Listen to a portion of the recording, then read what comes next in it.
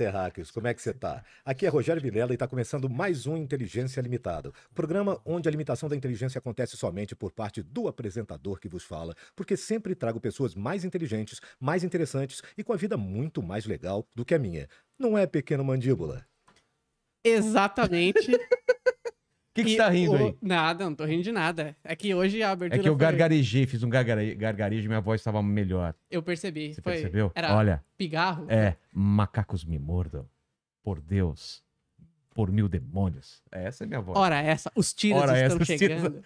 Mas se vocês ouviram, já é a voz do Garcia Júnior. O, o Pequeno Mandíbula, antes de falar com ele, fala como o pessoal da live pode participar com perguntas. Cara, é muito fácil. É só mandar seu super chat. Os valores eu vou fixar aqui no chat. Então, confere aí no chat da live o comentário do Inteligência Limitada para vocês participarem com perguntas, comentários e jabazão. Lembrando que não dá pra ler todas as perguntas, mas a gente lê as melhores. Exatamente. Quem tá só ouvindo esse, esse programa não faz a menor ideia do que aconteceu no começo. É, a Porque- câmera estava em você, É. só que a voz não, claramente não era não era sua. minha, era alguém me dublando. Então o pessoal que tá no áudio tá falando, ué, por que, que eles estão explicando isso?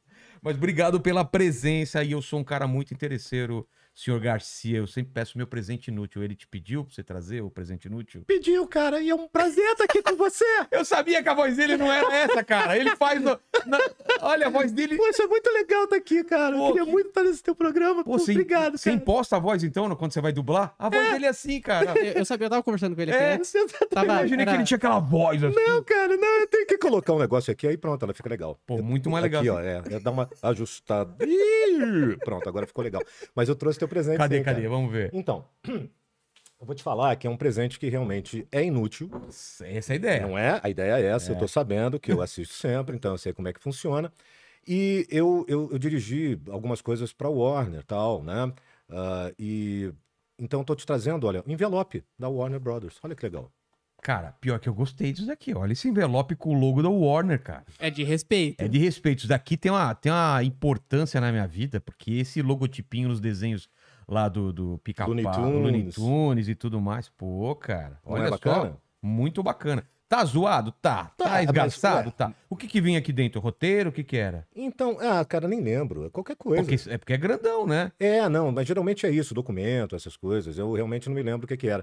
Mas, na verdade, assim, para complementar, isso aqui, ó, é o que é o teu presente. Olha, cara. Inútil. E não é que seja inútil. Não é inútil, não, Não, cara. pois é, mas é porque eu tenho um. Então, assim, eu Tá. tô te dando um porque eu já tenho, que é um pôster do Coringa, que é um filme que eu traduzi, adaptei ah, todo o texto e dirigi a dublagem. Você faz a tradução também? Eu faço, na maioria dos trabalhos É? que eu faço para cinema. É, Isso deve dar um trabalho absurdo, né? Colocar as Velho. gírias dos caras pra Sim. cá. é, é. E, e mais do que tudo isso, né? Porque não é só a tradução, porque o, o tradutor, claro que é uma pessoa especializada no idioma e tal, É. só que depois eu ainda faço uma adaptação para labial para a Pra dublagem. dar o tempo certo? E é, não só o tempo, mas as labiais também. Você fica prestando atenção na- no, no É. movimento da boca e alguma coisa parecida? É, tipo, se acaba com boca de O, ou com boca de U, ou se A, e se tem uma bilabial, tipo B, P, M numa sílaba, Aí você tem que achar um sinônimo ou uma outra forma de falar aquilo. aquilo de uma você outra lembra maneira. de alguma, alguma coisa que você teve que mudar e adaptar? É, Imagino que você deve fazer isso direto, né? Mas- É, não, mas eu lembro de uma que, assim, é, já tem, é muito antiga, do, do Mulan, Tá. que é uma hora que o Mushu chega e, e chega de Batman no, no Mulan, né? E ele fala em inglês, ah, quem é você, né? Acho que alguém fala, quem é você? Ele, your worst nightmare. Seu, eu sou o seu, Seu pior, pior pesadelo. pesadelo. Seu pior pesadelo. Your worst nightmare. Ah, your worst, night, worst nightmare. É. Rapidinho, né? Aí eu fiquei, cara, o quê? Eu- O que que eu vou botar? Nightmare, nightmare. Your worst nightmare. O inimigo do crime. Crime, Ah. nightmare. Crime, nightmare. Caramba. O inimigo do crime. E aí bateu. Ba- Mano, eu não tinha pensado nisso, porque traduzir, claro, já é difícil e ainda tem É. essa. Tem, essa, tem essas bagaças ainda. E esse filme, cara, o, o Hélio Ribeiro, que dubla o Joaquim Phoenix, e que é um tremendo de um ator, cara, de É, teatro. Eu imagino que esse filme deve ter sido muito difícil. Muito. A parte de ator, né? Porque a- a atuação. Muito, A muito. atuação do Joaquim Phoenix é fantástica nisso, Muito, né? cara, muito. E, e o Hélio dubla o Joaquim Phoenix há muitos anos, em vários Gladiador. filmes e tal. É, não, é, o Gladiador, acho que. É, exatamente, né? É. Porque eu falei, pô, esse Gladiador eu pensei no, Russell, no É, é Russell o Crowe. É o Imperador. E, e, cara, o, Elinho dublou em vários filmes tal. E o Elinho é um ator tarimbado de televisão, de teatro também e tal. E, e, cara, ele se entregou para esse filme de corpo e alma, a ponto de no final, cara, eu tá na- nas cenas finais ali do talk show, Sei, que é aquela cena, né, Pô. super forte. Forte pra caramba. né? Cara, eu, eu tava ali na, na- junto com o operador, cara, as lágrimas, entendeu? Chorando é de emoção, intensa cara. aquela, aquela De emoção, cena, né, de você ver, mas aí o lance da entrega do cara fazendo o negócio, Ah. sabe? E, e, cara, assim, eu, eu, eu acon- dá uma olhadinha depois nessa cena dublada, tanto pra você ver a parte técnica, que Ah. assim, tá ali, ele tá falando português mesmo, É. entendeu? E a entrega de ator do Hélio, cara, naquela É porque- cena é uma porque coisa. naquela cena, o, o Joaquim Phoenix, ele tá uma coisa meio doce, meio amargurada. É uma, é uma mistura de tanto sentimento. Não é Ex- simplesmente. Isso aí. Ah, eu sou um cara louco e vou te matar. Não, tá, tem tanta Isso coisa aí. lá, cara. E, cara, ele foi de uma entrega. O Hélio, ele se entregou pro papel, se entregou pra cena e ficou ali exatamente imbuído de tudo aquilo, pesquisando, decupando cada fala, cada pedaço, cada respiração. Porque é isso, não é o teu tempo, né? É. Você tem que fazer na coisa que o cara fez organicamente, você tem que pegar e manter uma, uma, uma coisa orgânica de uma coisa que não foi você que criou, cara. Que você está Exatamente. recriando em outro idioma. Ele, e ele fez isso magistralmente, cara. Então eu tenho um orgulho desse filme, Você é diretor de, De dublagem. Desse, desse filme. desse filme, é. Como diretor, o que, que você tem que falar pro cara? Ou o que você tem que dirigir? Como que é? Então, eu, eu acho que é muito. Depende muito da pessoa, né, Vilela? Ah, é? porque é, é como a gente, né? Se eu tô começando, se é a minha primeira dublagem, você vai ter muito mais trabalho do que com um cara que você trabalha mais tempo, ou não? Então, não necessariamente. Ah, não? porque às vezes o que, que acontece? Quando a pessoa está muito tempo no meio, e esse às vezes é, o- é a minha dúvida, às vezes, o, o meu grande ponto de interrogação é como é que essa pessoa vai entender esse trabalho? Como mais um trabalho da dublagem do dia a dia, que é uma coisa realmente é, orgânica, mas é muito é, dinâmica, Sei. ou se a gente, se o cara vai falar assim, não, eu vou me despir de tudo que eu faço todo dia e eu vou propor fazer uma coisa completamente diferente. Tá aberto a. a- a- Exatamente. Ah. A, a ir para um outro nível do Entendi. negócio. Entendeu? E se a pessoa não quer, cara, não adianta. É. Porque assim, você não vai levar uma pessoa, direcionar alguém, não é você determinar o caminho de ninguém. É você falar, cara, vem por aqui. E se o cara não quiser, você fala assim, bom, então deixa eu te abrir esse outro caminho. Se o cara não quiser, você fala, então te abro esse aqui. Mas tem uma hora que, assim, é, é aquela cena do Pequeno Príncipe, né, cara? Você não pode pedir, ah, ah, eu peço pro sol, no reizinho do planeta lá. Não, de manhã eu peço pro sol se levantar, às seis horas eu peço para ele se pôr. Aí eu falo, "Ué, mas o sol faz isso. Eu falo, pois é, mas eu só posso pedir o que é possível. Ah, Então acho que quando a gente aprende que você. E, e dirigir, ou direcionar alguém, ou alguma coisa. Ninguém dá o que não tem, né? Exatamente, cara. Se você. Se a pessoa não. Ou, ou por uma questão de defesa, às vezes. Ah, é? Né? É claro, porque às vezes a pessoa fala assim, pô, mas eu sei fazer esse negócio. O que, que esse cara tá querendo? É. Por que, que esse cara tá querendo me levar para um treco que eu não sei o que, que é? Eu não tô entendendo qual é a dele. Entendeu? Então, se, se não tiver na mesma sintonia, e, e foi isso que eu te digo desse filme, cara, a sintonia A confiança, né? Exato, cara. A entrega, a sintonia de falar, velho, tô junto contigo.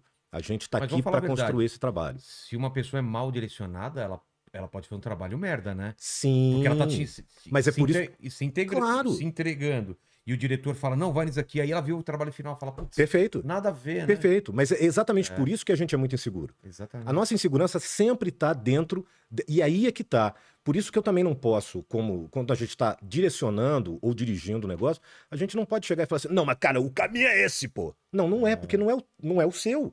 Então eu tenho que achar um lugar onde eu te toque para você vir comigo. Não adianta falar assim, vem- cá, arrastado. Não adianta eu te puxar pela, pelo braço e falar, não, você vem comigo, pô. É que nem auto- autoritarismo, cara, não serve para nada por isso. Porque você ensina, entre aspas, um caminho, você direciona pelo exemplo. É. Fala assim, ó, eu tô tranquilo para fazer isso. E eu quero que você esteja igual. Eu quero que você esteja vindo comigo. Porque, e principalmente isso aqui, o, o verbo em inglês é to play, em francês é je, em português devia ser brincar. Entendeu? É. Jogar, porque é isso, cara. A gente tá jogando. A gente tá fazendo a pessoa pensar que a gente tá vivendo uma emoção que a gente não tá. É, Então, para isso. nada mais é do que aquela coisa que você fazia quando era criança, espontaneamente. Exatamente, é o lúdico desse negócio que é difícil pra caramba, porque depois quando você se arma de todas as tuas defesas, das tuas armaduras e dos teus preconceitos, você não quer abrir, cara. Cara, eu vejo meu filho, cara, ele tá fazendo uma comidinha lá, ele fala, toma, isso aqui é uma coxinha, é um pedaço de Lego. Aí você morde e coloca o resto, ele fala, você não vai comer o resto do negócio? Ele entendeu que você comeu um pedaço e que você não comeu tudo. Aham. Pra ele, ele tá levando muito a sério aquilo. Exatamente, exatamente. E é o que o, o papel do ator e o dublador tem que fazer. Exato, porque a gente mexe com sensibilidade, cara. E então é a coisa mais bacana que a gente tem e é o que a gente devolve pro público. E é por isso que o público embarca com a gente É, naquilo cara. que a gente faz. E é por isso que a gente tem essas lembranças afetivas tão fortes de desenhos e filmes e seriados e quando a gente via e quando vê, né? Fala, cara, você vê um filme, ele te bate de um jeito. Por quê? Porque, cara, teve uma entrega do diretor, do maquiador, do fotógrafo. É todo mundo trabalhando pra uma coisa só, não É é? Pra isso. contar uma história. Exatamente. E quando você percebe e entende isso, que é a mesma coisa, tipo, se eu tô no estúdio, eu não quero saber quem é que tá, de repente, não é, não é palpitar o tempo inteiro, mas se, pô, esse cara foi lá entregar um telegrama e falou assim, isso aí tá certo? Como Se- assim? Sei lá, qualquer coisa. Tipo, o cara falou um negócio e o cara não entendeu. Ah, tá. tá. Sabe? E a pessoa, por ser leiga, tá É. falando alguma coisa. Eu falo, oi? O quê? Não, é porque ele falou um negócio ali e tal.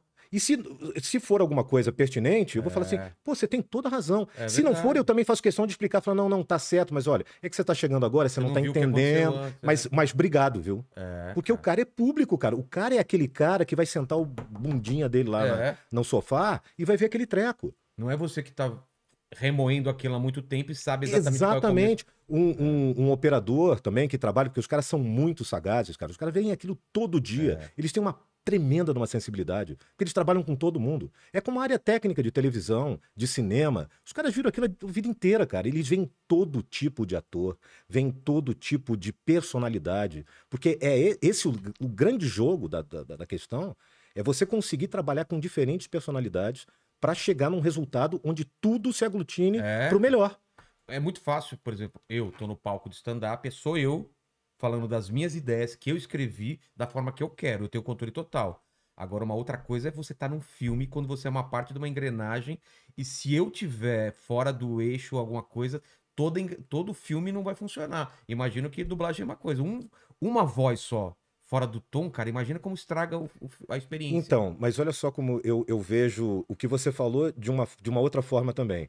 Eu acho o teu trabalho no stand-up ali, e por isso que eu nunca até hoje tive culhão de subir lá e fazer um treco de desse. culhão mesmo. cara. Aliás, eu subi uma vez, cara. Ah, é? É, no, no Comedians. Caramba. É, por causa de uma. eu- a gente chega Tá, lá. tá.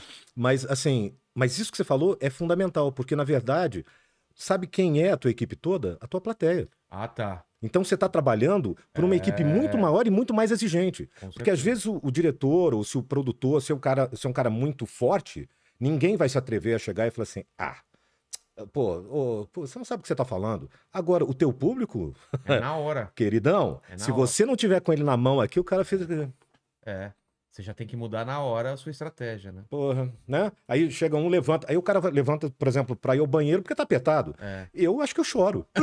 ele tá indo ao banheiro, ele não tá gostando de mim. Entendeu? Porque a gente é, inseguro, cara. Total. né? Porque assim, a, o- a- a gente quer agradar, a gente quer fazer o melhor para quem tá ali assistindo a gente, seja numa coisa gravada, numa coisa ao vivo, e ali no palco, porque tudo bem, stand-up nunca fiz, mas teatro sim, e aí que tá, aí eu tenho coragem de subir, porque eu ensaiei com uma galera, tá todo mundo, um tá segurando o outro, eu tenho a direção que me fez chegar naquele ponto, que me fez construir aquela personagem, tem a cenografia, tem um monte de coisa. Ali, com aquele pino de luz em cima, negão, com, aquele, com aquela tua equipe só, ali tipo, me faz Não, rir aí. Não, os caras estão lá, eles te dão um desconto É, de cara. um, sei lá, de um minuto. Depois de um minuto é faz. Por isso que eu rir. sou apaixonado por stand-up. É mesmo? Eu sou apaixonado. Eu sou assim, eu era um antes cara. de fazer. Claro, eu Agora eu não entendo. consigo mais assistir. Claro. Quer dizer, não que eu não eu consigo, eu assisto um outro. Mas antes eu assistia tudo. Hoje eu não Não, eu já vi aguento você falar isso. Não Já, já te ouvi mais, falando cara. isso. E sabe o que é mais engraçado, cara, nesse negócio do, do stand-up, de você ficar meio, meio fechado pra esse mundo, né? Tipo, falar, ah, cara, eu não aguento mais esse treco. Não, de assistir. Não, não, falando. tinha- Ah, sim, tá. sim. Fazer eu adoro. Não, não. É. Fazer, beleza, mas assistir, porque é uma coisa também que é o seguinte, eu, eu já percebi do contrário. Porque, por exemplo, é, o Chico, quando, quando a gente trabalhou lá, Chico Anísio. Chico Anísio, é. Sei. Eu, eu tenho uma fita dele de 1976, chamado Chico Anísio Show. Era, era um, era um É, é ele contando histórias. ele contando histórias. Ah, acho que eu vi. Não é ele do, do, do foguete? Vai queimar, É. vai queimar a bundinha, Ex- menino? Eu- Exatamente. cara, meu pai colocava isso pra escutar, cara. Cara, eu escutava isso Era todo. já, não era? Era, era um Ele tipo conta- ele de. contando histórias, né? É. Caramba, eu lembro O Cabral, o disso. Cabral anda, anda, deixa para ir abrir, anda. ah, antes vai experimentar tua fantasia do belo esvoaçante. É. Aí Cabral experimentou, tirou o segundo, ganhou Evandro, mas ali, bem apertado, Evandro Lima, que era um, um carnavalesco. Enfim, eu sabia esse negócio de cor, porque eu ouvia aquilo todo dia. A mesma coisa, era uma tremenda alegria para mim.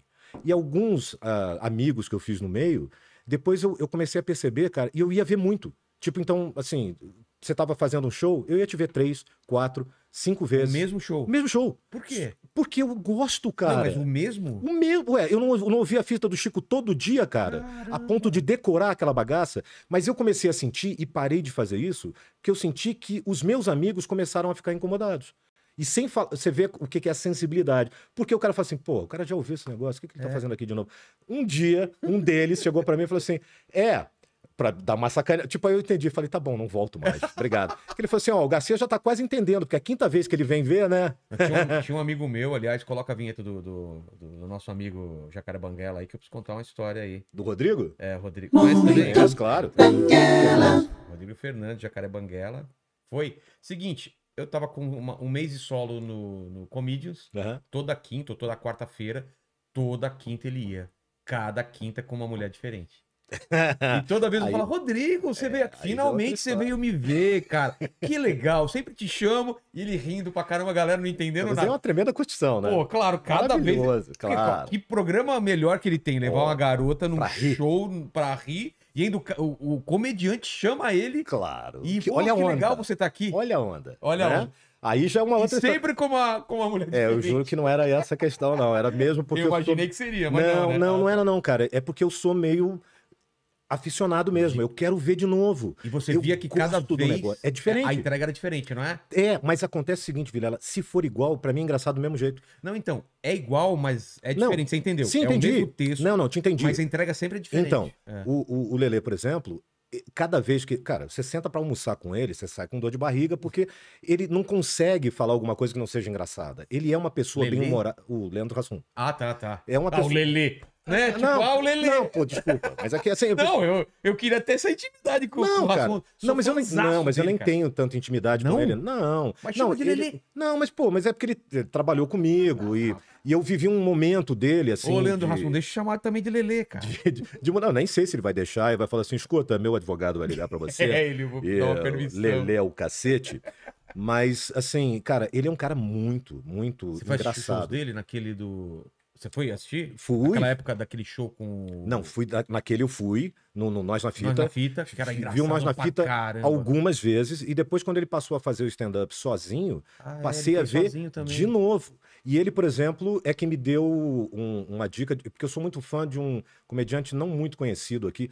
Eu gosto mais do, do humor americano ácido. Então, eu gosto do George Carlin, Porra, bom adoro. George Carlin, e gosto do Lewis Black, que eu não sei se você conhece, que é um. Sim, sim, Luiz Branco. Bom pra caramba. Black, que é totalmente, Não, né, você- mal-humorado pra caramba. Mas que- mal-humorado ou humor negro? Porque se você- gostar de humor negro, assiste o Jason Nick. Sabe Não. quem é o Jason Nick? Sim, sim. Esse cara é Não, o mas- cara mais pesado que eu já vi. É, mas então, não é. é, Bom, eu gosto do humor, né? Eu gosto do, do humor do Léo Lins, por exemplo, Sei. adoro o Léo Lins. Mas é, o, o Lewis Black é meio mal-humorado. Ah, tá. É aquele cara, pô, sabe? Pô, Nova Iorquino, cara, É, sabe? O cara que não tá com saco Então aqui vida. você vai gostar do, do Márcio Donato, que é dos quatro amigos, que é o Tá. mal-humorado. Ele faz É, isso mal-humorado. tipo. É, que é, puta, que tá sempre mal-humorado. Isso. Eu gosto também Eu desse- gosto dessa coisa. Essa persona, né? É Isso. E o, o Leandro Hassum, ele me falou de um cara também, cara, que é maravilhoso, que porque ele faz imitação, ele imita aquele cara. One man, Sei, sei, sei. one time. Bruce Willis is now Tô ligado. is coming back for you. Que chama Pablo Francisco. Sim, famosaço. É, e Só que ele, tem imitou um o. Schwarzenegger também. Tem?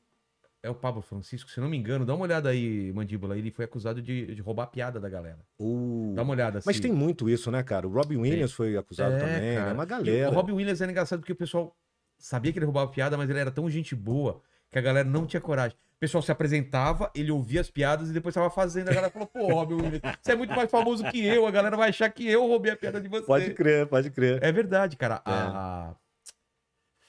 Putz, aquela. que- É, ela é mais gordinha que faz humor também. Putz, eu não vou lembrar. Lá fora? É lá fora. Dessa, dessa nova geração, uma, Tá, uma tá. loira de olho azul, mais gordinha, ela roubava piada pra caralho, assim. Isso deixa, deixa a galera Deixa- muito Porra, puta, né? claro. O, teve um. O, o Joe Rogan comprou uma briga, se não me engano, com o Pablo Francisco. Dá uma olhada. Tem alguma coisa de, de joke stealer? Não sei como seria a tradução de quem rouba piada. Ela tem um termo pra isso. Mas, cara, é, o, Pablo, o Pablo é muito bom, cara. Ele é, Muito e ele bom. tem essa coisa de fazer. estádio. Ele faz o Schwarzenegger, né? É. You gotta get down! We, we have to get down! We're in danger! né? Ele faz as imitações do. É. E eu peguei mais ou menos esse jeito do Schwarzenegger mesmo falar, meio dessa coisa de brincar É. de ouvir ele, né? Porque tem um caminho, né? Da imitação. Cara, eu não tô achando. Eu pesquisei aqui de Pode ser piada. que eu tô, Ah, de repente não foi, né? Pode ser o, o- Acho que é Carlos Mancia, que é o. Ah, sim! Esse cara. É, é esse cara que, que esse rouba cara, é, esse Não cara. tô eu- eu Desculpa, vi Pablo. Que Desculpa. esse cara também é muito bom, é cara. bom pra caramba. Ele, ele tinha um programa ch- chamado The World of Mancia, um Ah, negócio eu desse. sei, é. Cara, era muito bom. Era tipo um reality dele. E ele- esse cara também é pipa voada. Esse cara não tem papa na língua. É. E ele era gordinho, né? Depois ele emagreceu, ficou todo galanzão e tal. Esse cara é muito bom também. Se ele rouba Louis piada, ele rouba bem. Você gosta? C.K. gosto, é um claro. Gosto, cara. gosto É muito. Bill Burr, O- o- Louis C.K. O e Ruivinho. Jim o é Jeffries também, né? é. Sim. Eu gosto do, do, do cara que apresentou C.K. o foi Oscar. cancelado esse tempo aí. Mas, cara, sabendo. quem não é, né, hoje É. em dia? O, o, o malandro lá do, do Oscar, cara, o, o Gervais.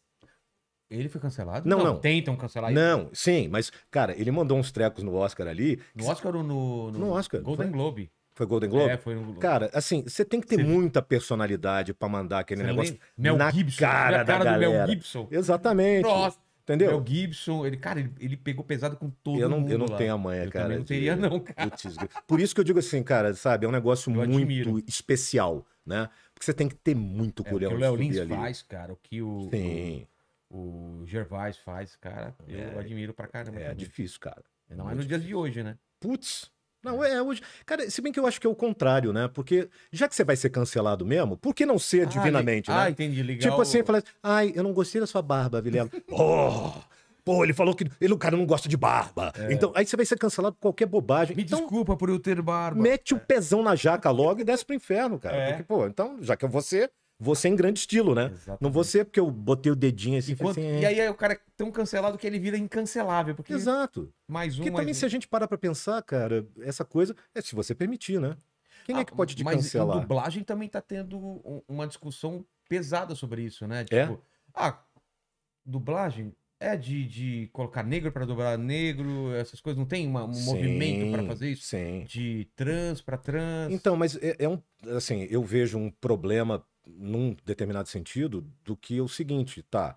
É, eu não eu, vejo. não, eu não sou. Eu, eu, por exemplo, É a- é a eu sou voz, né? considerado branco no Brasil, mas a minha avó é preta. É. Assim, e não é. não- E veja se bem, você- não é nem. Não é assim, não, não tem uma mistura, não. Não. Preta, ela é preta, preta, é. preta. Então, assim. E a eu- gente nos Estados Unidos, a gente com essa cor aqui é, Não, exatamente. É, Você é é. latino. Você é latino, É. que- porque é uma mistura entre negros, brancos e tal. Então, você é, é muito complicado, cara, você dizer assim, tá, então eu, eu não pertenço a lugar nenhum. Porque eu tenho um bisavô também que é alemão, e tenho um avô que é alemão do outro lado, É. e eu tenho minha avó que é preta, e tenho eh, a minha outra bisavó que é espanhola, e que vem de uma área toda moura, porque ela era bem, assim, aquele, aquele tipo marrom, né? É. Que não é, é uma pele bem do marroquino, né? De quem vem ali da, da, da região mourisca. Então, cara, então eu não sou nada. Então eu sou um vira-lata, eu não posso fazer nada. É, e como é voz só, eu já vi negro dublando, dublando, dublando branco. Dublando? Nossa, parece que eu tô falando errado, né? Não, tá certo. É, né? dublando branco, dublando, parece que eu tô tipo cebolinha. Sim. É, dublando branco, branco du- dublando negro, existe isso, né? Sim. Porque o que importa é a voz. Adulto dublando é, criança, Sim, adolescente. é- Sim, a, a Maria Inês, por exemplo, que fazia. Hoje a gente estava falando sobre isso, estava falando com o Zé Américo, com o Enio Vivona, do. O do... Enio teve aqui, o Zé Américo também. Tô sabendo, É. tô sabendo. Mas você Te mandaram um abração hoje? você. Encontrei com eles hoje. Ah, boa, boa. Encontrei com eles hoje, te mandaram um abração, inclusive. E a gente estava falando sobre a Maria Inês, que era a única pessoa que fazia menino. Ela fazia o Will Robinson, do Perdidos no Espaço. Caramba. Aquilo ali é uma mulher, cara. É, E ela fazia perfeitamente mas voz essa é a, é, a, é a- Cara, eu acho que é a mágica da atuação, da dublagem. É você Exato. E entrar naquilo e. Eu outro dia estava conversando isso até com uma pessoa eh, fora daqui do Brasil, com, com um alemão que é da mesma área, que trabalha com que a gente trabalha. E, e eu tava falando isso. Eu falei, cara, olha só como isso é louco. Porque muitas vezes também tem essa coisa de. Eu sempre briguei, entre aspas, contra isso, pra dizer assim. Porque eu falei assim, não, quantos anos o cara tem? Cara, não interessa. Quant- Quantos anos você acha que essa É, voz tem? é. Porque isso é um ator. Então vamos fazer o seguinte: o Tom Cruise não pode fazer mais Missão Impossível, porque ele tem 60 anos. Exatamente. Mas não, cara, o cara é um galanzão. O, o próprio Daniel Craig, que eu dublei no, no 007, né? No, nos filmes do Ele, 007. ele tá com quanto? Ele, tá com ele tem, 50. ele, ele tem um ano a menos do que eu, ele nasceu no mesmo dia, no mesmo mês, Sério? um ano, antes, um ano depois de mim. Ele é de 2 de março de 68. Caramba, então ele tá tem bem pra 53. caramba. Não que você Exatamente. esteja mal. Não, mas, não, não, Mas pô, é que não, o Daniel. Craig tá bem. Pô, e a Ô, conta- não, a única o coisa que. Cruise tá mais velho que a gente, velho. Exato. Olha como ele Cara, tá. a, a única coisa que eu tô bem melhor do que o Daniel Craig é na conta bancária. Agora, É, realmente, claro, fisicamente, ele tá pô, É muito melhor do que eu. Óbvio. Mas você vê isso, cara. Então você vai falar assim: não, o cara não pode fazer o Bond, o, o, o Tom Cruise não pode fazer o Ethan Hunt, né? É, Ethan Hunt. Hunt. Não É, pode fazer? É, né? Não pode fazer, porque ele tem. Não, você tem 60 anos. Quem é que vai dizer isso pro, Cara, eu acho isso pro incrível. é. Tom Cruise, entendeu? Porque senão, a gente. Como que a gente vai fazer pra dublar Transformers? Um Ah, carro que saiba dublar. Não, vai fazer um caminhão? sim. Achar um caminhão. Agora, agora tem. Pra dublar o Transformer tem que ser um caminhão do mesmo modelo e do mesmo Cara, ano. e eu tô aqui já visualizando o que as pessoas estão do outro lado falando. Não, mas não é bem assim. O que você tem que entender é porque as pessoas estão sendo excluídas por isso. Sim, mas você começa a excluir os outros. É. E na verdade, por exemplo, dessa coisa de voz também. O Zezinho Cútulo era um, um ator que dublava aqui em São Paulo que fazia o cabo Rusty, do Rin Tin Tin. Sei, sei. Aquela voz dele, ele tinha, sabe quantos anos quando ele fazia aquilo? 40 e tantos. Aquela era a voz dele. O Carlos Marques, falecido recentemente, que fazia o Super Mouse. Super Mouse, seu amigo. Ele tinha Ah, aquela voz assim, que fazia o Garfield também. Sei. A voz do Carlos Marques era essa. Ele morreu com, sei lá, com mais de 70 anos. A voz dele era assim. Aí você vai fazer o quê? Eu vou falar, não, Carlinhos, olha só. Sabe o que, que acontece? Você não vai trabalhar mais. Porque quando eu mando o, o teu portfólio lá, eu falo assim: ah, esse cara tem 30 anos, 20 e poucos tal. Ele fazia o Homem-Aranha, na época do desenho do Homem-Aranha. Ele já tinha 60. Caramba. Mas ele tinha aquela voz, cara. Aí eu vou dizer, aí chega um cara bambambam bam, bam, sentado numa mesa que nunca entrou num estúdio e o cara que vai decidir porque falou assim: "Não, mas o cara tem 60 anos. Ah, mas ele não pode fazer". Eu falo: "O animal, ele é um ator. É. Ele é um ator, ele tá A ali exatamente. brincadeira é a brincadeira é essa, é a gente ser aquilo que a gente não é. É, Só fala mesma- pra ele assim, ó, ele não é um Homem-Aranha, ele É. não, não vira, ele não tem poderes. A coisa de algumas vezes numas emissoras também, que depois as pessoas começaram a ficar pau da vida porque eu falava assim: não, eu não quero, obrigado. Eu falava assim: olha, tem um locutor de telejornal, eu não quero fazer locutor de telejornal. Boa noite, estamos aqui e tal. Mesmo porque, cara, as pessoas falam assim: pô, mas é uma coisa legal de fazer, né? Você tá em primeiro plano aqui e tal. Sim e não. Porque quando é um, um locutor mesmo de telejornal, você tem um TP.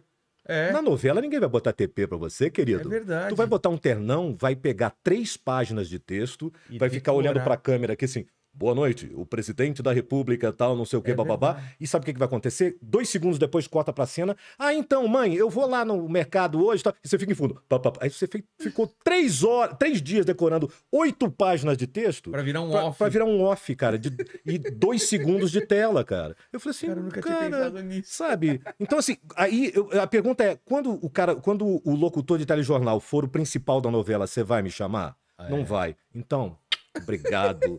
locutor de telejornal, titio, não faz. Tá? Titio, não vai, obrigado. Não vou fazer, não. E parei de fazer. Vá pro diabo.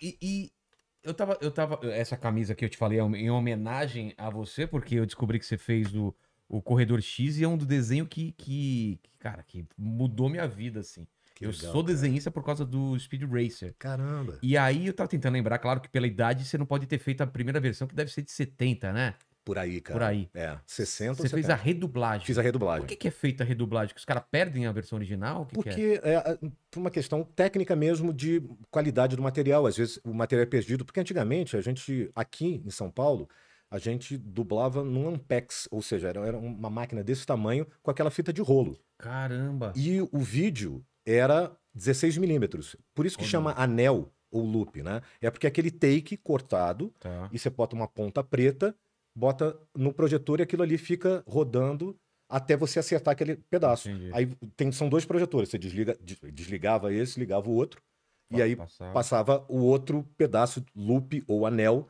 e, e assim, entendeu? E Só que aqui era o seguinte, era essa máquina, então o diretor ficava dentro do estúdio assim, ah, cada take desse tem um número, né? Então, digamos que era lá pro meio do filme, o, o take, o anel 86. Então o cara falava assim: 86, primeira. Aí vinha assim, porque isso era pra sincar com o áudio. Tá. E o, e o tape rodando direto. Aí, primeira, segunda, e assim, se errava no meio, não tinha como voltar.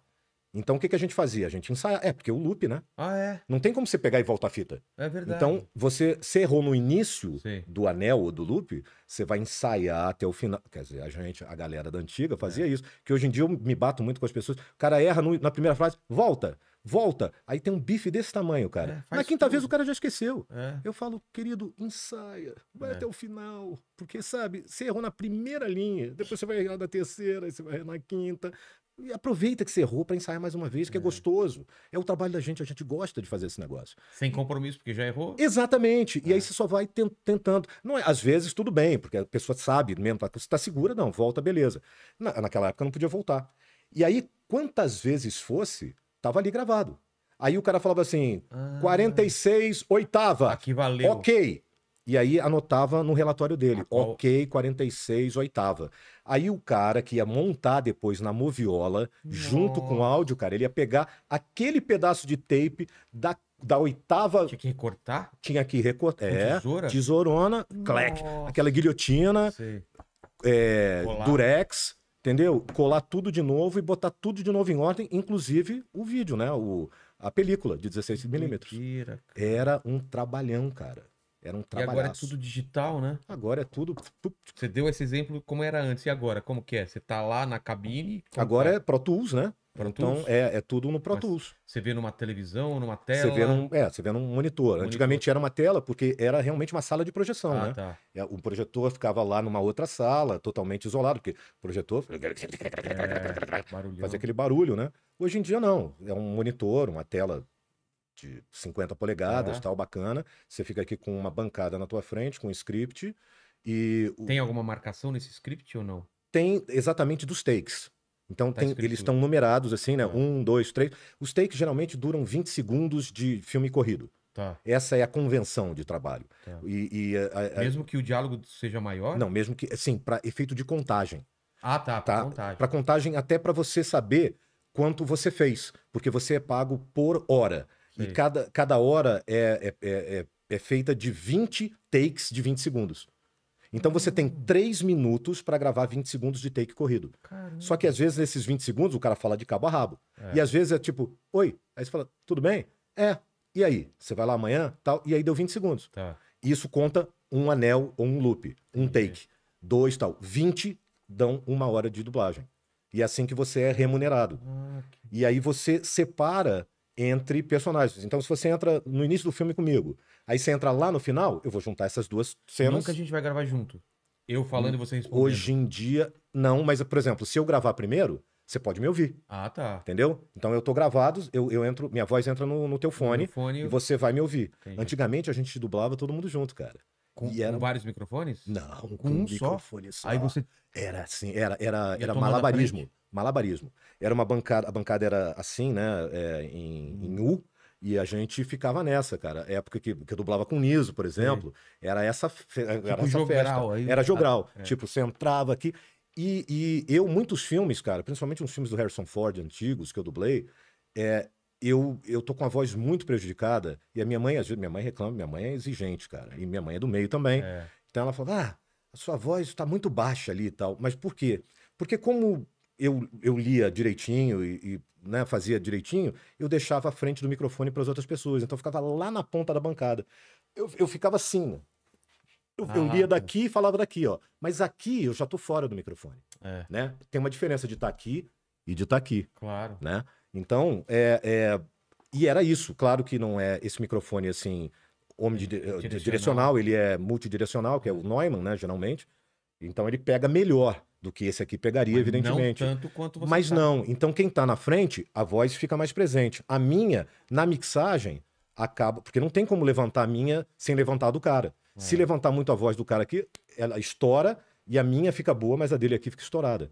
Então, esse lance também é ruim hoje em dia, tecnicamente, porque um- o trabalho do diretor fica muito mais é, é, pesado, digamos assim, porque ele tem que ter total noção É. do que está sendo feito, né, para ter o conjunto na cabeça para fazer aquilo acontecer. Mas ah, tem uma qualidade técnica muito melhor.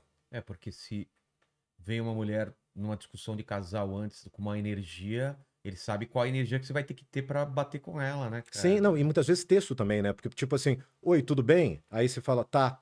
Porque aí o cara mudou o texto. Era, tá tudo bem?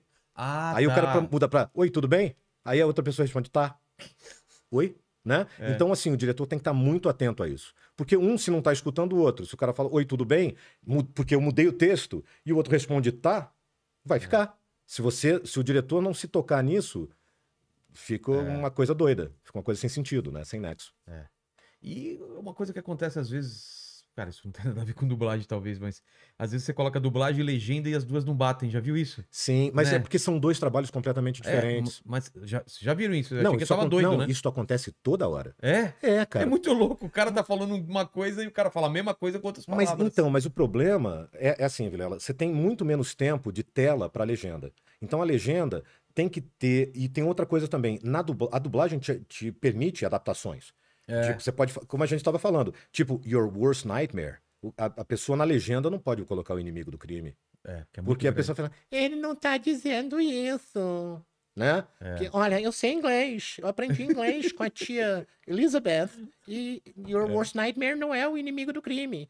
E as pessoas gostam de fazer isso, né? É. Mas assim, é, mas na dublagem bate bem e, na verdade, é, é, tem gente que gosta de fazer isso, né? De ver a dublagem com a legenda embaixo, né? Que é uma coisa meio Não- doida, Não, né? entendo isso, né? Mas é, Deve tipo, dar uma doideira, É, né? porque eu acho que a dublagem, exatamente, a função linda da dublagem é pra você poder assistir o filme. Claro que falaram, não sei quanto que você perde do filme quando tá lendo a legenda. O Kubrick, cara, É. ele, ele fazia, exigia, na época que ninguém dublava filme para cinema, todos os filmes do Kubrick eram dublados para o cinema. Por quê? Porque ele é um diretor imagético. É. Então ele falava assim: eu quero que a pessoa veja o meu filme. Porque você perde um detalhe, aquele do, do, do Iluminado, por exemplo, as sopas Campbell, lá na. Entendeu? São detalhes que ele bota ali pra te. te Dá um gatilho. dá né? gatilhos, cara. Se você tá lendo legenda, você não tá vendo o filme. Então é primordial. A dublagem Ainda é mais no primordial por isso. cinema, né? Que é muito grande, você tá aqui, você tá perdendo todo... Exatamente. E hoje em dia é muito bacana essa coisa da interação das redes sociais, porque a gente não tem. Antigamente, quando era uma coisa meio elitista de imprensa, O quê? imprensa elitista, Ah, eu tá. não gosto de, de dublagem É. e tal, não sei o quê. E uma época eu, eu me bati contra isso, que eu falei assim: vamos fazer o seguinte então?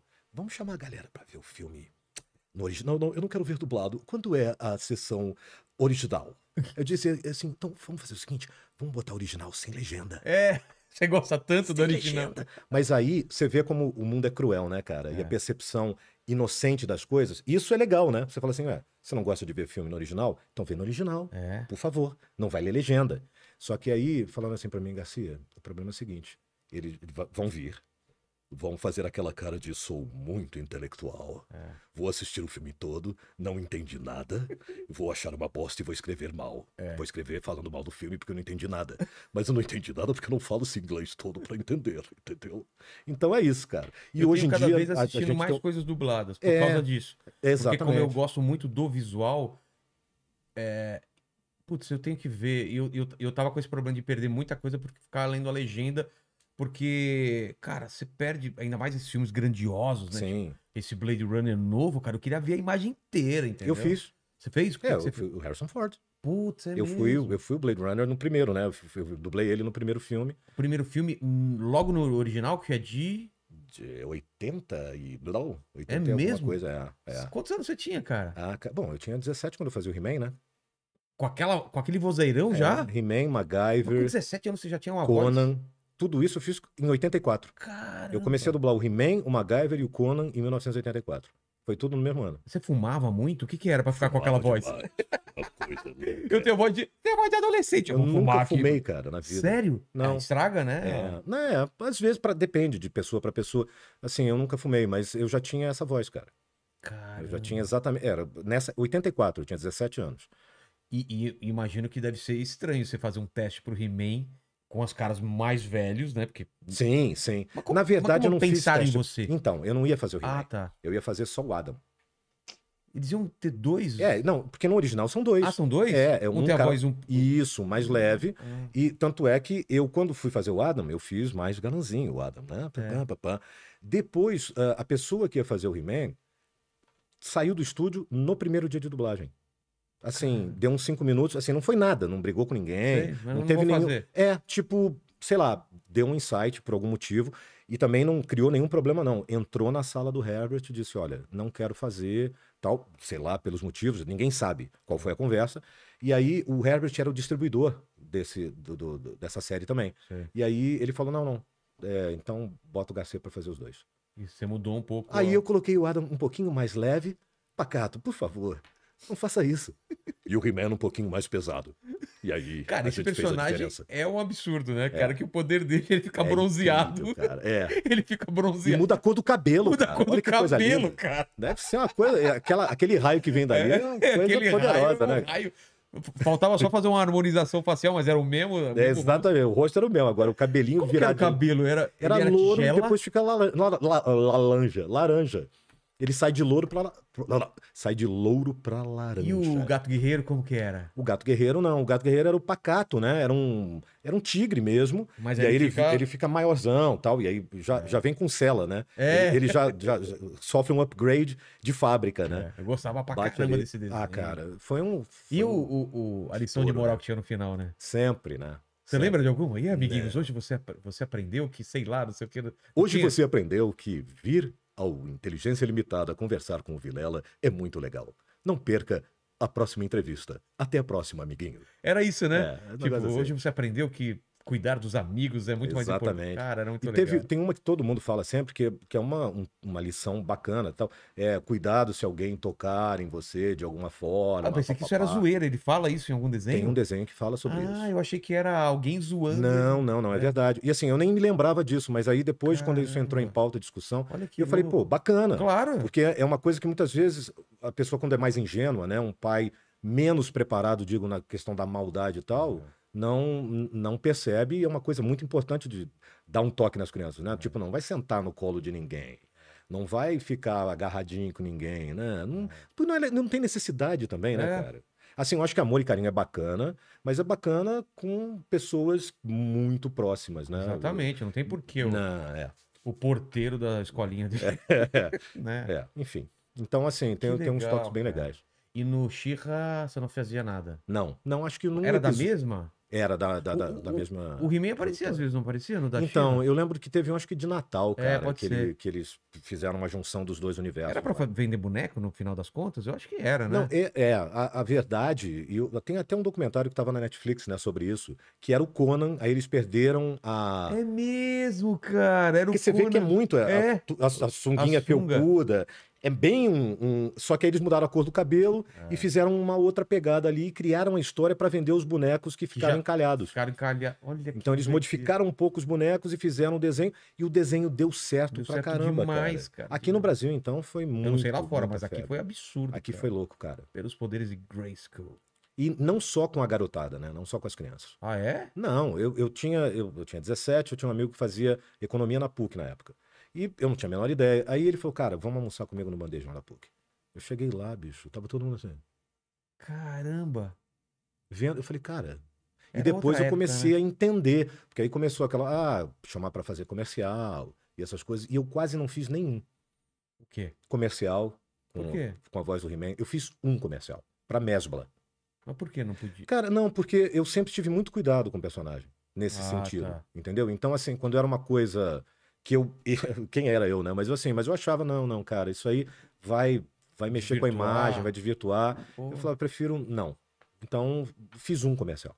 cê- seu pai e sua mãe são da área. São, Você é Garcia Júnior e seu pai é Garcia Neto. vai entender, né? Então, é isso que eu- é- essa é a minha dúvida. É, o pai dele era. Garcia Filho. Isso, Pô, Você deveria ser Garcia Bisneto? sim, sim. Ou- É. ou- não, e- não, e Ou pior, Garcia Terceiro? não, não, nem terceiro, porque eu sou o quarto. Peraí, peraí. É, Tem Garcia. mais um, não, tem mais um. Tem, Como um, é? tem o Manuel Garcia, Tá. que é meu bisavô.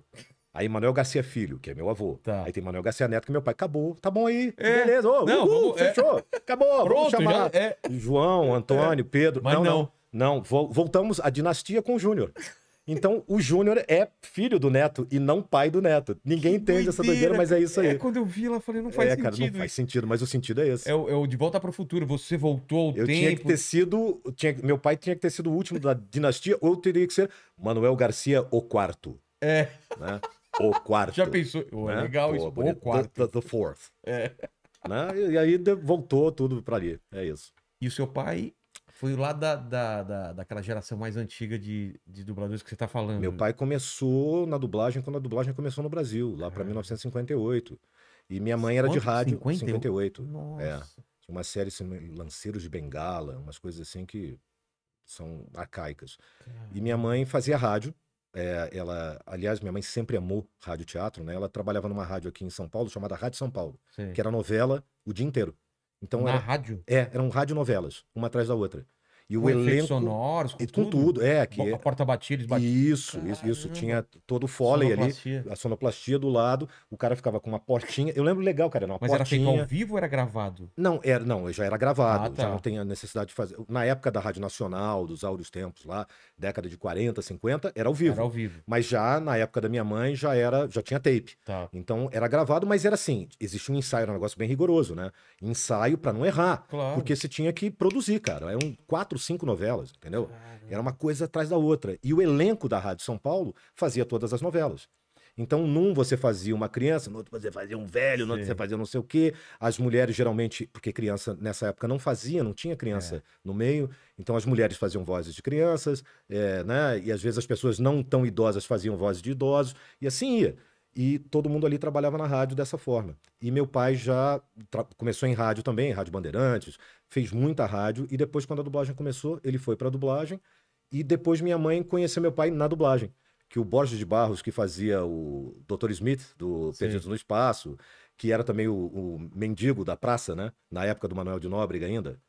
Quem que fazia? Você lembra do mendigo, do, o, o mendigo da, Mendigo da, da não praça? Era, mas não era o Moacir Franco que fazia o Não, mendigo? então, o Moacir fez depois, eu acho que o Moacir fez também. Era o mesmo, mesmo O personagem? mesmo personagem Ah, ou eu lembro só parecido. do- eu É, lembro o do... Moacir, icônico É. também. Mas o Borges fez esse Tinha dois mendigo. cachorrinhos, né? O- Isso. Ele, ele era, um, ele era um mendigo metido a rico, acho que fumava charuto e tal. E esse, ele que fazia a voz do Mo dos Três Patetas também. Tá. E aí ele insistiu muito pra minha mãe ir pra dublagem também. E aí minha mãe passou a dublar também. E aí foi isso, e, e por causa deles eu acabei dublando também, porque eu fiz o teste pro pica-pau. ah, não queria fazer, minha mãe insistiu demais para que eu fizesse, forçou. Quantos anos você Eu tinha? tinha 10. E, e eu fiz achando que era brincadeira. Só que mandaram pra, pra Universal, que era a distribuidora. E Você o acertou os Ednir. tempos certinho? Cara, então, Vilela, eu saía da escola e eu ia pro estúdio de dublagem e ficava assistindo dublagem o dia inteiro. Você ficava vendo os caras trabalhando? É, eu não, então. assim, eu- até meus pais ir- irem pra casa, eu não tinha nada pra fazer e eu não tinha onde ficar. Então, porque não tinha grana pra ter babá, ou Babá. creche, essas coisas. E você tava vendo uns A filmes, vida umas da coisas- gente, é. né? Então eu ficava lá e eu, eu focava. A minha diversão era o cara falava, eu decorava e dublava mentalmente. Ah. Mas assim, eu juro, nem nunca me passou pela cabeça que eu fazia aquilo. Era orgânico, porque eu tava ali sem fazer nada, era assim que eu passava o tempo. E quando eu fiz o teste, eu fiz, ok. E beleza. Aí mandaram. Não sei por quê também. Não sei se por erro, por engano. Ah, E é? aí o distribuidor da Universal na época, que era o Ednir, falou assim: eu quero essa menina aí. Aí, quando voltou, não, não, mas não é menina, pô, o filho do Garcia tal, e da Dolores, e, e ele nunca dublou. Falei, não interessa, vocês mandaram, escolhi, agora é ele. E eu lembro que ele desceu a escada, as escadas aqui da BKS na, na rua Tibério, cara. Aí olhou pra mim assim, e olhou pro, pro gerente, que era o seu Julio, que era um espanhol, que fazia o Leôncio, com Ah, é? aquela voz assim que tinha. Porque ele era espanhol mesmo, e falava assim, todo meio complicado. E falou assim: seu Julio, conhece o novo pica-pau? E eu fiz assim, caralho, regalei o olho. E o diretor da série aí falou assim: vou dirigir não. Só que eu não sabia, não falou Ah, pra tá. mim. Chegou pro meu pai e pra empresa e falou assim: ó, não vou dirigir o filho do Garcia. Desculpa. E falou pro meu pai: falou, desculpa, mas eu não vou fazer isso porque ele não tem preparo nenhum, nunca fez nada, não pode ser um cabeça de série. Aí meu pai falou: tá, seu Julio, eu dirijo, pode deixar. E aí, duas semanas depois, ele chamou a gente no barzinho que tinha ali na rua Tibério, no Tetel. E eu não entendi nada, né? Ele E foi muito bacana da parte dele, cara. Ele falou: Ó, tô sentando aqui contigo pra te pedir desculpa. E eu assim, tipo, hum? né? Ele falou: porque aconteceu isso, isso e isso, e eu não apostei em você e eu tava errado. Mas assim, eu, eu sempre digo Mas é isso, cara. grandeza demais o cara assumir isso. Total. Porque ele podia ficar. Tipo, dane-se, É. vou até ficar chateado, né? Falar É. assim, não, mas você vai ver daqui a pouco como esse moleque É. vai fazer alguma besteira aí. Não, cara, ele foi grande e, e, na verdade, ele agiu corretamente. É. Porque, cara, como é que você vai assinar um treco desse e falar assim, eu não. Olha, olha o tamanho da responsabilidade, É, vocês estão loucos. E, e, assim, muito bacana, porque deu tudo certo. E dali, uma coisa que meus pais nunca quiseram pra mim, acabou se transformando na forma como eu fiz toda a minha vida. Tudo que aconteceu de Muito bacana na minha cedo, vida, cara, Caramba. aconteceu a partir dali, né? E você teve que mudar muito a sua voz pra fazer o pica-pau na época? Não, era uma coisa que eu fazia assim, que agora eu- não consigo, porque eu tinha uma voz de criança, e É. agora sou o Smurf gênio dos Smurfs.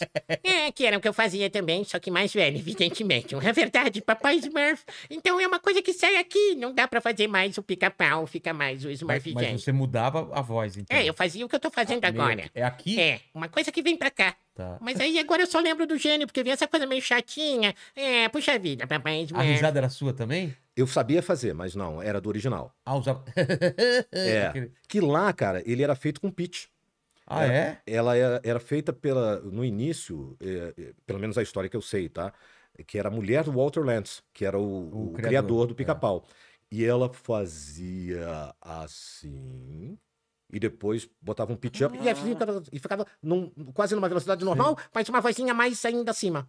Claro, ela não fazia assim com uma voz grave, né? Sei, sei. Ela fazia no, Mais lento. na voz dela, mas dessa maneira, e depois fazia um pitch-up. Caramba! E aí, é e aqui a gente fazendo o gogó. É. Então, o re, re, re era re, re, re, re, re, re, e depois... Ah! Entendeu? Cara, pica-pau também acelerando. fez um sucesso absurdo, absurdo. né? Absurdo. Não sei se até hoje faz. Deve até, até hoje deve ter gente que É, é, fora as pessoas que devem cancelar, deve ter um sucesso Ah, é, né? Porque Hoje em dia tá totalmente errado. Imagina. Ainda mais aquele biruta. Tinha um que era, tinha um que era o Sim, sim, um que é demoninho, da, né? da perninha com a perna grossa. mais grossa. Aquele, inclusive, do Rancha. "Eu Siga aquele pica-pau, É. siga no... Aquele fui eu que fiz. Porque tem uns que fui, que fui eu que, que dublei, outros foi o Onem Casarré, Tá. que era o corintiano da escolinha do professor Raimundo, que na verdade eu entrei pra fazer, porque ele veio, foi pro Rio de Janeiro, pra fazer uma novela chamada Feijão Maravilha com Grande Hotel. Eu lembro dessa novela. Então, e aí ele parou de dublar o pica-pau. Foi por isso que eu fiz a. Brasileiros preferem feijão. né? Isso, lembro as frenéticas, né? frenéticas. né? E aí, quando eu mudei de voz e fui pro Rio de Janeiro pra dublar, e já tava mudando de voz, o Onem terminou a novela e tal, aí o Onem voltou a fazer. Ah, tá. E depois ele voltou pro Rio, aí fez a escolinha, aí trabalhou com a gente ali, comigo, com o Niso e tal, e era muito legal. Pica-pau. O pica-pau, ele passava na, no, no SBT? Na Já Record? passou acho que em todas as emissoras. Na Globo né, também? cara? Eu acho que já passou em todas. Deve, né? É, eu, não- eu realmente não me lembro. Eu não me lembro, porque quando eu, Eu assisti fiz. com meu filho esses dias uma versão live action fizeram, né? Eu sei que agora tá na 3D. Record, né? Ah, sim, que é o Sérgio Sterne, que, Ah, que é? tá fazendo agora. E muito bem também, cara. Gostei muito da versão dele. O Marco Antônio, depois que o, que o Onen faleceu, o Marco Antônio Costa passou a fazer, que é o cara que faz a voz do. Tem uma voz muito bonita, faz a voz, caramba, do cara bonitão lá, grisalho. What O else? George Clooney. George Clooney. É. What else? Isso é meio o George Clooney. Não é? Tem, É, um é, pouco, assim. pô, George é. Clooney. É, devendo uma grana pra. é. É, já, já tá George Clooney devendo uma grana, grana, é. devendo uma grana, tal, ali, meio no fim da carreira, meio descendo a ladeirona. Mas obrigado, cara. Depois me dá teu pix. Tá bom. Então, é, o, o Marco Antônio Costa que passou a fazer quando o Oney faleceu e eu já não tinha mais voz pra fazer. Então ele fez uma boa como, parte. Como que era a tua cabeça, você, molecão, fazendo o pica-pau? Mudou alguma Ah, coisa? Cara, né? não, era muito legal. Era muito legal, cara, mas você vê como essa profissão da gente é maluca, né? Era muito. Eu, eu tinha, assim, um tremendo orgulho. Ah, Naquela época, eu lembro do sentimento gostoso de ver na televisão, de ver com os É. meus amigos. Eu morava aqui no, na Lapa, ali depois do Mercado da Lapa, né? Sei. No Central Parque Lapa. E aí, pô, ia pra casa de um amiguinho, a gente ficava vendo tal. E era muito bacana, cara. Amigos que eu tenho até hoje, inclusive, né? Amigos da vida inteira. Adriano, Miriam, Marcos, enfim. E, e, e, cara, era aquela coisa. Mas eu lembro um dia que a gente desceu, né? E aí o meu amiguinho todo feliz falou assim: Olha, vó. E A avó dele tava na janela, né? Vó, ele que faz o pica-pau. E eu assim, todo orgulhoso, falei, é, mas você não vai ser vagabundo assim não, né? Você vai estudar pra fazer alguma coisa que dê dinheiro, tá? Porque isso não é profissão. Então, Eu fui mexendo assim, falei. Fiquei desse tamanho assim, cara. Mas é bom, né? São essas E- coisas que te dão E norte era- na vida. Você ganhava pra isso, né? Você foi um tram- trabalho mesmo. Não, cara, era trabalho escravo. Meus pais. Meus, pais meus pais me venderam. daí, não me enche o saco. Me venderam para várias empresas, compraram três aviões. Não, não. Pô, sua primeira grana, então, já com... minha primeira grana, cara. E assim, devo muito à minha mãe isso também, cara. Porque o que eu conquistei na vida, eu conquistei através da dublagem, mas conquistei também através da, da, da, da forma assertiva da minha mãe. Porque ela me ensinou desde cedo. Então, assim, eu guardava meu dinheiro, Ah, é? é, eu, cara, eu vivia a mesma vida que os meus amigos ali, que era muito legal. A gente descia pra fa- ficar falando besteira na porta do prédio. Quando eu mudei pro Rio de Janeiro, eu morava ali do lado da Herbert Richards, na usina. E, a- e o o nosso final de semana era, tinha um banquinho que dava ali pra frente da, da rua, da Conde de Bonfim. Sei. A gente sentava ali, cara, e ficava falando besteira a noite inteira, contando piada, entendeu? E- e- imitando coisa e tal. Usando a a imaginação, eu não gastava um uma vez por semana. A gente pegava o 416, que era um ônibus que ia até Copacabana, para ir a Copacabana comer no McDonald's. Olha só. Aí a gente ia lá, comia um lanche no McDonald's, andava na praia, pegava o 416 que vinha, meu irmão. O cara louco. Cara, o cara era. Os caras você eram cena, bicho. Você vinha dentro do ônibus assim, de madrugada, né? Porque acho que o cara tava louco pra chegar em casa duas horas da manhã. A gente vinha dentro do ônibus. e, né, rezando pra chegar em casa. E era isso, cara. Uma vez por mês, uma vez por quinzena, a gente fazia essa loucura É, de comer um, um hambúrguer e o resto era ficar ali falando besteira, cara. E eu tinha dinheiro pra, sei lá, comprar uma roupa. É. Mas assim, mas aí com 18 anos, eu comprei meu apartamento. Porque dizer, foi guardando esse é. dinheiro. Tô pagando até hoje, tem mais 60 anos para pagar. É verdade. Não, mentira. Já paguei, mas comecei cedo. Mas assim, eu, eu comprei meu apartamento, eu consegui ter uma vida estabilizada bem cedo, porque minha mãe me deu esse norte. Falou assim: olha, é teu dinheiro. Eu só gastei o dinheiro uma vez, que foi para viajar para os Estados Unidos. Aí eu fui, porque eu fui com 13 anos sozinho para Los Angeles. Caramba, mas pra quê? Pra passeio? Ou tinha alguma coisa Não, lá? tem- tinha a ver com trabalho, cara. Foi o seguinte, eu fiz um, eu, eu fazia o Clube do Mickey aqui em São Paulo. Eu fazia um dos mini sócios chamado Todd do Clube do Mickey. E quem dirigia era o Telmo de Avelar, o Telmo Perlin Munch, que era o cara responsável pelos filmes da Disney aqui no Brasil. Ele é que fazia a tradução, a adaptação, que antes dele era o Aloysio de Oliveira, que, que foi do Bando da Lua, foi para Los, foi Los Angeles com a Carmen Miranda e depois não voltou mais. E, e ele era uma pessoa que tinha uma voz, aquelas narrações que depois meu pai começou a imitar, fazendo no pica-pau. Nas aberturas do pica-pau. fazia do Jambi Ruivão?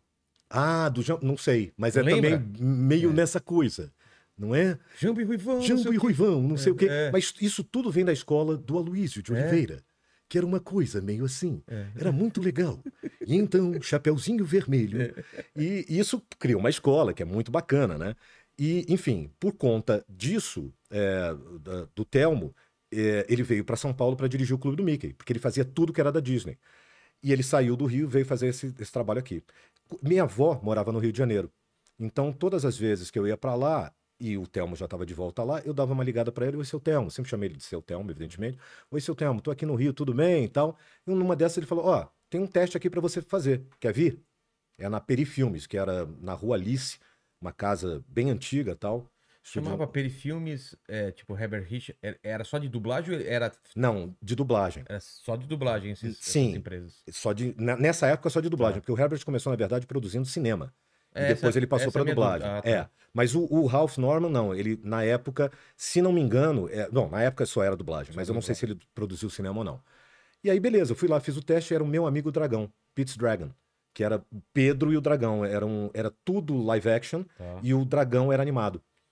E era um, um garoto que cantava e tinha essa coisa, tinha cantado e falado. Eu falei, ah, beleza, fiz o teste, passei.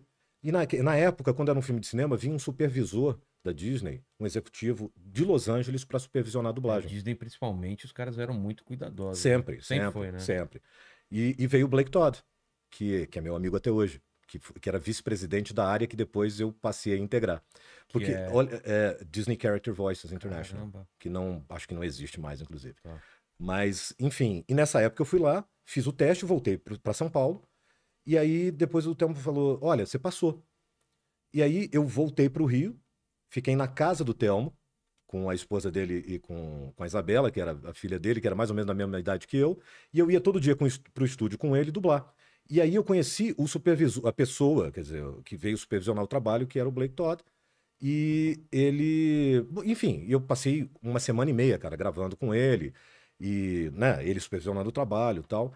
E ele falou, cara, é, como eu, eu já tinha dois anos de dublagem, então, assim, eu já sabia o que eu estava fazendo, não tinha muita criança dublando naquela época. É. E ele ficou meio impressionado com o meu trabalho e também com o meu jeito, porque eu sempre fui criado com adulto, cara, dentro de estúdio, dentro de trabalho.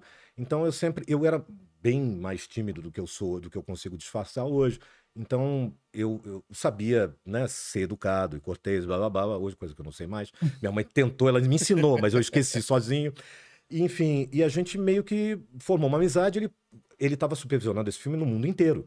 Então ele foi para o Japão, ele foi para a Itália, ele foi para a França e ele foi me mandando uh, cartões postais, né? Ah. E aí quando ele chegou em Los Angeles, ele me mandou uma carta, cara, muito bacana. E botou, no meio da carta, ele colocou assim: "E seria bom se você viesse um dia para Los Angeles para uma visita". Aí eu falei com os meus pais, isso foi, sei lá, janeiro, fevereiro de 80. Aí eu respondi para ele: "Tá, quando é que eu tô indo? Ó, julho eu posso ir, que eu tô de férias escolares". E aí ele pirou, cara. E aí ele foi falar com a Brenda, com a mulher dele, né? Falou assim, Brenda, é... ele falou, mas. Porque ele já tinha falado de mim, falou que. Né? Ela falou assim, mas o que, que você escreveu para ele? Não, eu escrevi, mas. Stick to your promise. Caramba. Mantenha a sua promessa. Então se vira agora. Aí eles conversaram com os meus pais. Meus pais autorizaram, e aí eles pediram para fazer uma autorização por escrito e tal. E eu fui sozinho, cara, para Los Angeles. E ele, ele gosta de contar, ele, ele me sacanha aí até hoje, quando, quando eu vou pra casa dele. Ele falou assim: Pois é, não, eu tava em casa num sábado, aí me liga do aeroporto: Ó, tem um moleque aqui do Brasil, chegou aqui e tá falando no teu nome aqui, a gente não sabe, a gente manda de volta. Aí eu falei: Ah, não, traz ele pra cá, vai. Mentira, claro que ele tava me esperando lá, ele É. teve que assinar para me liberar. Inclusive, eu me perdi no aeroporto, cara, ninguém me achava, ele ficou meio Ah, imagina. bolado. Puta E eu aeroporto E eu enorme. fiquei 40 dias lá e falei, caramba, a gente não sabia mais fazer contigo. E eu não falava inglês, cara. Sim, eu falava muito pouco. Sei. E eu, eu meio que me virei ali, né? Aí teve que me levar pra Disney, essas coisas. todas. Então, assim, a gente fez uma amizade, eu com 13 anos e ele com 40 e poucos, né? E a gente fez uma amizade para a vida, cara. E depois, quando eu pedi na emissão da Herbert, ele. Eu, eu falei assim, cara, eu, e foi muito de repente, porque meu pai. Eu tava dublando o Hulk, a volta do Capitão Gancho. Ah, tá. E eu Qual dublei. Você fazia. Eu fazia o? Robin Williams. Ah, tá. Aí eu, eu dublei na sexta-feira, normal. E eu tô sentindo um clima meio esquisito no estúdio. Tô, as coisas meio. as pessoas meio- hum, hum. Ah, tudo bem. Fui embora pra casa. Cheguei em casa sábado, minha mãe me ligou. Ó, teu pai quer falar contigo. Eu falei, tá. Aí meu pai veio no telefone e falou assim: ó, eu fui mandado embora. Aí a primeira pergunta que eu fiz pra ele: que merda que você fez agora? Porque meu pai, às vezes, cara, era meio esquentado. Ah, tá. Aqui em São Paulo, ele, ele, ele fez um negócio, ele foi provocado, entrou no estúdio e falou: desce agora que eu vou te comer na porrada. E os caras se pegaram na porrada dentro do estúdio, cara. E nós três trabalhávamos lá, eu, meu pai e, e minha mãe. Então, assim, ele foi mandado embora, claro. E assim, e a gente continuou trabalhando, claro. É. Então, assim, como eu conhecia a peça, O que, que já- você fez? Falei, qual foi a merda que você fez agora? Ele falou, não sei. Aí eu falei, ah, pai, pô, poxa, pai. Ele falou, estou dizendo para você, não sei. Cheguei na empresa, tinha um bilhete dizendo assim, demitir o diretor Garcia Neto no DP. Pediram para eu passar no departamento pessoal, tinha um bilhete dizendo isso. Caramba. Eu falei, tá, desliguei o telefone, pensei sábado, pensei domingo. Falei, quer saber? Eu não tinha nem computador, cara. Passei na casa de um amigo que morava perto, que era tradutor também, dublador, Renato Rosenberg. Falei, Renato, posso passar na tua casa para imprimir um negócio? Era caminho da Airbus também. Eu morava a 15 minutos, ele a, a 10 da Airbus. Falei, posso passar na tua casa para você imprimir um negócio no computador? Falei, não, vem aí. Falei, então escreve aí para mim. Prezados senhores, venho por meio desta pedir meu desligamento desta empresa. Atenciosamente, Manuel Garcia Júnior. Você tem certeza? Eu falei, tem. Mas eu falei, não, não, depois a gente conversa, cara, não quero falar sobre isso agora, me dá isso aqui. Peguei, levei lá, segunda-feira, né? Cheguei, subi no departamento pessoal. Quem trabalhava lá era Isabel Lira, que é uma grande dubladora, uma voz linda, cara. Linda. Uma, uma tremenda numa atriz. Mas na época ela trabalhava lá no, no DP. Entreguei pra ela, falei assim, Bel. Aí ela olhou e falou assim: tem certeza? Eu falei, absoluta. Mas o que, que você vai fazer? Eu falei, eu vou descer e vou continuar dublando. Tem um filme pra dublar. Mas e depois? Eu falei, depois vou continuar. Não tem aviso prévio? Eu não sei o que vocês quiserem que eu faça. Se quiser que eu cumpra um, um mês de aviso prévio, eu cumpro. Se quiser que eu vá embora, eu vou. É, é o que a casa achar melhor. Falou, não, tem um filme do Kevin Costner aí chegando tal, não sei o que. Eu falei, então, beleza. Cumpro o aviso prévio, faço o que, que vocês quiserem, tudo bem. Desci, dublei, cumpri o aviso prévio. Aí uh, ia sair, e assim, encontrando com o Herbert regularmente no corredor. E, Bom dia, seu Herbert, tudo bem? Porque ele foi maravilhoso comigo. Mas assim, e depois eu conversei isso com ele. Eu falei isso para ele. Eu falei assim, e ele até falou: não, mas não foi assim. Eu falei: olha, meu pai já morreu. E, e assim, é, quando eu coloquei as coisas, ninguém disse que não foi assim. Então vamos fazer o seguinte: não vamos tocar nesse assunto. E tudo bem, porque tá tudo certo. Eu fiz o que eu achei que eu devia ter feito. Saí na segunda-feira, minha mãe pediu demissão na terça. Saímos todos da empresa. E, e, e, aí, cara, me deu uma gastrite, meu irmão. Porque eu não sabia o que ia fazer, cara. É. Como é que eu vou pagar minhas contas? Como é que eu vou viver, cara? Ali eu tava pagando meu apartamento, luz, gás, telefone, condomínio, prestação de apartamento. E eu falei, cara, tá. E aí, uma semana, cara, eu suava frio. Eu falei, caramba, o que, que eu vou fazer, cara? O que, que eu vou fazer na vida? Para ganhar dinheiro, porque a gente sabe que essa profissão, cara, sem uma. E eu dublava muito. E a Herbert Richards detinha 90% do mercado. Ah, é? Não, não é, é como era hoje. É. Não, se fosse como era hoje. Tranquilo, sai daqui. Tranquilo, beleza, lá, um abraço, cara. Valeu, até mais, um abraço para você, beijo, era não me liga. Herbert Richards. Era tudo versão brasileira Herbert Richards. Então eu sabia. Marshmallow tinha nessa época? Cara, mas era. Sim, podia até ter, Vilela, mas era, era 1%, meio por cento, 0,5%. É. Não tinha condição de você de eu pagar as contas que eu tinha para pagar dublando. E, e, assim, eu tinha que achar uma saída, porque aquilo ali era a minha vida, o meu sustento. E eu falei, cara, peraí. Aí fiquei, cara, com aquela gastrite uma semana. Aí, no final da semana, eu lembrei, era a época que estava começando cooperativa de táxi. Eu falei, cooperativa, lembra? Ah, sei, sei, Você sei. não pegava mais passageiro na rua, é. tal, que esse era o perigo, né? Da, da insegurança que a gente tem, é. né? Então eu falei assim, pô, e aí eu já tinha conversado várias vezes, porque eu adoro conversar com motorista de Uber, de táxi, bater papo. Vim para cá, inclusive, hoje, Alexandre, abraço. Valeu, irmão. Tamo junto. E, assim, eu, eu tô sempre conversando com as pessoas porque eu gosto do, de ser humano, cara. Eu gosto de conversar. E eu já estava meio inteirado de como é que era. Então, o táxi, você vendeu. Eu tinha um carro legal, então eu ia vender meu carro, ia comprar o táxi e tal. E dava para compor. E eu falei, pô, dá para eu pagar minhas contas. E para me satisfazer, eu vou fazer teatro. É. Entendeu? Eu, eu vou fazer teste para tudo quanto é peça, vou me apresentar, vou passar currículo em tudo quanto é emissora de TV, porque eu sei que é difícil, um, é um trabalho. Eu tinha muito a comodidade de estar trabalhando todo dia. Eu falei, cara, tá, meu, tá aqui, meu sustento tá garantido. E agora, se, e se tiver um comercial de, de locução para fazer, por causa do MacGyver e tal, eu tinha é. muita coisa dessa para fazer, eu falava, beleza, você paga o táxi, porque eu vou lá baixo, entendeu? Você, eu... você fez muita coisa que fez muito sucesso, cara. MacGyver, cara exato. Cara, e aí, como eu gostava do MacGyver. Eu, eu fiz isso, eu pensei, bom, arrumei a saída da minha vida. Aí minha mãe tinha ido para o Espírito Santo, a gente estava na rodoviária, cara, esperando minha mãe voltar, e eu comecei a conversar com meu pai. Eu falei, pai, já resolvi. Eu vou dirigir táxi e tal. Você é louco? Você não vê como estão matando um motorista de táxi? Essa violência, essa loucura. Eu não vou deixar você fazer isso. Você tá maluco da sua cabeça? Eu te sustento. Eu falei, pai, eu, eu pago minhas contas desde os 13, pai. É. Não dá mais. Eu tô com 27. Não tem como, cara. Assim, obrigado, tá? Mas não dá. Aí ele falou, não, tal. E aí eu fui explicando para ele como é que era. Falei, não, olha, tem cooperativa e tá, tá, tá, e que, que, que, que, que, que. E ele já tava com, já dirigindo em outro lugar tal. Mas aí ele, para me dar uma força, cara, ele foi muito legal. Ele falou, não, então vamos fazer o seguinte, vou comprar esse táxi contigo, a gente divide. Você dirige de dia, eu dirijo à noite. Ah. Porque eu acho que ele ficou com medo, cara, de eu, sabe, sair à noite e ser perigoso. Caramba. Então a gente já entrou, já entrou. Não vai trabalhar, tipo, eu vou não, trabalhar. Não, mas quando eu expliquei para ele como era, que ah, tinha, ah, olha, você não precisa pegar passageiro na rua, você pode pegar só cliente cadastrado, e aí não tem essa coisa de você, né, botar tua vida em risco é. de uma forma tão violenta tal. Eu falei, vai dar certo tal. Aí ele embarcou comigo. E beleza. Bom, eu falei, bom, agora eu tô com a vida arrumada. Eu já sei como eu vou fazer para continuar pagando meus pra boletos. pagar o básico. E... Exatamente, meus boletos estão pagos de novo. Tá. Minha cabeça já tá. Aí eu me tranquilizei. Eu falei, mas quer saber, cara? Nessa época estavam começando a dublar fora do Brasil. Como assim? Sim, caras que estavam lá fora, na, no, nos Estados Unidos, principalmente Los Angeles, Miami, e hoje em dia tem também, tem estúdios lá que dublam em português. Em português? É, eu não sabia. Com, com pessoas que estão lá. E, e aquilo estava começando, e era muito ruim. Eu muito falei, ruim, que É, sentido? muito ruim porque não era ninguém do meio. Ah, tá. não é eram de profissionais. É, não era eram nem atores muitas vezes. O cara foi lá, ia lá, os caras estavam tentando aglutinar pessoas do nada a ver. E eu falei, cara, eu tenho um- uma expertise nisso. Aí falei, você quer saber de uma coisa? Eu vou tentar minha última cartada. Eu, eu tinha um dinheirinho guardado, claro, que eu sempre, né, pre- prevenido, tinha uma graninha guardada. Guardei um dinheiro e tal e falei, pô, vou pegar essa grana, vou pra lá, era 94, tava perto da final da Copa. Liguei pra esse meu amigo, pro Blake, e falei assim, Copa lá na- nos Estados Unidos, Sim, né? exatamente, Los Angeles. É. Afinal, era lá. Falei, se Foi em não. Los Angeles? Foi em Los Angeles. Eu falei, se nada der certo, eu vou, eu vou tentar oferecer meus trabalhos para formar uma, uma- um elenco de atores, Tá. porque o Niso morou em Los Angeles. Ah, é? É, ele tentou a carreira lá um tempo, ficou fazendo coisas lá, ele e a, e a esposa dele na época, Lili Maia. Então, assim, é, tinha muito ator também, o negócio era, tinha que garimpar, não dava pra, entendeu? Você tinha que fazer um, exatamente isso, um elenco, um casting.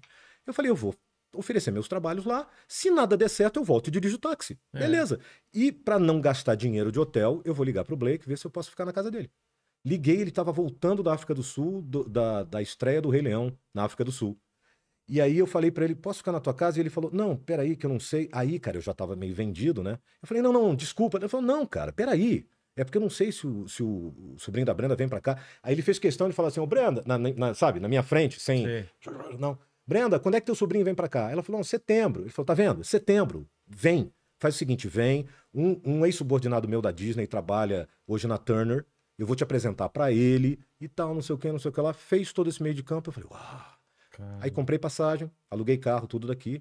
E fiquei em stand-by, né, cara? Fiquei em casa, tipo, esperando pra viajar. Ia viajar domingo, pra chegar lá na segunda.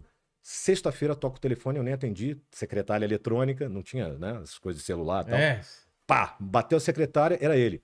Júnior, olha, é Blake e tal. Eu peguei e falei, oi. Ele Falou, ó, não vem. Eu falei, oi? Mas é domingo. Ele Falou, não, não, você pode cancelar tudo e tal. Não vem. Eu falei, mas por quê? Ele Falou, não, porque eu vou te dizer o seguinte, é, eu falei com o meu subordinado, que era a pessoa que vinha supervisionar os filmes na época, aqui no Brasil, que você estava vindo para cá para fazer esse trabalho. Inclusive, eu ia te apresentar, porque ele tem um estúdio aqui também e tal. Só que ele falou, só que a gente está pensando num homem para o Brasil e ele quer você também e eu também quero. Ah, uma coisa nem- melhor nem- ainda. Exatamente, nem veio de mim, veio dele. Então, assim, se ele tá dando o aval, é evidente que eu dou o aval porque eu te conheço há muito mais tempo. Então você segura a tua onda aí, fica quietinho, porque se você vier agora, você vem como funcionário nosso. E vem com tudo pago para uma conferência e tal. Eu falei, mas está certo? Não. Eu sou o único nome? Não. E não pode falar para ninguém. Aí eu falei, pô, nem para meu pai, nem para minha mãe? Ele falou, não, pro seu pai, para sua mãe pode, né? Aí falei para os meus pais, né? A gente... Mas assim, era uma incógnita. É. E eu esperei seis meses, cara. Seis meses. Seis meses. E seis faz- longos mas com meses. táxi. Fazendo táxi. Não, não, porque é o seguinte, eu tava na TV Colosso também nessa época. Foi dessa época, TV Colosso? TV Colosso era nessa época. Qual, é seu envi- Qual foi seu envolvimento lá? O meu envolvimento? Ora, Capachão, faça-me o favor, você me perguntar qual era o meu envolvimento. Eu era o dono daquela bagaça, Capachão. Se Não é da sua época, né? Não, não, é verdade. Se bem que também eu era o Thunderdog. Sim, é verdade. que era uma, uma personagem baseada no Luiz Thunderbird, sim. Ah, é? Thunderbird, da Foi- MTV. Sim, é verdade. Que depois eu conheci Luiz, grande dentista, baixista, do, do Devoto de Nossa Senhora. Vai estar aqui com a gente. É verdade, adoro ele. Uma pessoa, ele nem deve lembrar de mim, porque isso tem muito tempo. Vamos falar, eu lembrar de puxar esse assunto. Mas é com ele. muito legal, cara. Eu adorava ele, adorava ver ele na MTV. Sim, é verdade, é verdade. E- É verdade, É ele tinha verdade, é é. verdade. Ele tinha uma coisa assim, não é de falar tal. E era o Thunderdog. Então eu fazia TV Colosso. E aí, como eu tava nesse stand-by, eu falei, cara, eu tenho dinheiro guardado. Já não vou para Los Angeles, não vou gastar esse dinheiro. Quem Mas do, do, do TV Colosso, quem fazia? Que- Qual era a empresa? Era a própria Globo? ou Era Globo. Ah, era, Era Globo, Globo, mesmo. era a própria Globo. terceirizado, Tá. Não, não, era, era Globo mesmo. E aí, cara, eu tava fazendo a TV Colosso, então dava, dava para segurar uma graninha. Aham. Eu não tava totalmente descoberto, tinha uma, grana, uma grana guardada. Eu ia esperar até ter essa resposta. Então, porque aí, para dirigir táxi, eu ia ter que trocar meu carro, né? Vender meu carro, Claro, comprar um táxi. Então, para fazer isso, era se eu não fosse fazer outra coisa mesmo. Ali eu tava ainda no stand-by. E nessa época foi um negócio muito legal, cara, porque ninguém sabia de nada disso. E aí, o Márcio Simões, que fazia comigo, que faz a voz de vários atores, eh, fazia comigo, que é uma das coisas que eu mais gosto, que é o Rocksteady e o Bebop do, dos Tartarugas Ninja. Sei. Que eu fazia o. eh, Puxa vida, chefinho, nós temos que ir lá destruir esses tartarugas. E ele fazia o outro, que era o Rocksteady. Eu fazia o. o, o, o javali. E ele fazia o rinoceronte, né? E o Márcio fazia a Globo FM naquela época. Tá. E ele falou, cara, eu vou te arrumar. E ele não sabia de nada, né? E isso é uma coisa que eu nunca vou esquecer, cara. Ele falou, pô, você quer fazer as férias lá da Globo FM? Porque eu já tinha ido para Portugal, já tinha feito rádio em Portugal. Eu falei, claro, cara. Aí eu fiquei lá fazendo as férias de todos os locutores da Globo Pô. FM. E assim, foi porque ele não sabia de nada, cara. Então foi assim, sabe? Tipo, o cara falou, pô. O cara queria te ajudar. Exatamente, o cara, é. pô, o cara não, não vai sem dublar, sem dublar na Herbert Richards, pra onde é que esse cara vai? É. Aí eu tava fazendo uma peça, tava ensaiando Júlio César de Shakespeare, lá na Casa de Espanha, e era quase meia-noite, cara. E eu, eu namorava uma menina na época que tava na minha casa me esperando. E a, a, a Lorena, que foi a pessoa que trabalhou comigo depois, foi minha assistente lá de Los Angeles, ligou pra casa. E aí ela falou: não, ela não tá, ele não tá aqui, mas eu, eu acho. E, cara, é- é tudo fechado na Casa de Espanha, a gente tava num, uma casa, num lugarzinho lá, num lugar de ensaio, né? Ela conseguiu fazer o porteiro, e a Casa de Espanha é um negócio, uma ladeira, cara. Ela fez o cara subir lá pra me avisar, pra atender o telefone. Eu desci, o meu chefe tava em Hong Kong, que depois foi meu chefe, tava em Hong Kong, a Lorena em Los Angeles. E aí ele falou: Olha, eh, Garcia, eu tô aqui com o teu chefe e tal, não sei o quê. Ele falou: Olha, parabéns, bem-vindo à empresa, você pode procurar um escritório, tal. E dia 2 de janeiro de 95, eu era gerente de criação da Disney aqui no Brasil. O que que é isso? Gerente de criação o quê? É, Responsável por todas as dublagens em português para o Brasil, que é coisa pra caramba. que eram mil e poucos projetos por ano. Mil e... É, porque, olha só, existem outras produtoras que são ligadas ao grupo, que, que têm pro- co- conteúdo adulto. Na época, por Ah. exemplo, como já não é mais, eu também não tô lá, é, Touchstone, Touchstone, é. Hollywood Pictures, e na, e na época também a Miramax. Era Também? ligada, era ligada à Disney. Tá. Então, assim, eram vários outros produtos e tudo tinha que. dublagem É. e tudo tinha que passar pelo meu crivo. Então, era muito trabalho. Pô, E eu fiquei, eu comecei a ficar responsável por tudo isso. E aí, cara, é, o Herbert, como bom empresário e um cara de visão, porque sempre foi, ele chegou e ligou pro meu pai para recontratá-lo. Porque, assim, claro, porque ele não conhecia a cabeça da a gente, não confunde as coisas. Ah, assim, ele cara, achou que você não, eu virei iam cliente dele. nada. Eu virei cliente dele. É. Eu virei cliente do Herbert. E aí, e aí meu pai, sendo meu pai, ele ligou pra mim e falou assim: "O que que eu faço?" Eu falei: "Pai, você já fez, né? Porque ligar pra mim, pra... quem sou eu pra dizer o que, É. que você faz?" Mas eu falei assim: "Você- "Você quer saber sinceramente o que eu acho, pai? Ele é um empresário que te dá emprego do lado da tua casa, porque eu morava, como eu te falei, É. ali no prédio, na usina do lado da Herbert Richards. Eu ia para pé, a pé para a escola, que era o Regina Celli, que era ali do lado, e a pé para o, o trabalho. Então eu saía de um lugar para o outro a pé o dia inteiro, cara. Eu falei, cara, ele representa para você o cara que convenientemente te dá trabalho do lado da tua casa.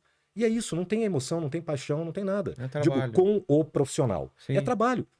E outra, pra quê? Entendeu? A gente não saiu brigado, a É. gente não saiu mal. Todas as vezes, como eu falei, passar pelo Herbert, bom dia, seu Herbert e tal. E eu mantive, porque eu também nunca misturei. E a gente, na minha família, a gente sempre foi assim. Tem que ser. a gente né? não mistura as coisas, Tem que cara. ser. O profissional é uma coisa, o pessoal é outra. Nunca chamaria, entendeu? Vamos fazer um churrascão. E, por exemplo, eu adoro o Ronaldo Richards, que é filho do Herbert. Mas aí já é uma outra coisa. Eu fiz uma amizade pessoal com ele É. por questão de cabeça, de bate-papo, da gente sair para almoçar, assim como eu saía com o Herbert também. Mas claro que ali tinha uma outra ligação, porque eh, eu fui criança trabalhar. E ele foi muito legal, cara. Porque eu levei meus pais para o Rio. Fazendo aquele filme Meu Amigo Dragão, Sim. o Herbert me conheceu, não tinha muita criança dublando, e ele chegou pro gerente, que era o seu Vitor Costa na época, e falou: contrata esse menino. E aí ele falou comigo, eu falei, mas eu não posso vir, porque eu não posso vir sozinho. E aí, no meio do ano, eu liguei pro seu Telmo, eu falei assim, seu Telmo, é, a gente, o trabalho aqui estava fraco.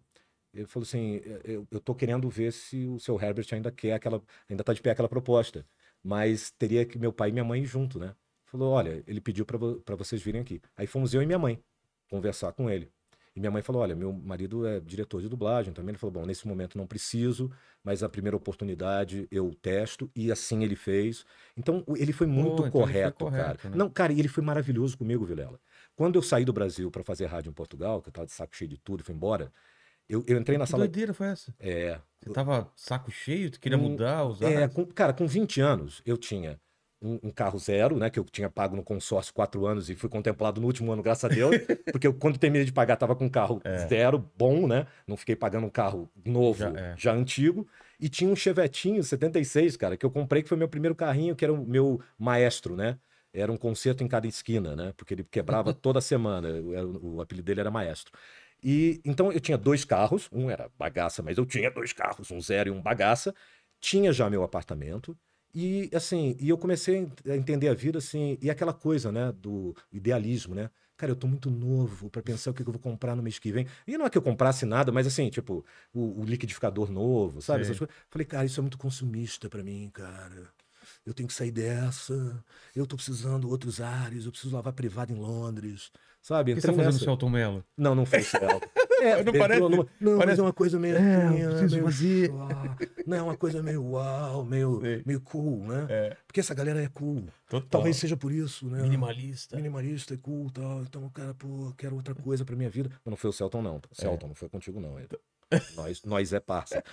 Mas, enfim. Então, não, eu entrei nessa, cara, e saí. E eu ia pra Londres realmente tentar BBC e se eu não conseguisse, ia lavar privada. E eu tava nessa. Eu falei, cara, o nego vai falar assim: ah, moleque, vai, vai cagar. Você foi lá preparado pra. Eu fui preparado para limpar, limpar a privada de pub. sei. Só que aí, o Carlos Alberto, que é quem faz a voz hoje do Homer Simpson, que na época era de rádio e fazia um programa da Transamérica chamado Casinha Amarela Produções, ele era engraçado pra Nossa, caramba. Ele, ele faz, hoje em dia, ele apresenta um negócio na Record de, de prêmios Tá. com aquela Vivi, com a Vivi. É ele e, e ela apresentando negócio de prêmios, enfim. E a gente se conheceu no boxe tailandês, olha que doideira. A gente fazia boxe junto. Sei. E eu falei assim, cara, eu sou teu fã. E ele, pô, cara, eu sou teu fã. E, ele, e eu falei assim, cara, pois é, eu tô de saco cheio, vou sair do Brasil. Ele falou, eu também. Eu falei, pois é, pra onde você vai? Eu falei, não, eu vou pra Londres, mas vai acontecer isso, eu vou limpar a privada lá em pub e tal. Ele falou, não, cara, você não vai não. Você vai pra Portugal comigo, vai fazer rádio. Porque eu tô indo pra fazer rádio Caramba. em Portugal. E aí eu falei, é?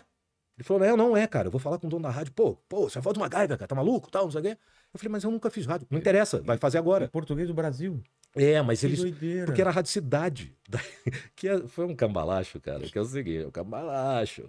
Um, um, cara de lá... Chegou, as rádios lá eram piratas na época. Ah, Mas, é? só existia, é tipo, existia televisão RTP 1 e 2, e rádio existia, eu acho que uma rádio católica, ah, uma rádio gerida pela igreja, e uma rádio estatal ah, regular. Sei. E tinha uma porretada de rádio jovem, mas tudo Tudo pirata. pirata. Tudo em frequência pirata, e aquela coisa meio. Não tô vendo o que você tá Sei, fazendo. É, vai fazendo aí. Vai fazendo aí, que a gente finge que não tá vendo, É. e tudo bem. Aquela coisa meio que a gente conhece, né? Aí Exatamente. você vê, você vê exatamente a herança das coisas também, pro bom e pro ruim, e tá tudo certo.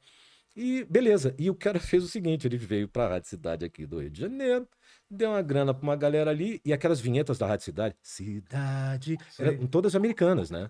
Gravadas, esses jingles, todos gravados por aqueles coros americanos, Ah, é? lindos, é. Isso tudo é feito. Você vê que o Jovem Pan, É Jovem Pan, entendeu? É, não é feito aqui. Isso é um tigão feito lá fora. E o cara deu uma grana e falou: escuta, quanto é que é pra tu escorregar uma fita dessa aqui, cair dentro do meu sapato e eu levar isso aqui pra Portugal? E ele levou as vinhetas todas e ele montou uma rádio cidade lá, cara. Então a gente. uh, Então era 107,2 Rádio Cidade, se liga daqui a pouco, aqui, ó. Pode, e aí, ó, e pode faturar uma camiseta. E tem mais, hein? Daqui a pouco tá tocando pra você, Rick Astley. E aí as pessoas dizem, é, pá, não percebo metade do que dizem, mas é muito tiro. Mas é muito tiro, pá. Não precisa. Não percebo metade, mas é muito tiro, pá. É Eu, eu- tiro. Cara, eles falam, falam assim no fim de semana. Parece É, que tá... cara, mas, parece que é um- cara, é uma delícia, cara. Cara, meu- meus pais moraram lá quatro anos. É, ah, teus pais têm uma ligação com Portugal? Tem, é, tem cidadania e tudo mais. Meu Pô, pai, o legal. avô dele é, é português. Cara, E eu fiquei lá um tempo lá, cara. Parece que eles estão no orgasmo sempre falando. eles "Eu são vou- me vou gozar." apaixonantes, cara. É demais Eu- lá, eu- cara. E eu tava fazendo uma novela que passava lá, que aqui é, é, chamava Tudo ou Nada. Aqui foi nada, só minha mãe assistiu. Foi a única pessoa que assistiu, foi minha mãe, com certeza. Ninguém- nem quem fazia a novela Que é assistiu fora nada? minha Eu Não mãe. lembro. Uma novela da Manchete, Ah, na que Manchete. foi nada, só que tava passando lá meio-dia. Então era o He-Man, quer dizer, É. era o He-Man de Portugal. Sei. Então era conhecidaço. Eu não tinha Caramba. um puto no bolso, porque eu fu- e realmente a rádio pagava mal. Então assim, eu tive uma vida muito ruim entre aspas, mas muito legal, porque eu entrava nos, nos clubes noturnos 0800, Sei. fazia presença VIP, entendeu? Fiz amigos maravilhosos. Morando cara- lá em Lisboa mesmo. em Lisboa. É, eu morava, primeiro eu morei em Amadora, que era onde é a cidade, que é uma cidade Sei, é- é dormitório. É meio. É, ABC. 14, isso, Já fui- 14 qui- já fui quilômetros, você conhece, né? Conheço, conheço que teve um, tinha um festival de quadrinho lá em Amadora. Ah, isso, é. É. Então, eu, eu morava lá no apartamento da rádio, mas aí, tipo, uma república, cara. Entrava. Quem, claro, o dono da rádio era o dono do apartamento, ele botava quem ele queria. Daqui a É. pouco tinham oito lá, Cara, entendeu? Era uma zona. E aí eu consegui mudar para Lisboa, para um apartamento que o, o gerente de uma churrascaria brasileira, o cara era gerente da churrascaria, Fla-Flu, brasileiro, e dividia o apartamento com o dono da churrascaria, que pro dono era um matador do cara ali, entendeu? Entendi. Era o, o- a casa mesmo do Brandão. Então é um super bem mobiliada, dois quartos. Cara, E só que os caras, ele brigou com o, o dono da churrascaria, brigou assim e falou: "Não, não vou pagar mais esse negócio". E o Globo Repórter foi lá, entrevistou tal a gente. E, cara, eu tava numa pindaíba, porque eu tinha comprado o carro e aí o carro bateu e eu não tinha dinheiro para pagar o conserto, e eu não queria pedir dinheiro pro meu pai, para minha mãe. Então eu comia uma sopa quinoa e um pão por dia. Era meia sopa quinoa no almoço, meia sopa quinoa no jantar, meio pão no almoço, meio pão no jantar, Nossa. para pagar o conserto do carro. E eu não queria falar nada. Então tava numa pindaíba, cara. E só que, pô, é, fiz a- o Globo Repórter apresenta os brasileiros morando em Portugal. Aí eu fazia o He-Man, virava assim na rádio, né? Todo Sei. garboso. Mas, cara, eu tava numa Quem via fala, pindaíba. nossa, esse cara deu certo cara em Portugal. Tá bem pra cá, É. tô, tô bem mal, cara. E uma menina da rádio, um, um repórter que tava lá, da Globo, ficou meio encantado, tava afim de dar as canabas nas cadas. Sei. E, e ela não tava muito afim, ela falou, Ju, vamos comigo. Porque aí eu vou cortado. E ela era minha amiga só. Eu falei, Sei. claro, vamos pra, pra churrascaria rodízio. Eu falei, claro, eu tô morrendo de fome, cara. Eu quero comer. E eu fui, cara, passei a noite toda lá e tal. E fazendo pose. Né? Então, mais uma picanha, por favor. Sim, claro. Claro, O claro. MacGyver. E o cara, o, o que foi depois meu amigo, meu colega de apartamento, o Brandão, falando: então, cara, ele me via com aquela cara. Pô, o cara é a voz do MacGyver, cara, o cara- a voz do He-Man. E ele achou que eu mandava pra caramba na rádio. Então, cara, eu tô com um plano aqui de marketing pra churrascaria e tal. Falei, claro, claro. Mais, mais um pedacinho aqui, por favor, de chuleta. Isso. Sim, mas eh, continue falando. É, tal. Isso, eh, almocei, jantei com a minha amiga numa noite. E na noite seguinte fui jantar de novo pra conversar de negócios com o cara. Caramba. Terminei de jantar, cara. Eu falei assim: então, Brandão, deixa eu te falar uma coisa, velho. É, sabe o, o cocô do cavalo do bandido? Eu não sou. Eu sou o cocô da mosca do cocô do cavalo do bandido. Cara, Eu não sou ninguém, cara. Sabe por que, que eu tô aqui? Porque tem uns três meses que eu não como carne, cara. Eu vim aqui pra comer.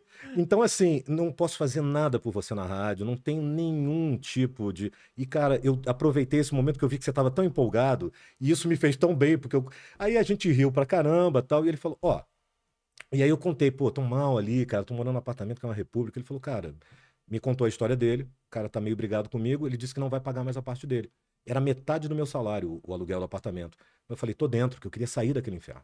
E saí, fui pra lá, e assim, ele era gerente de uma churrascaria, então levava as coisas, né, as sobras, que eram Sobras. maravilhosas, Porra, pra casa, saía de casa seis horas da manhã e voltava às duas horas da madrugada, cara. caramba. Então, assim, um apartamento mobiliado pra maravilhoso você. em Campo Dourique, atrás do shopping das Amoreiras.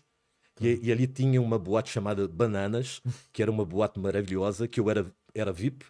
E o meu amigo Alexandre Paz era dono de uma revista chamada Elan, que era a Playboy portuguesa. Caramba. E era um cara. E ele sabia, porque eu nunca fiz pose, entendeu? O cara falou: meu irmão, você não tá entendendo. Tô latindo na porta de casa para economizar cachorro, Alexandre. Não tem um tostão, cara. É só faixa. Porque as pessoas. O Rubinho da novela, o Rubinho, é o tenista, é o Rubinho. Então era do cacete para mim, mas era só fachada, porque não tinha nada. E ele sabia, e, cara, foi um, assim, um irmãozão. É, a gente jogava futebol na casa dele, eventualmente eh, ele me chamava para fazer coisa, para fazer desfile, para fazer umas Sei. coisas para ganhar uma grana extra, sabe? Mas duas vezes, cara, eu parei sem gasolina no carro, sem dinheiro para botar gasolina no carro, sabe? E num lugar É. totalmente E, diferente. e aí o nego fala assim, pô, por que, que você comprou um carro então se você não tinha dinheiro? Explico. De novo a coisa da finança. Eu falei, cara, eu não vou tirar um tostão do Brasil. Quando eu fiquei nessa pindaíba, que um- uma galera foi me visitar lá, o Darcy Pedrosa, do Acredite se quiser.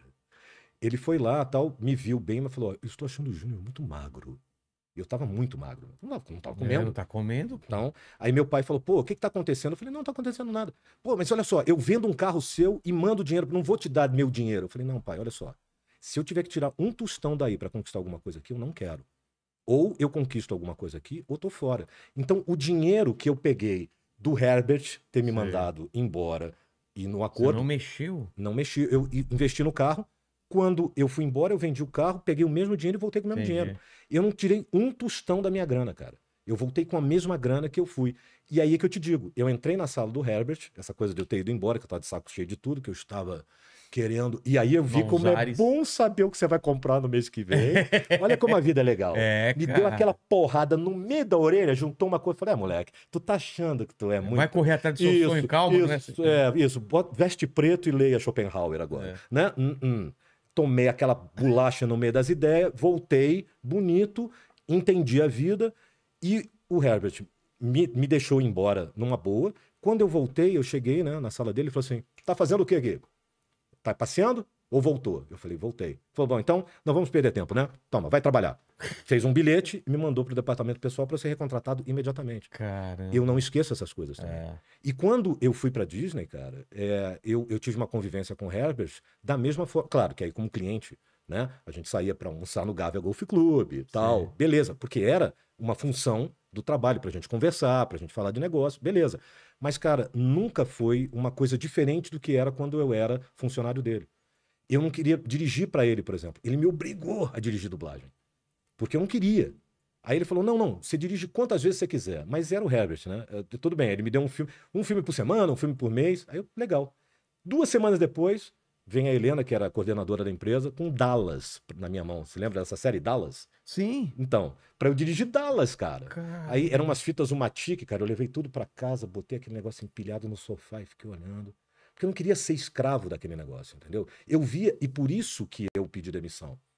Porque uma, uma, uma colega falou assim: você está confundindo as coisas quando eu pedi demissão e minha mãe pediu demissão? Eu falei: não, não, tô confundindo. Como assim confundindo? as Porque eu pedi demissão porque meu pai Ah, foi tá, mandado tá, embora. tá. Eu falei, não, não estou confundindo as coisas. O, lance é o seguinte, você sabe o que, que, que acontece? Eu conheço meu pai e minha mãe profundamente. Eu conheço os profissionais e os seres humanos. Eu nunca vi nenhum desses dois falar mal de ninguém. Eu nunca vi meu pai falar, eu vou fulano, eu vou sacanear ciclano, eu vou não sei o quê, eu vou acabar com a vida. Nunca. Sabe o que, que acontece quando eu chego na casa deles, final de semana? Meu pai tá trabalhando, cara. Meu pai tá fazendo esquema, meu pai tá eh, cortando filme. É só o que ele faz na vida. Então, assim, ele ter sido mandado embora, tá tudo bem.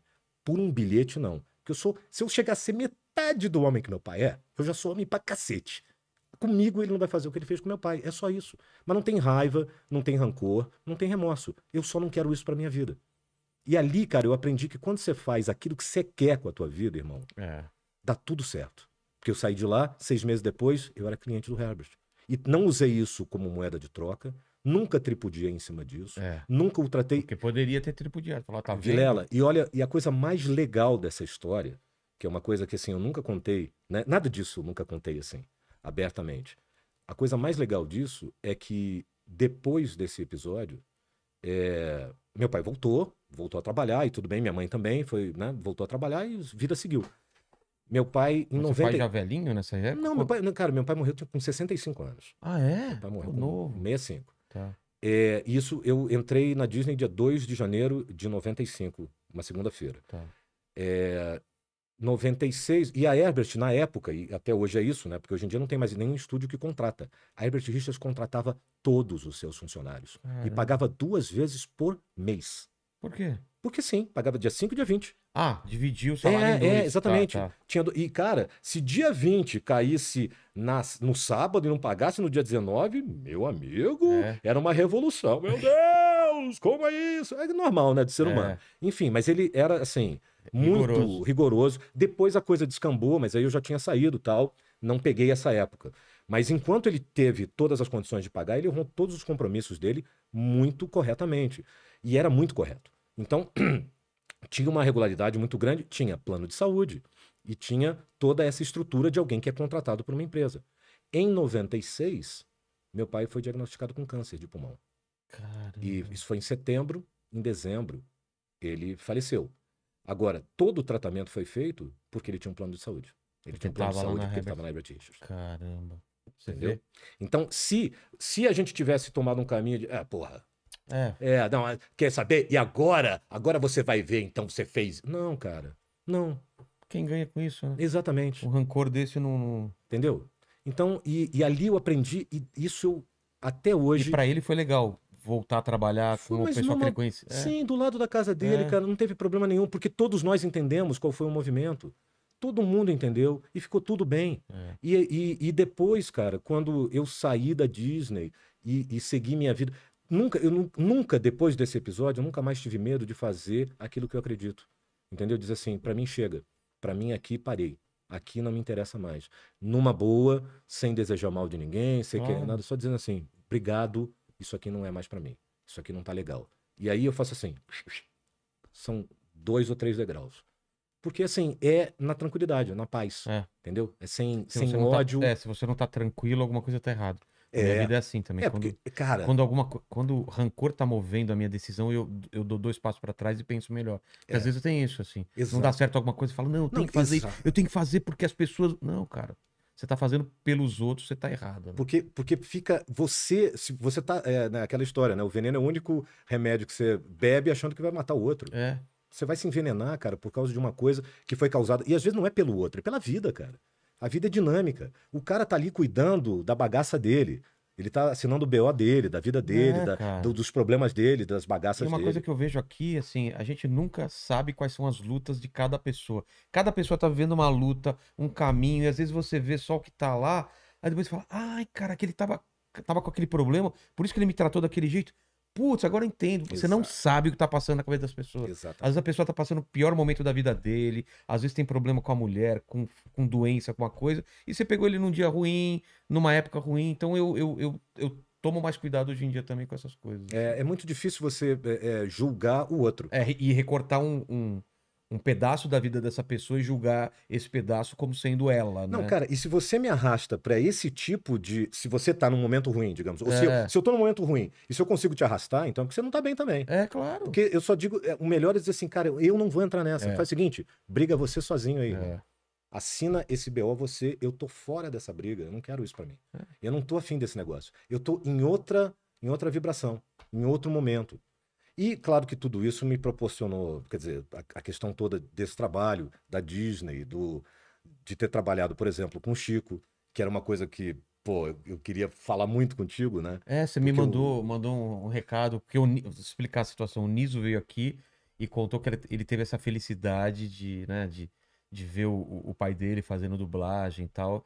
E aí você falou, cara, ele contou, mas eu tô, tava lá dentro, queria te contar, porque eu passei todos. E aí eu queria saber agora a sua versão. Depois vocês vão assistir essa parte, depois vocês vão lá no Niso e vejam o que ele falou do lado como filho, né? Sim, sim. É. Não, e na verdade, assim, o Nilson nem, nem falou nada demais, porque ele não Não, estava no estúdio. Ele fez o, também o, o projeto, que ele fez o É, cachorro, Exatamente. né? Mas ele não trabalhou com o Chico, porque todo mundo grava separado e tal, e foram dois processos diferentes. Mas qual, qual é o contexto, então? Então. O Chico tava em que época da vida dele, fazendo o quê? Então, é, bom, eu conheço o Niso há muito tempo, porque o Niso começou a dublar também muito cedo, e a gente sempre foi colega de, Trabalhou de junto. dublagem, a gente trabalhou junto muito tempo. Você dirigiu ele?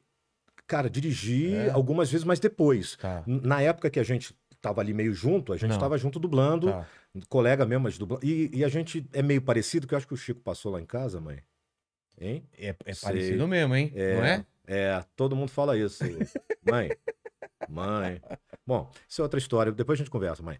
E, enfim, aí, nessa história toda da gente ter isso, e às vezes falava assim pra mim, ô Niso, ou às vezes falava pra mim, ô Júnior, sempre na dublagem É. acontecia essa coisa, de, de- sabe, de confundir mesmo o nome Sim. e tal. E eu sempre tive muito orgulho disso, cara, né?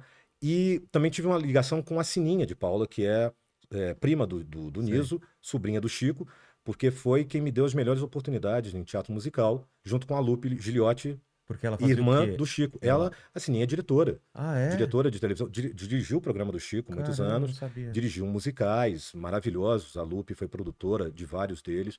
Então tive assim o prazer de trabalhar no Somos Irmãs, que foi um musical que foi premiado aqui em São Paulo, que era da, da vida das irmãs Linda e Dicinha Batista. Tá. E eu fazia todos os homens da vida da, da Dicinha e o Renato Rabelo, um querido amigo, colega, fazia todas as, todos os homens da vida da Linda Batista. E, e foi assim, ganhei muitas oportunidades. Então, assim, eu tenho um carinho muito grande pela família, né? Só que o Chico, eu conheci uma vez, porque a Sininha, eu fui fazer um negócio num programa do Chico, mas era assim, às vezes, quando ela não, precisava quebrar um galho, ela falou, Garcia, você vem aqui fazer um treco pra mim, na Globo, pra me quebrar um galho? Mas de locução? Não, não, não, como, como ator. ator, Mas tá. era, cara, nada. Era mesmo pra quebrar galho Tá. porque alguém faltou. E eu morava ali no recreio, era perto, tal, não sei o quê. E numa dessas eu fui E éramos quatro ali, só que eu era o único que ninguém conhecia, nem o Chico. E eu não vou chegar, olha, não, eu trabalho com seu filho, eu, eu trabalho na Disney. Eu, eu- eu não falei nada. Cheguei lá, claro que era uma mesa de pôquer, me colocaram de costas, porque eu era o único que ninguém sabia. Então, câmera aqui, câmera aqui, Sim. e eu de costas, né? E eu assim, cara, e tinha umas fichas de pôquer, né? Eu só lembro disso, que eu comecei a mexer nas fichas pra fazer alguma coisa, né? É. Aí come... eu não jogo pôquer, então não sei nada, eu tava tentando arrumar alguma coisa. Eu só lembro do Chico fazendo assim, né? Pegando minha mão e segurando assim, tipo, pra parar, porque tava vazando. Ah, tá, tá. Tava fazendo barulho, né? Então, assim, foi essa única vez que eu encontrei com o Chico num tempo anterior e nunca me manifestei sobre nada. Tinha muita ligação com a Sininha, ela me dirigiu várias vezes, me deu oportunidades maravilhosas, mas nada a ver, né? Falou, olha, Claro. conheço a sua sobrinha e papapá, né? Nada a ver. Beleza. Aí, um dia o Niso me manda uma dessa, cara. Falou, cara, é, você já pensou no- no meu pai para fazer alguma coisa de dublagem? Eu falei, não, porque, cara, teu pai, eu acho que É, tá. na minha cabeça, teu pai tá no Monte Olimpo e eu sou uma pulga. Eu, não, por isso. Mas por quê? Não, porque eu acho que ele ia curtir. Eu falei, ah, você tá de sacanagem, cara, jura? E, cara, foi exata. Só que tem aquilo, tem que ser isso e casar com a época certa. Com o projeto certo. o projeto certo, com É. o personagem certo. O Celton, por exemplo, que é maravilhoso, né? Tremendo de um ator, ator, cara. Puta cara. ator. E um puta de um dublador sabe fazer isso. É muito- mesmo? Pô. E a gente dublou muito, cara. A gente trabalhou muito junto e tal. E aí uma vez ele falou assim: é, pô, velho, quando eu chamei ele pra fazer a nova onda, ele falou, pô, não tava entendendo, chamando uma galera aí, não me chamando. Eu falei, velho, você vai entender quando você fizer por que, que eu esperei isso pra você. Porque tinha que ser isso, não É. podia ser menos do que isso. Então, eu dei a sorte de ser o Up. Eu tinha acabado de voltar da Pixar, de ver o Up ali em, em estágio inicial. E eu falei, cara, o senhor Fredrickson, Esse claro. velhinho é ele. Eu falei, aí eu falei, Niso, tá falando sério, cara? Teu pai vai topar esse negócio, você tem certeza? Velho, tô falando, vai fazer. Pô, ele tá querendo mesmo. Beleza. Marcamos tudo, tal, não sei o quê. Falei, fechou. Aí falei, Chico, então ele morava na Barra, eu moro no Recreio, é caminho. E o estúdio é na Tijuca, né? Barra da Tijuca, Tijuca, Recreio. Pô, falo, Chico, passo aí, porque eu já vou, a gente já vai conversando, já vou te explicando, mas te dando um briefing. Quando a gente chegar lá, a gente mete bala no trabalho, tudo bem? Não, tudo bem, meu filho, vamos lá, tal, não sei o quê, papapá. Peguei ele em casa, pum, fomos. Dei um briefing, um, né, um breve briefing. A gente foi, cara, falando da vida. Foram os dois dias, um dos dois dias mais interessantes da minha vida, Vilela. É. Porque que cara.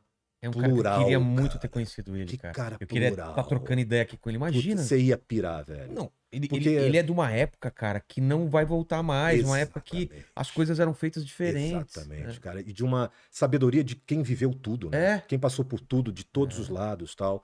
E, e foi magnífico, né? Assim, a gente, em, em 40 minutos de viagem, cara, a gente fez uma conexão muito forte e uma parceria muito forte, mas pessoal. Profissional é outra É coisa outra coisa. né? Chegamos no estúdio, tal, entramos, tal, para trabalhar.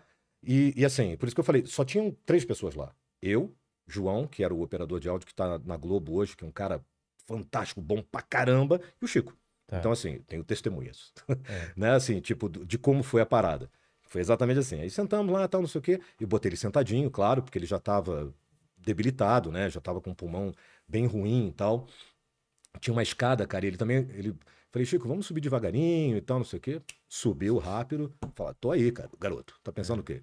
Chegou lá em cima tal, botei ele sentadinho tal. Eu também dublo sentado. É? Muitas vezes. É, porque isso é um trabalho muito grande, cara. Ah, ficar de pé. Ah, é. cara, começa a cansar, você não tem posição, você começa a errar, você não sabe por quê. Mas é que você já não tem mais posição, sabe? Você fica meio. "Hum, Mas interfere muito de estar em pé ou, ou- ou Então, cara, sentado na, eu- na, na impostação da voz? Não, Não, não. né? Pra quem é profissional, cara, o Chi- o Chico é um mestre da voz, né? É. Assim, não, e claro, como não interferiu. E, e realmente não dava pra ele, naquele momento, fazer nada, ficar horas em pé, cara. É. Era um trabalho de seis horas. Eu tinha calculado horas? dez, né, no total. Tá. Um dia de seis e outro dia de uns quatro horas no dia seguinte a gente ter- terminaria. Foi exatamente assim que aconteceu. Mas beleza, mas o começo do trabalho foi meio tenso. Não por mim, porque eu, assim, eu tô ali para fazer meu trabalho e para mim respeito qualquer profissional que esteja ali no mesmo diapasão, entendeu? Quer dizer, Independente da, não, da fama porque senão, da- senão eu piro, cara. É. Se eu, come- se eu nem, nem entro, eu falo, seu Chico, eu vou embora pra casa. Na, na, na- na terceira encarnação eu volto aqui pra gente conversar, É. entendeu? Eu vou tentar voltar daqui três encarnações. Então não tem isso. Eu tô ali pra fazer um negócio que eu sei, e eu sei como é que faz, e eu vou direcionar aquela pessoa que nunca fez a fazer Para ela ter o melhor trabalho dela. É isso também, aí. é. E, e começamos assim, tudo bem. Só que tem uma coisa, que é uma coisa que acontece muito na dublagem, com dubladores experientes de todas as épocas, que é o seguinte: a gente fica com um fone com inglês aqui, pra te dar um guia. Tá. É como se fosse um metrônomo pra gente, né? Então você tá Enquanto você ensaiando. fala, você tá fala, você escutando? tá escutando. Mas não dá uma pirada? Claro que dá. Então. E aí, é, mas aí então. Tem que fazer assim? Não, não tem. Mas sem, sem isso é pior. Ah, é, você vai né? demorar mais. Você não tem um timing, é. entendeu? De pausa, pá, pá, pausa, pá, pá, pá, pausa. Só que também isso tem as inflexões que são completamente diferentes. E o grande problema, a grande dificuldade da dublagem, cara, é você ouvir um track fazer outro. É você ouvir o cara falando, Hey John, e falar, Oi John. Oi John. Em vez de falar, Hey John, Oi John, É. Oi John. Se você. Olá, não, John. se você não se. É por isso que, atenção- muito bem, rapazes. Ora, se não é o velho texugo do Iowa. É? Isso- É. Essas brincadeiras são feitas exatamente porque quando você está com o inglês no ouvido, você começa a fazer esse tipo de coisa. E aí não dá, porque você está entrando na coisa da cantilena do inglês, entende? E aí eu percebi que então eu, eu, ia percebi morrer. que eu ia morrer, entendeu? E é natural, e é normal Cara, é acontecer. por causa disso, então. Claro, porque você está com o inglês aqui, cara, como um guia também, pra você não ficar louco, É. você não ficar completamente perdido. Ele é pra cima sempre? É, tipo, come on, John. Come on, John. John. E você não vai falar, vamos, John. É. Só, Vamos, John. Era- que é isso que né, o Fucker and Sucker faziam. É. Vamos, rapaz. Que é exatamente que o próprio Chico fazia no, no do Bruce Kane. É mesmo, Ele cara. fazia essa brincadeira com a Ei, dublagem. aquele, aquele bigodão, Ei, né? você é, não sei o que, vá. Entendeu? Que é normal exatamente porque a gente cai nessa armadilha, todo mundo. Eu já caí, todo mundo já caiu. Muito perigoso, né? Só que como eu tô de fora exatamente para proteger e dar a segurança para o ator ali, eu tô percebendo isso. Então, era uma coisa assim, come on, Russell. E aí ele, né, vamos embora, Russell. Aí, cara, veja bem, é o Chico, nunca trabalhou comigo tal, porque quando eu tenho intimidade, eu falo, velho, subiu a inflexão, ó, cantilena do inglês, o cara já entendeu, Já entendeu já é foi. E, assim, eu tenho muito cuidado, eu, eu não sei onde eu vou pisar com o cara. É aquela história, eu preciso direcionar a pessoa para ela se sentir confortável. É uma dança, né? Total. Falei, não, aí abriu não o pode pisar no pé logo no de Não, cara. nunca, É. nunca. Nem de cara, nem no final, cara. É, né? Se eu tô ali pra pisar no pé, eu não tô. É, você então, tem que conduzir. é, é amor, cara. É carinho, é, é pegar no colo e falar, cara, deixa eu te levar pra gente, pra você ser foda. Seja quem for. É isso. Essa é a dança. Abri o talkback, mas eu preciso falar. Abri o talkback e falei, Chico, ó, por causa do inglês, isso acontece pra caramba comigo também, com todo mundo. Tem aquela coisa da subida da inflexão do inglês. Desce ela pra mim, por favor. Silêncio. Então, eu tirei o talkback, silêncio. Voltou. Vamos embora, Russell. Aí abri de novo. Falei, Chico, é, é que aquela coisa do inglês mesmo, sabe? Aquela coisa que vai pra cima por causa do come on, Russell. E aí a inflexãozinha tá indo pra cima. E a gente precisava descer. É, vamos tentar mais uma vez, por favor. Vamos embora, Russell. Aí eu abri de novo. E assim, não falou mais nada, entendeu? Ele não Ah, virou, tá. não, não perguntou, não contra-argumentou. É. Não, sentado estava, sentado ficou, né? Olhando pra frente, eh, assim, de lado, né? O aquário aqui, ele olhando pra lá, o monitor lá, Tá. eu aqui, o João aqui. Aí, quinta vez. Vamos tentar de novo. Fez de novo igual. Aí eu falei, ok. Porque aí eu pensei, já sei o que eu faço. Tudo bem. E passei em frente. Tá. Porque não ia ficar assim. Mas eu sei o que eu faço pra resolver depois. Ah, tá. Depois você vai me explicar o que você fez. Tá, Tá, posso tá te bom. explicar. Tá. Eu fiquei na curi... Ficou na curiosidade agora, É, né? mas eu te explico fora do ar. Ah, é? É. Por que não Porque- pode explicar agora? lugar. Não, tô de brincadeira. Ah, tá, te tá depois. bom, tá Não, bom. Eu te explico depois.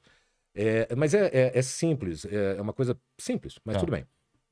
Falei, tudo bem, já resolvi, vou, não vai ficar sem, ou seja, ele não vai ficar vendido. Tá. É isso que eu quero, que ele não fique vendido. Aí beleza, falei, ó, Mas você acha que ele não tava conseguindo ou não tava querendo fazer diferente? então, você será o juiz. Tá bom. Eu tá vou bom. contar a história. Aí você, você vê, Tá. você- a gente vai chegar lá. Ah, você não, você vai entender perfeitamente. Aí eu falei, ó, loop 72, passamos pro outro, né? Tá. Assim, E só uma dúvida, vocês vão na ordem do filme mesmo ou não? É, porque quando é sozinho e o cara é o principal, não tem por que eu ficar, Tá. né? É só ele. Então até é bom porque ele vai num crescendo da Entendi. história. Às vezes eu nem conto o final, porque é uma coisa que você chega e Ah. tem uma emoção verdadeira numa certa cena. Tá. Então é legal, dependendo de quem seja o que seja, é aquilo, né? Tá. E era na ordem. Tipo, vamos, não era no 78, porque isso foi logo no início. Tipo, Vamos pro loop 6. Tá. Logo no logo seguinte. Aí, falei o loop. Ele, antes de mexer no script pra chegar lá, falou: vou te contar uma história. Uma menina muito bonita, que apresentava o Fantástico de vez em quando, que eu fazia também. Muito bonita. Tô lembrando o nome dela agora. Não sei, cara, me veio à cabeça na hora o nome. Falei, Lúcia Veríssimo. Falou, isso, ela mesmo. Ela tinha que dizer assim, e agora, direto do Madison Square Garden, Frank Sinatra. Aí o diretor falou assim, valoriza o e agora? Ela valorizou. Não, agora valoriza o Madison. Ela valorizou. Não, não, não, pensando bem, valoriza o com vocês. Ela foi e fez. Não, não, se, se- não, o, o Square Garden. Não, não, não, o Frank Sinatra. E ela fez aquilo várias vezes. Aí, lá pra milésima vez, ele falou: Ah, agora sim. E eu falei: Agora sim, você não sabe de mais nada que você já fez ela repetir isso 65 vezes. Climão. Não, aí eu falei: Pô, legal a história, Chico, mas deixa eu te falar. Se você está fazendo uma ligação com o que aconteceu aqui anteriormente, eu não pedi 65 vezes e eu não pedi para você valorizar nada em lugar nenhum diferente do que é o seguinte. Eu vou te explicar o que, que é. É que por causa do inglês, você está fazendo vamos embora, Russell. Come on, Russell. E em português a gente faz vamos embora, Russell. Vamos embora, Russell. Vamos embora, Russell. Essas são as inflexões Na mais cabíveis língua, na né? nossa língua. E você, por causa do inglês, você está indo para outra. Mas foi só isso e eu só te pedi cinco vezes. Mas tudo bem. Tirei o dedo do talkback. E falei, agora ele vai me mandar para a casa da mamãe. É. E eu vou para casa da mamãe e acabou o filme. E- mas tudo bem, porque eu também não, não adianta o cara estar ali Não- triste, Não tá entendeu? curtindo. Infeliz ou, É. ou ah, cara, o que, que você tá falando aí, seu, sua besta, seu moleque, É. sei lá, entendeu? Qualquer coisa. Tudo bem. E tudo bem. Tá tudo certo. Não. Silêncio. E, cara, eu falei. Hum... tá. Então, Aí, mas assim, mas eu pensei, bom, agora ou ele vai me mandar pra merda, ou ele vai chegar e falar assim, vamos refazer lá. Nem uma coisa nem outra. Silêncio. Aí, continuamos, seguimos. E, não, e veja bem, aí, aí, aí seguiu, tava tudo ok, ok de novo, papapá, papapá. acertando. Acertando Tá. e tal. Não, e assim, né? Uma coisa, outra aqui e tal, sem ser essa questão. Lá pra frente aconteceu de novo. Só que aí era uma pergunta. É, tipo, Inflexão pra cima. You wanna go there? E aí, você quer ir lá? Eu falei, aí eu abri o talkback e falei a mesma coisa. Eu falei, Chico, então, ó, a mesma coisa que aconteceu lá, o Come on, Russell, tá acontecendo agora nessa pergunta. Ele falou, não. Eu falei, como não? Não, porque eu pergunto assim. Eu falei, então me faz uma pergunta. Que horas são? Eu falei, pois é, você falou, que horas são? Você não falou, que horas são? Então, se você não fala, que horas são? Não fala, você vai até lá. Você fala, você vai até lá? É. Simples assim. Ele. É, você tem razão. Eu falei, ai, senhor. Tudo bem, agora a gente entrou. é, Tudo bem, agora ele. Porque eu queria que ele respondesse alguma coisa. Eu queria É, que ele ele- mandasse a merda. Entendeu? Eu queria que ele uma porrada na cara. Você é um moleque. Na Com a cara. voz do aban... Exatamente. A zambuja. Porque assim, a é, né? Tipo isso. Mas assim, cara, aquilo tava claro pra mim que ele tava dizendo assim: caguei pra você. É. Entendeu? E assim, eu falei, não, você não. Assim, cara, eu vou dançar rumba aqui, vestido de Carmen Miranda, mas você não vai, cara. Entendeu? Assim, a gente vai junto. É. A gente, eu, eu Tô vou de mão dada é. com, contigo. A gente vai junto nessa bagaça, porque tu é bom pra caceta, eu sou teu fã pra caramba, e eu não vou ficar aqui sem você. E você vai ficar comigo e eu vou ficar contigo. E dali foi, cara. E aí depois, Vilela, que no final do dia que eu entendi mais ainda. Porque quando a gente acabou, Sim. a gente desceu tal. Ele falou, pois é, garoto, então você vê aí depois o que, que tem pra refazer e tal. Eu falei, do que, Chico? Não, do que a gente fez hoje. Eu falei, eu não trabalho assim. Ué, mas não tem nada pra refazer? Não vai ter nada? Não. Mas você tem certeza? Eu falei, tenho, claro. Não, mas a gente tá mais da metade do filme, eu te perguntei. Eu falei, sim. É. Pô, então amanhã tem menos coisa pra fazer do que hoje? Falei, "É." Não, você tá brincando. Eu falei, não tô brincando, Chico, tô falando sério, cara. Não tem mais nada pra fazer. O que a gente fez, valeu. Por isso que era. eu, entendeu? É pra assim, eu não vou agora pra casa ficar. Você acha que eu vou sentar, tomar um uísque e ficar ouvindo? Falando, não, acho que agora, essa aqui. eu-" Não tem isso, não, Chico. Valeu, cara. Tá tudo certo. Aí, cara. Mudou. Aí fez assim, "Jó", mudou. Porque. Ele achou que era tipo. É, tipo, entendeu? Eu estava ali, É. ia fumar um charuto agora, um cubano, ia pensar com o meu uísque o que seria melhor. E falei, ô Francisco Anísio, sente aqui que eu vou te ensinar o sentido da vida, da interpretação. Não, não é, É, é isso. papo, Isso são é. coisas pontuais, Pontuais, da é. dublagem, das armadilhas, que eu não quero que você caia, porque você é um monstro sagrado pra mim, cara. E não vou, não vou deixar você cair nessa armadilha. É só isso. E aí, velho, a gente foi conversando da vida, ele me contando um monte de coisa, a gente rindo, tal, não sei o quê. No dia seguinte, e aí chegou na porta da casa dele e falou: "Garoto, olha só, hein? Se precisar fazer qualquer coisa, aí aquele profi- aí o profissional inteiro, né? Ó, o que precisar, se precisar passar a noite inteira lá fazendo negócio, eu falei: "Não, não, Cara, eu já entendi". Porque aí o cara comprou. Eu falei, cara, é. Era isso que eu queria. Que o cara comprasse o negócio. E aí ele tava dentro comigo. E aí eu falei, Chico, tudo bem, brigadão, mas pode ter certeza que não. Ok, voltamos no dia seguinte, trabalhamos, terminamos cedo, voltamos, e aí no caminho, cara.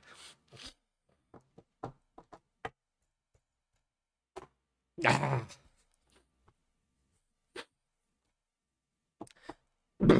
É. É.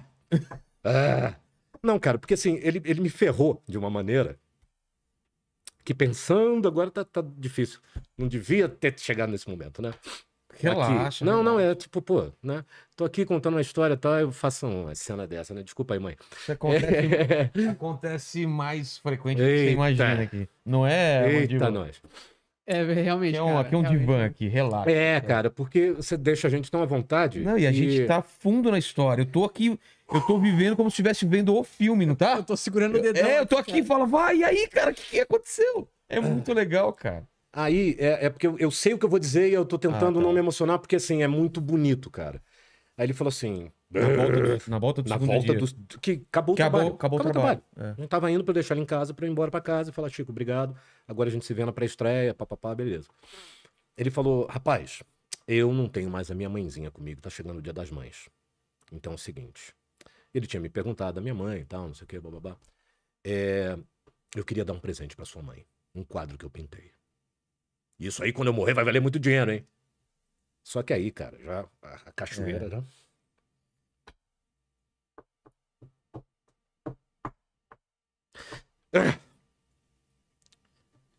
E eu falei, tá, claro. Ele falou, então você vai subir comigo, tal, não sei o quê. Porque eu pensei, né, pô, deixa lá na portaria, eu pego. É. Não, não, sobe comigo. Subi no apartamento dele. É, Aí eu falei assim, só que não, Chico, assim eu não quero. Eu vou te dizer como é que eu quero. Você vai ligar pra minha mãe. Você, já que você é quem tá dando o quadro, eu queria que você desse o quadro pra minha mãe. Falou, claro. Aí liguei pra minha mãe, passei, como é o nome dela? Dolores. Dona Dolores. Chico Anísio. Porra, cara. Imagina. E aí ele falou uns negócios lá que não interessa agora. E, né, de mim e Sim. tal, e papapá, que só eu e minha mãe sabemos. E, e aí, cara, ela, ele deu esse quadro pra ela. Eu peguei o quadro, botei debaixo do braço, desci. E aí minha mãe, cara, me ligou. quadro que ele pintou. Que ele pintou, Que maravilha. que está no quarto da casa da minha mãe. No quarto da minha mãe. Lá, penduradinho, lindo, e estará lá para o resto da, da vida dela e da minha. Porque isso não vai ser vendido por preço nenhum, em momento nenhum, nem da, nem da vida dela, nem da minha. E aí, é, ela falou assim: Júnior, eu a vida inteira queria ligar para o Niso para pedir para ele falar com o pai, para ele me vender um quadro. Mas eu achei que o Niso, sendo a pessoa maravilhosa que é, ia falar com o pai e aí ia pedir o quadro e eu não ia poder pagar e eu ia ficar muito sem graça e por Ah. isso que eu nunca pedi. Então, ele me deu o maior presente que eu podia esperar que, que ele me desse. Caramba. E o Niso deu a, a, a gatinha do meu pai e da minha mãe, cara. Uma siamesa que eu chamei de Tila. Eu dei o nome de Tila. E que, assim, você vê essas coisas, né, loucas, né? Ela morreu, cara, dez dias depois do meu pai. Caramba. Meu pai morreu, que ela, ela dormia assim, na barriga dele, sabe? Meu pai, depois do almoço, dava uma cochilada no sofá. Aí ela vinha, deitava aqui na barriga dele, cara, e dormia junto com ele na barriga. Dez dias depois da morte do meu pai, a gata foi embora também, cara. E minha mãe, assim, segurou uma pedra, a morte do meu pai, né? Segurou a onda, assim, Firme. firme. Eu também, na verdade, porque a gente teve que resolver um monte de coisa e tal. Então, né, não é hora. Você tem que resolver problemas, né? Então não é hora de ser desabar e nem nada. É, aí quando a gata morreu, cara, ela me ligou. Acabada, cara. A tia morreu. Então, eu nunca vi minha mãe assim. Eu falei, caramba, cara. É, caiu junto tudo Caiu, que é, tava Tava ali. guardado. É. Exatamente. Ela diz que não, porque minha mãe é corona. minha mãe é o Chuck Norris das mães. Ah, é? Minha mãe é Chuck Norris das mães, cara. Minha mãe é Chuck Norris. Mas não, ela diz que não. Mas tudo bem, pode ser que não mesmo. Ela diz que sentiu mais a morte da gata. Não. oh, claro. Mas tudo bem. E assim, e assim foi, cara. Então, Que cara, maravilhoso, cara. foi, foi, foi muito bonito, cara. É, esse cara me proporcionou, dois dias com ele, me proporcionou um- uma vida de coisas legais e importantes. É. Outro cara que me deu esse presente foi o Zé Rodrigues, cara.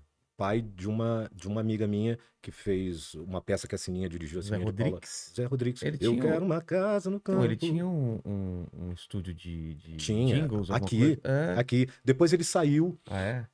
É, eu gravei algumas vezes, inclusive, para o estúdio dele, já com ele, já quando ele não estava mais como sócio, né? E eu, casualmente, no Baixo Leblon, cara, eu fui ver uma peça com o Rabelo, esse meu outro amigo, e a gente baixou lá no baixo e tinha um outro elenco de uma outra peça. E ele tava lá, porque ele tinha ido assistir outra peça e eu casualmente sentei do lado dele, cara.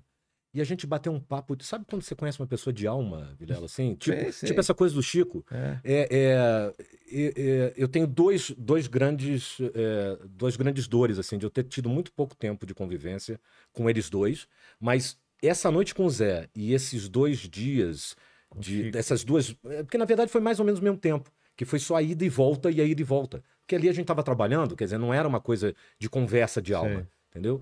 Mas a conversa com o Zé e a conversa com, com o Chico, cara, me deu tanta coisa boa, cara, que eles nunca vão poder imaginar. Então eu sou profundamente grato ao Niso, que fez essa ponte, É. que abriu essa porta pra mim, e sou profundamente grato à família por tudo que me proporcionou, entendeu? E não sei mais alguma coisa, né, é- mãe? Porque a gente é parecido, né? Eu não sei essa loucura que é como esses encontros aí, eles, eles são capazes de mudar a vida da pessoa e às vezes são encontros é que você falou, é o, às vezes basta uma hora, às vezes bastam duas horas para mudar a sua vida de uma maneira que a outra pessoa não faz, não, faz, não faz pro bem e para mal, né? Às vezes é, um, é uma coisa ruim também que muda a sua vida também que você pensa de outra forma. Caramba, que história foda isso daí do, do Up e, e- e o pessoal pode ver isso para sempre, né? E, Tá eternizado esse trabalho do, do, do Chico e Anísio, na cara. pré-estreia eu não tive coragem de falar com ele, cara. Por quê? Porque eu era o momento dele. Ah, tá. Então, eu fiquei assistindo em pé do lado de fora do cinema, encostado ali do lado de fora, em pé. E aí eu falei assim, cara, eu vou dar um abraço nele quando ele sair, quando acabar tudo isso. Aí ele foi e saiu por trás. E eu fiquei esperando ele na saída da Sei. frente. E aí ele não saiu e a gente. E depois eu só fui encontrar com ele no hospital, já quando ele já Tá. estava hospitalizado e tal. Fui lá, encontrei com. Tava o Rico, né? Que é o, é o outro irmão do, do, do Niso. O Niso, evidentemente. Tive uma conversa com ele ainda, né? Segurando a mão, que era uma Lúcido coisa meio. para ele não, não falar muito, né? Era É. tudo no aperto de mão e tal. E, pô, cara, assim, é, eu sou muito grato a, a esses momentos, cara. Caramba, cara.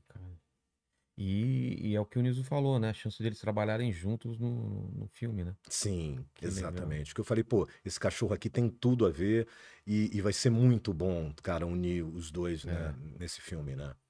Porque é isso, é um encontro de alma, de ter a possibilidade de fazer um trabalho que o Niso dominava e domina profundamente, né? E o pai dele tá junto ali. E eu não sei se o Niso lembra disso, mas porque aí talvez venha o que ele falou, que assim, eu acho que ele falou, ah, eles tinham uma forma meio estranha de se gostar e não sei o quê. É, Mas é porque ele, eu não sei se ele lembra disso, mas eu lembro bem que ele falou, cara, você não tá entendendo. Ninguém dirige meu pai.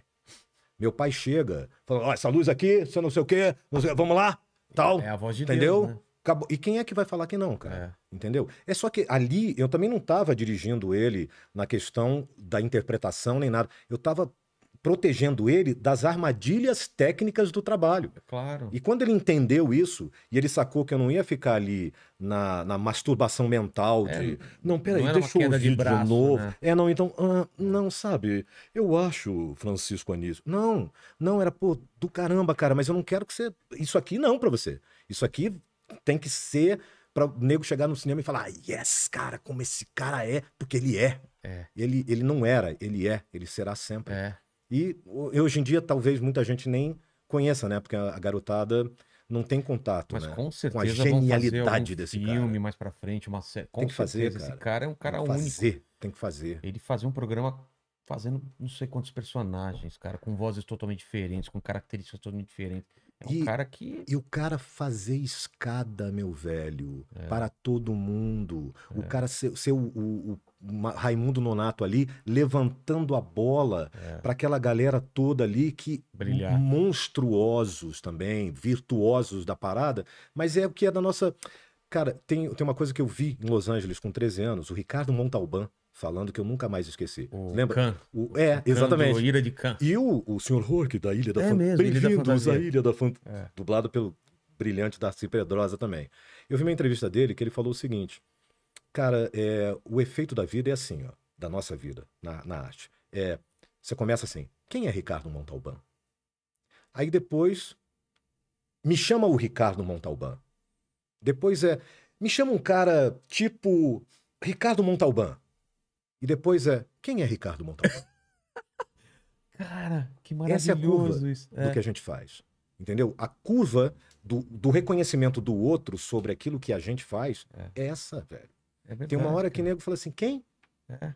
Hã? E é normal. É é- normal. Um sai para outro vir, Ex- e esse é o exatamente. ciclo natural. né? Exato. E aí, as pessoas que são ligadas realmente, que têm uma alma, que têm uma sensibilidade maior, são essas que vão buscar ali nas referências É. outras coisas para se alimentar e se alimentam muito mais. Claro. Porque quem bebe numa fonte de um Chico Anísio, cara, quem bebe numa fonte musical de um Zé Rodrigues, cara, esses caras se eternizam.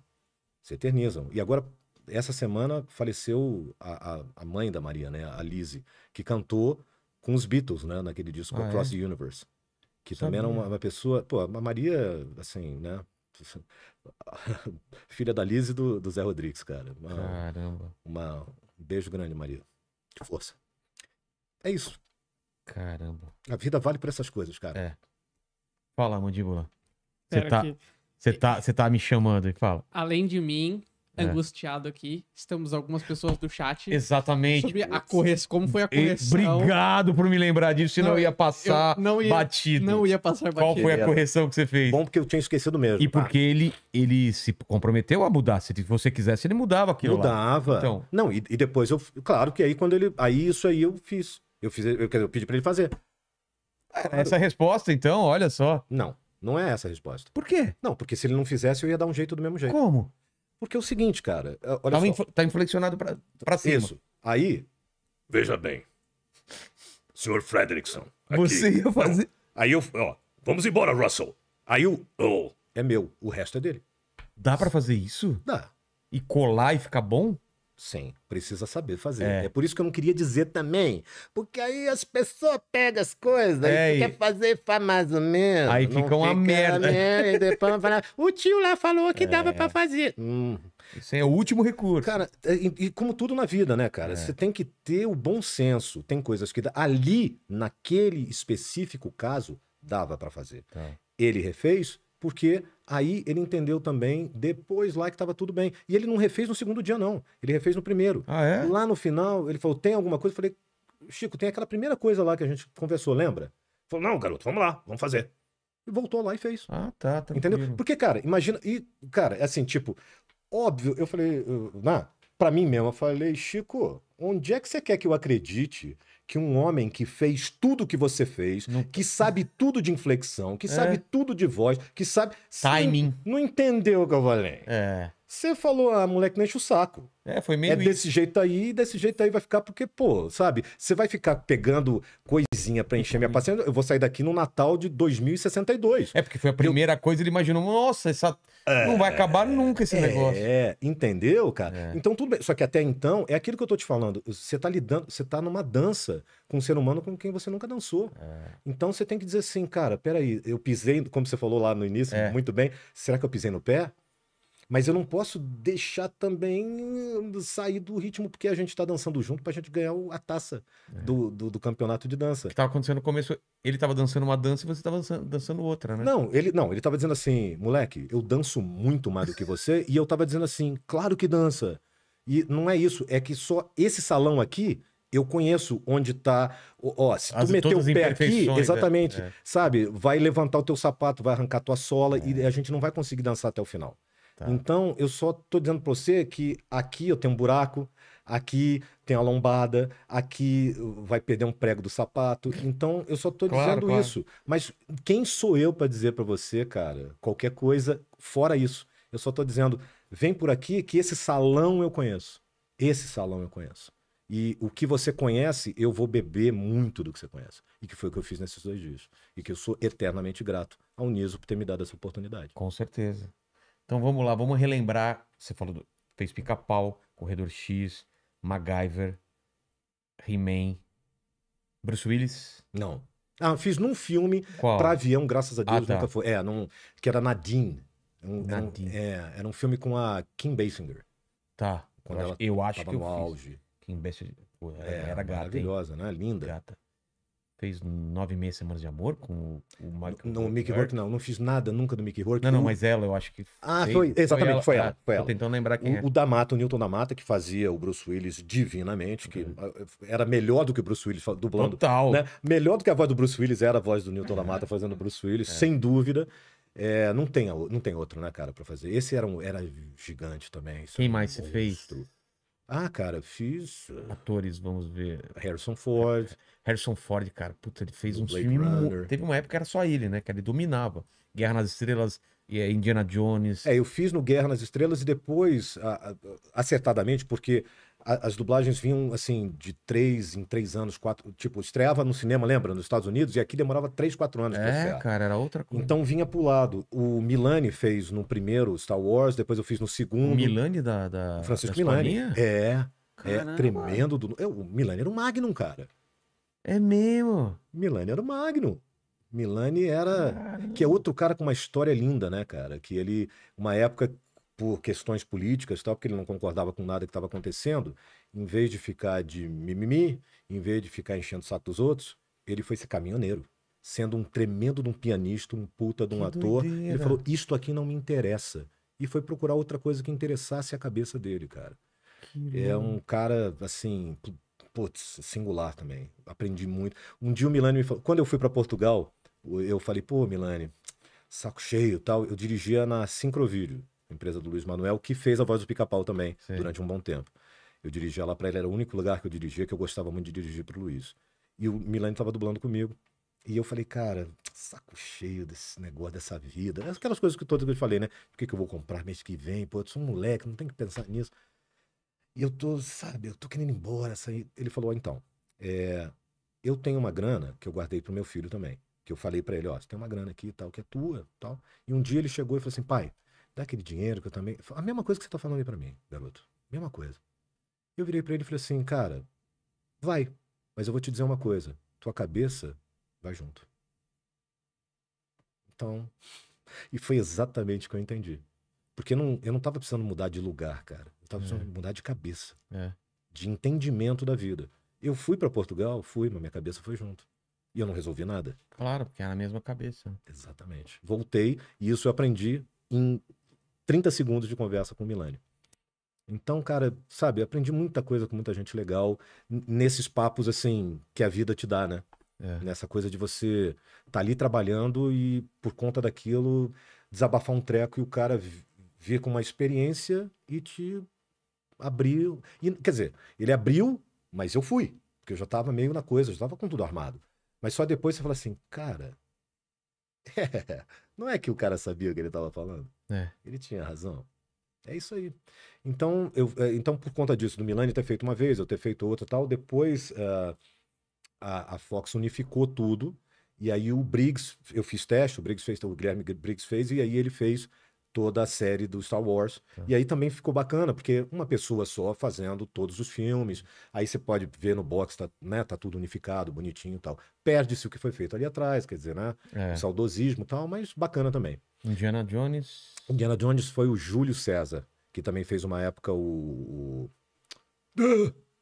o Homer Simpson. Ah, o Homer Simpson. Homer Simpson, ele substituiu o Valdir Santana, também já falecido, os dois são, já são falecidos, né? O Valdir e o, e o Julinho. Mel Gibson. Mel Gibson, Júlio Chaves. Não, eu também nunca fiz o, o Mel Gibson. Foi o Júlio Chaves que fez, a grande também falecido há pouco tempo. Quem A tá falando de cancelamento gente, também é cara. outro que foi cancelado, né? O Mel Gibson. Demais, cara. Mas, assim, é, é, é complicado. A gente, cara, é complicado, né? É, eu, eu tava dizendo isso hoje, inclusive. Tem um, um ditado muito bom e um pensamento muito bom que é o seguinte: você não precisa ser fã do ganso pelo patê de fígado que ele te dá. Consuma o fígado dele, É. cara. E assim, se o cara é genial no trabalho, Eu o cara é genial no também. trabalho. Hum, Quem tá se prejudicando é chamar- você, né? Não vou ah, eu não vou ler essa obra aqui porque, cara, Ex- você que tá se. Exatamente. E se você tiver absolutamente isento de qualquer preconceito, já que o problema, eu acho que hoje tão discutido é o preconceito, É. por que ter preconceito de alguma coisa? Eu não tenho. Quer dizer, claro que eu tenho todos os preconceitos, todo mundo tem. É. A grande mentira. A gente tem um pré, a gente preconcebe ideias, histórias, fatos, ah, religiões, razões, conceitos. Isso não tem como não fazer. Porque é isso, né? A gente olha para o outro e a gente julga a partir da nossa experiência. Agora, fazer disso a verdade absoluta, isso é que é, é- não é perda de tempo, mas eu acho que é você jogar fora uma grande oportunidade de ver pelo, pela ótica do outro e dizer assim: discordo totalmente, mas não é minha vida. É. Eu não tenho que viver a sua vida, cara. Então, o que você faz com ela, o que você pensa dela, o que você. Você só não pode fazer o seguinte: invadir a minha. E é aí é que tá o problema. Mas não invadindo o meu campinho, eu quero que você diga o que você pensa. Eu quero saber como você se comporta na vida, porque aí eu tenho o direito de querer consumir o seu fígado como pessoa ou não. E assim, eu tenho o direito de falar assim, tá, pô, o Vilela, cara, adoro ver o Vilela no palco. Cara, que cara foda. Mas eu não quero tomar um chopp com o Vilela. Agora, se o Vilela é aquele cara dissimulado que fala, vamos ver a cartilha que está rezando hoje no mundo É. E globalizado e palavras moderno. certas. Cara, eu não quero isso pra mim, eu quero saber quem você é, de verdade. Porque você fala assim, e, por- e eu quero que as pessoas saibam que eu sou de verdade, porque assim, velho, me liga e, e me esquece, me mira e me erra, não me chama.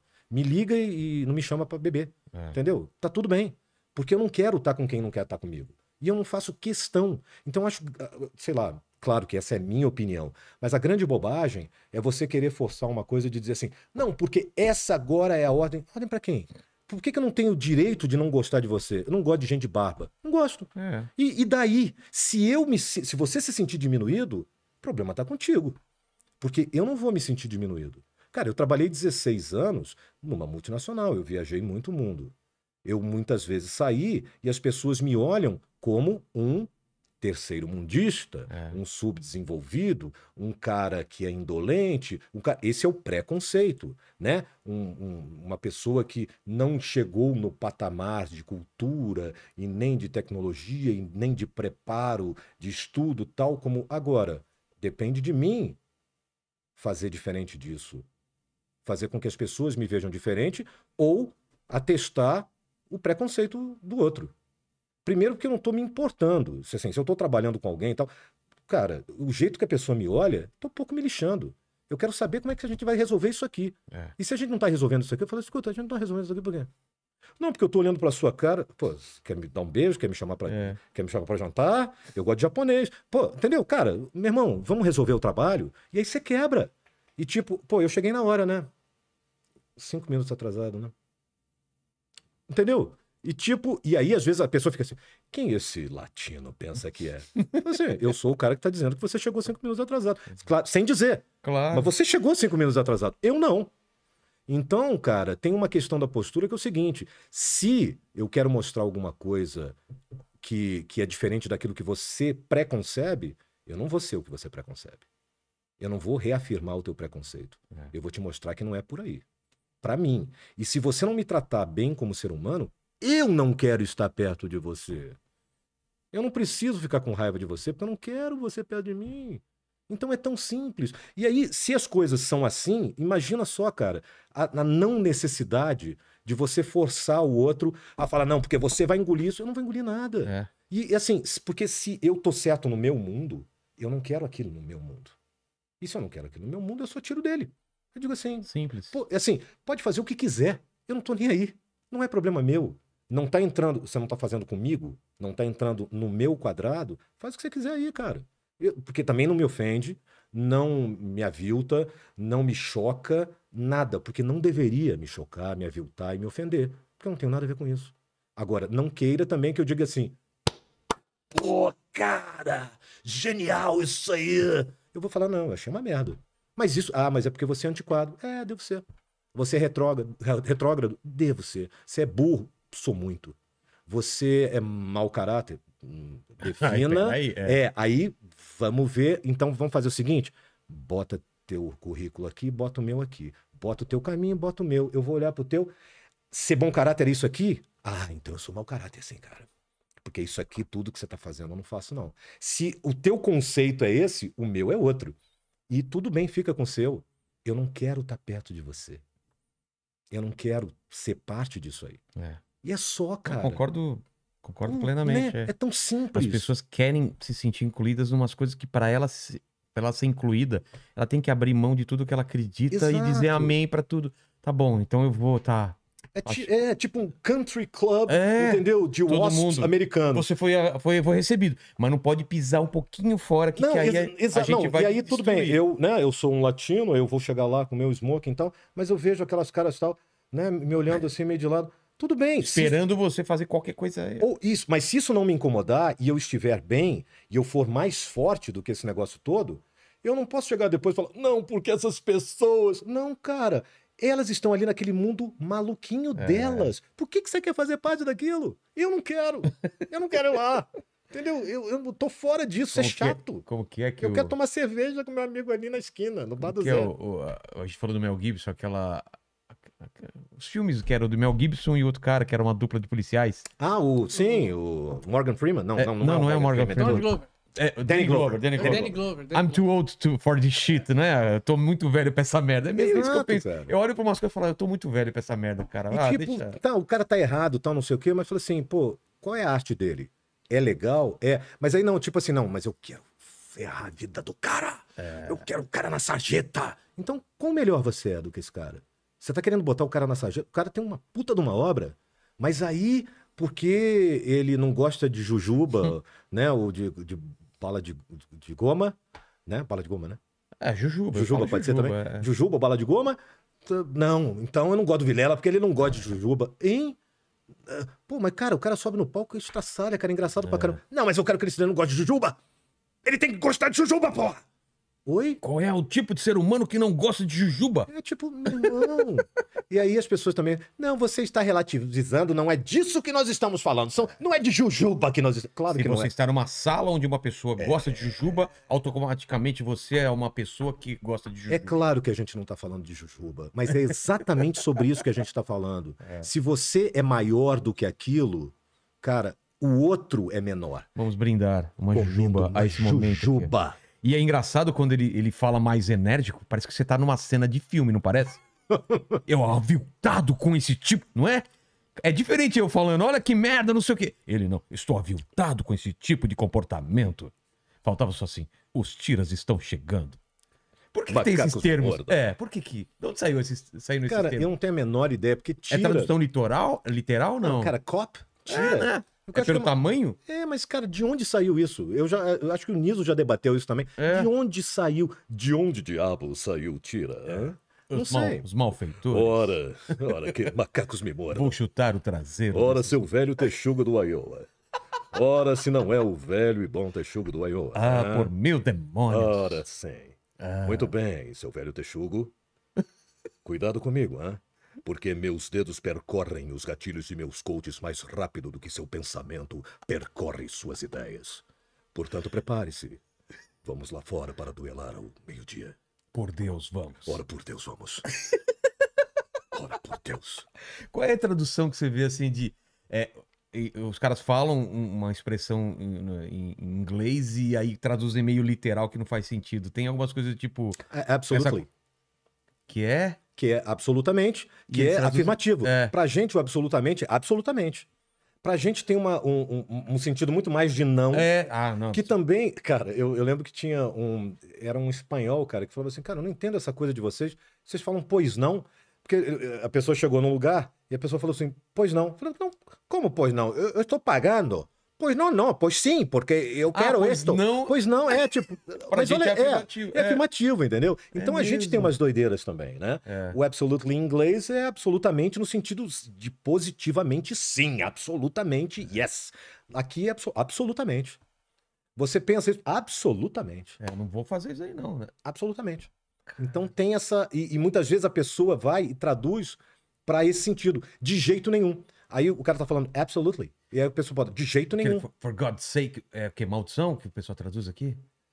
Ah, é, pode God damn it, né? ser. É, God damn it. É, é, geralmente Maldição, é né? maldição. Maldição. Maldição. Maldito. Malditos. Malditos. Mas, é, cara, é porque também É, tem né? uma coisa de um, de um momento e, e muitas com- coisas é. foram feitas num outro momento, É onde o linguajar era diferente, onde as gírias eram diferentes. Bastardo, eles usam pra caramba. Não, e outra coisa que a gente sacaneava, por exemplo, na nossa época de adolescente, eu, Celton, Niso e tal, que tinha um dublador que era das antigas, mas exatamente isso. E ele tinha uma voz bonita e jovem, Sei. então ele, olá, pequena. E a gente, É. pô, não, cara, ninguém fala pequena É mais. mesmo. Ei, Mas pequena. antigamente se falava. peque- Eu, eu tenho, eu ouço muita coisa de humor, cara, antiga. Então eu ouço tutuca, Sei. umas coisas assim. Eles falavam isso? E- Eu ouço tutuca na, na turma da Maré Mansa. Aí ele contava, sabe o tutuca? Que, Hum. Ah, ah, sei, se ela me desse mola. Ele falava tudo assim, né? Então ele estava com a pequena. E eu falo, cara, que maravilha. Cara, As pessoas pequena. falavam assim, cara. Isso não tem tanto tempo, tipo, Não, eu lembro na década do- de 60. a abertura dos desenhos da Marvel, aqueles desenhos desanimados, sabe? Aham. Que a gente cantou. Com quem que eu cantei aqui a- as músicas? Vixe, com mais de um ainda. Não, Mas foi com uma o Paulo pessoa Ricardo. só. Com Não, o Paulo, não, mas com o Paulo te- Ricardo. Teve outra pessoa também que cantou com você. Não, Ô, tô a, mi- a música não. Tenho certeza. Certeza? Absoluta, Você absoluta. lembra das músicas? Lembro. do- É. Na- O, cara, o Lulu Santos can- ca- gravou a música do Hulk. Sério? Na- Naquele. É assim, mas também é- Cientista espacial. Não, esse é do. Lula esse- do Hulk virou esse monstro. É. É, incompreendido, grosso, mata, luta por ser ferido. A força o Hulk. Hulk, Hulk. Acho que no, no, no acústico dele, ele fez isso a capela, cara, no meio do show. Caramba, que Tem isso a maravilhoso. capela no meio do show. Achei Não, mas tem o fantástico, Barra Limpa. cara. Quem que é do. O Ah, Barra é. Limpa, o O grande, grande, Thor. o grande Thor. Onde o Limpa. arco-íris é ponte, onde vivem os imortais. O arco-íris é o seu guarda-mó. É o Barra, Limpa. o- Barra, Barra limpa, cara. Olha que maravilha, cara. Cara, do Bruce. Be... Do... Olha, esse rapaz é barra limpa, hein? Minha filha, eu vou deixar você namorar com esse rapaz porque ele é barra limpa. É um pedaço de pão. É um, é um pedaço de mau Um caminho. pedaço de mau caminho. É um, é um pão. Esse rapaz é um pão. Amiga, se eu fosse você, eu ficaria com ele porque ele me parece um pão. É muito legal, É né, muito cara? legal, Mas as cara. pessoas falavam assim, velho. É. Era um outro momento, uma outra época se falava dessa forma. Então, aquilo era atual para aquele tempo. As gírias eram essa, pequena. Poxa, saí com uma pequena ontem, rapaz. Cara. Não, não, tinha cara. Cara não tinha. É, era não rapaz. Rapaz. Cara, rapaz, que pequena que eu, que eu saí ontem. Fomos ao cinema. E o lance do palavrão era proibido mesmo. Vocês tinham que cortar palavrão. Sim, mas aí era a questão toda da censura. Da censura. da censura mesmo, né? A censura. Então era uma coisa que existia e era assim. Aí você tem o. O Stallone falando se- titica, né? Aquele do, do- É famoso, já viu isso daí? Já. Ah, caramba. Seu titica. Era no. Aquele que ele. O Cobra, Stallone Cobra. Stallone Cobra? É, você lembra disso? Não, cara. Seu Titica. Nossa, é. Seu Seu Ficou titica. bizarríssimo. né? Cocô, não sei o quê. É muito Devia ser de engraçado. piece of shit. É. Yeah, E o Schwarzenegger, cara? shit. Schwarzenegger Cara, foi Schwarzenegger legal, hein? Foi muito legal. E há pouco tempo a gente estava relembrando isso, né, com o Danilo, cara. Porque ele lembrou bem da coisa do, do End of Days, que é o Fim dos Dias, que era aquele filme de terror. Que ele matava o demônio, ele lutava com o demônio. Isso, e que a gente dublou pra cinema com esse palavrão. E É? aí foi pra se meter, o Silvio bancou, cara. Meteu Com lá. palavrão. Sim, mas aí, tipo, meia-noite, Ah, tá. entendeu? E, cara, é aquilo ali que tá sendo dito no inglês. Entendeu? Não, você Que vai tipo falar assim, palavrão tinha? seu feio. Não, era pesado. É, fuck you. Ah, seu filho da puta, Ah, é? eu vou te foder. Ah, então. Era nesse nível. Era um nível. Desculpa, mãe. Era um nível pesado. Era um nível. Era, era punk. mesmo? era punk. Pô, também mas. você tá xingando o demônio, né? É, cara, exatamente. Você vai falar o seu feio. O seu feinho. Ai, seu bicho chifrudo feio. E Não Schwarz- gosto de você. O Schwarzenegger teve teste? Foi você direto? Como que foi? Então, não, foi o Conan, cara. É, e foi por causa do He-Man. Ah, é? Eu tinha ido ver e meu pai dirigiu também, porque aí o Herbert passou pro meu pai e falou assim: ó. A série era dirigida pela Angela Bonatti, a- o He-Man. O He-Man. É. E que fazia a maligna do, do- da. da... é, do, do He-Man. Do Não, é- He-Man não, não é da da. Xirra? Não Não, lembro. da Xirra não. É porque minha mãe fazia sombria Ah, tá, na, tá. na Xirra e a, e a Angela fazia a maligna do He-Man. E meu pai fazia o Homem-Fera. Ah, é? Meu pai era o Homem-Fera. Era uma coisa assim. E há pouco tempo a gente teve que redublar um episódio. E a Miriam Fischer, que é maravilhosa também, cara, uma tremenda numa atriz, ela foi dirigir. E aí eu perguntei, Mirinha, o Homem-Fera... Porque faltavam algumas falas. É, sei lá, apagaram, sei lá, e eles iam relançar. Eu falei, já, você escalou alguém para O Homem-Fera entra aí nessa redublagem? Ela entra. Você já escalou alguém? Putz, já. Eu falei, putz, eu queria tanto fazer, cara, porque eu sei fazer igual. É a voz do meu pai, eu sei onde meu pai bota a voz para fazer isso aí. Ela falou, não, aí falou com a pessoa. O cara, assim, Entendeu? não, putz, gentilmente, lindamente, falou, não, tal. E eu falei, Mirinha, paga ele. Ele falou, não, ele não quer receber. Assim, ele não quer, não, ele não quer fazer, não quer receber, entendeu? E claro, você tem, tem que ser você. Aí eu imitei meu pai, e assim, é um pedaço, né? Então, tipo, Vai pegar um pedaço comigo e depois vai pegar um pedaço com o meu pai. Mas é uma coisa exata. Se você ouvir o Homem-Fera, é isso aqui. Eu não tenho dúvida disso, He-Man. Qual personagem que você curtiu mais fazer, cara? Tem, não sei se tem Putz, isso, tem né? Mas às vezes tá- tem um pouco do, do afetivo também. então né? eu falo de dois personagens que são icônicos pra mim, que um foi o Bom Dia Vietnã, que eu fiz o Robin Williams, aquele cara, né? E ele fala. Bom dia, Vietnã! É, pra você que está aí na zona desmedida, o que que é desmedida? Falava pra cacete. Piada pra caramba, coisa pra cá. Que aí eu fui, levei pro texto pra casa e ensaiei. Talvez esse, esse filme foi, um, foi o que meio que consolidou a carreira do Robin Williams. Eu lembro que esse filme estourou, assim, como, Sim. como ele sendo um grande ator. assim. E eu vi, cara, esse filme quando eu tava em Portugal fazendo rádio. Ah, é? Então, aí quando eu voltei, eu implorei pra fazer. E caiu na Herbert, eu falei, eu quero fazer. Quer ver? pelo O Mandíbula não viu esse filme, viu? Bom Dia Vietnã? Não, isso Tem não que vi. ver, cara. É, um Sociedade dos filme bem Poetas. Mortos, você viu? Já, já vi, já. É bom, Esse cara. maravilhoso também. Maravilhoso, né? Maravilhoso. Esse você dublou ou não? Não, não, foi o Roberto Macedo. É anterior, é posterior ao, ao Bom Dia Vietnã, provavelmente. É, é, então, eu acho que é, é anterior. Ah, é? Eu acho, cara. Mas eu acho que teve uma coisa assim. Esse filme era da Disney. Então eles mandaram um O- teste, qual deles? o Sociedade dos Poetas Mortos. Era ou da Touchstone ou da Hollywood Pictures, alguma coisa ligada à Disney. Eu não estava na Disney na época, nem sonhava que isso iria acontecer. E eles mandaram testes lá pra fora, e aí o Roberto Macedo foi escolhido Tá. pela empresa e foi ele quem fez. E na verdade, eu também não dublava o Robin Williams. Ah. Eu pedi pra dublar, e eu falei assim: eu sei que minha voz não tem nada a ver com ele, eu sei que eu não tenho nada a ver com a voz dele, mas eu quero muito fazer esse filme porque eu entendi esse filme, eu sei a dificuldade e eu quero trabalhar essa dificuldade e eu quero entregar o que esse cara faz no filme. Eu sei que eu vou conseguir fa- fazer isso porque eu, eu vou pra casa estudar. E foi o que eu fiz, eu levei o texto e fiquei ali, cara, refazendo o texto, mexendo no texto e blá, blá. Esse foi um que muito importante e o outro foi quando eu dublei o Chris Sarandon, que é aquele que, primeiro marido da da Susan Sarandon, Sei. que fez o aquele vampirão todo da hora do espanto, comedor de maçã, lembra aquele que desce a escada do, do, do filme Hora do Espanto, cara. Putz, que era não- aquele- Faz tanto tempo que eu assisti. Cara, é aquele filme de vampiro, que o, o vizinho do cara é o Ah, tá, vampiro. tá, tá. Que foi um filme meio icônico da década de Sei. 80, tá, que eu queria muito ter dublado ali, não Não, dublei. e na- nessa época era tudo a hora do, né? É. A hora do espanto, a hora do, Do pesadelo, é. Era uma moda. Mas aquele do, do vampirão, Sei, que sei. descia, Jerry Dandridge, Tá. descia a escada comendo maçã, todo... e ele fez um filme anterior a esse, chamado, icônico, muito bom, chamado Um Dia de Cão. Ah, ele fez também? Ele fez, só que ele faz um papel pequeno, cara, extremamente importante. Com o Patino. Com o Patino, o Patino assalta um banco, Sei. junto com um companheiro, com um É. comparsa, e na verdade o motivo dele assaltar o banco é o Chris. Que é um namorado, alguma coisa assim. Que ele é casado, tem uma Casado. filhinha, só que ele tá assaltando o banco porque ele quer pagar a mudança, a operação de mudança de sexo do É, Chris verdade. pra casar com ele. É. Pra eh, se divorciar da mulher e casar com o cara. E aí, quando descobrem essa. Assim, né? Tá aquele furdunço, cara. Ninguém sabe o que esse cara tá. Na... Aí, daqui a pouco, chega um cara de hobby, assim, né? Cabelo meio pra cima, assim, todo meio acuado. Chega ali na barbearia do lado do banco, bota ele no telefone. E eu não lembro o nome. Fulano, sou eu. Por que, que você tá fazendo isso? Você tá louco? E, cara, era uma coisa tão delicada, porque era muito verdade, não É. tinha nenhuma brincadeira. Nenhuma Não afetação. tinha nenhuma galhofa, era um drama ferrado, cara. Muito delicado. E, e os dramas, né, das pessoas, cara. O drama do humano.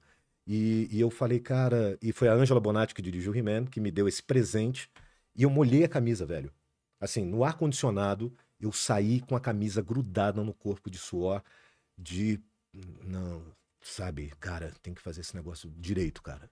Eu tenho, não sei se eu fiz, mas assim, se saiu ruim é porque eu sou ruim mesmo. Porque assim, o, o que eu tentei fazer aqui, e eu tenho muito orgulho de ter feito aquilo com essa vontade, entendeu? De botar aquilo ali no lugar que é o original. Entendi. Porque o original não, não, não tinha nada além de um drama humano profundo, uma história de amor, uma história de conflito gerada por uma questão social que acaba esmagando as pessoas É. né? Que é isso que a gente estava falando antes. Não se deixe esmagar pelo social. Seja quem você é e respeite o outro. E deixe o outro se ferrar. Seja mais forte do que o social. É. E para ser o mais forte, você não precisa atacar o social. Senão você- Você deixa o social para lá e fala assim: esse social não me pertence, eu não quero fazer parte desse clube. Senão você se quebra, né? Que foi isso, cara, que eu aprendi a vida inteira com os meus pais e com as pessoas que eu trago para perto de mim. Porque se eu vejo alguma gracinha, no, no- algum sentido de alguma coisa pejorativa, eu não quero. É só isso. Não faço discurso, não subo em caixote, não cuspo na cara, não dou tapa na orelha, não chamo pra porrada, não dou tiro, não dou abraço, não dou nada. Eu falo assim, dá licença que eu vou ali e não volto. Vou ali comprar cigarro. Mas eu não fumo. Mas eu Pois vou. é. Tô Aí, ó. indo agora! Olha só como isso te diz alguma coisa, hein? É. Ó, hashtag fica a dica que eu vou comprar cigarro e que eu não fumo. Vou começar agora! Isso é maravilhoso, cara. O Marlboro, né? Cara, como eu amo aquilo. Cara, você não sabe o quanto vocês já me fizeram rir, cara, nesse negócio. A- Pode ali- ter certeza que a gente ria também fazendo, ah, cara. cara, ali foi. Eu tava com dois amigos no carro, no banco de trás. E aí os caras começam a falar, não, porque, pô, ah, Vaiana de pau e não sei o quê, e o, e o, e o mundo canibal. Eu falei, o que vocês estão falando, cara? Pô, tu nunca viu isso, não? Não, o que, que é isso, cara? Tá louco? Não, pô, isso aqui, ó. Aí pegou o celular e me deu. Eu falei, não, não, peraí, deixa eu... Aí copiei, devolvi. Cara, eu fiquei. Ah, ah, eu falei, para, para, não. Cara, eu, fui, eu fui pra casa, eu fui pra casa, eu fiquei dois dias vendo aquilo feito um malu, maratonei aquela merda toda, cara. E não parava de chorar de rir. Eu falei, cara, que bando de doente, cara. É. Que doentes esses caras. E depois eu conheci o. O Ricardo ou o o Rodrigo? Conheci os dois. Os dois? Num evento lá em Fortaleza. Que legal. E, e tava só o Ricardo. O Rodrigo não tinha. Conheceu mais bêbado. É, tava mais bêbado, inclusive. É, porque não, eu- não, o Rodrigo acho que já tava vomitando lá em cima. Porque já, é que o, já o tinha Ricardo dado não PT. aguenta mais. É, mas eu- o Rodrigo. É, já tinha Cara, dado PT. a cena que eu vi ele assim um dia no hotel que a gente tava junto assim, ele dormiu com metade do lanche na boca assim. Não, e o melhor, isso eu nem sabia na hora, porque ele segurou a onda, ele segura a onda legal, né? E eu cheguei pra fazer o evento, tava no- eu não sabia que eles estavam no mesmo evento, e que, e eu passei, eu falei assim, cara, pô, ó, desculpa aí te incomodar, cara, sou muito fã, cara, teu trabalho é muito legal, tal. Ele olhou pra mim assim, viu, né, o cara de cabelo branco assim, falou, é? Poxa, que pena pra você, né? Eu falei, é, tudo bem, obrigado. Entrei no elevador, subi, dormi e tal. No dia seguinte, a gente entrou na mesma van. Aí acho que ele não entendeu nada, né? E ele desceu de novo, Rodrigo tava lá em cima. Aí a gente começou a conversar, tal, não sei o que. Não, não, é porque o cara ó, faz a voz do He-Man e tal. Ele, "Tu faz a voz do He-Man?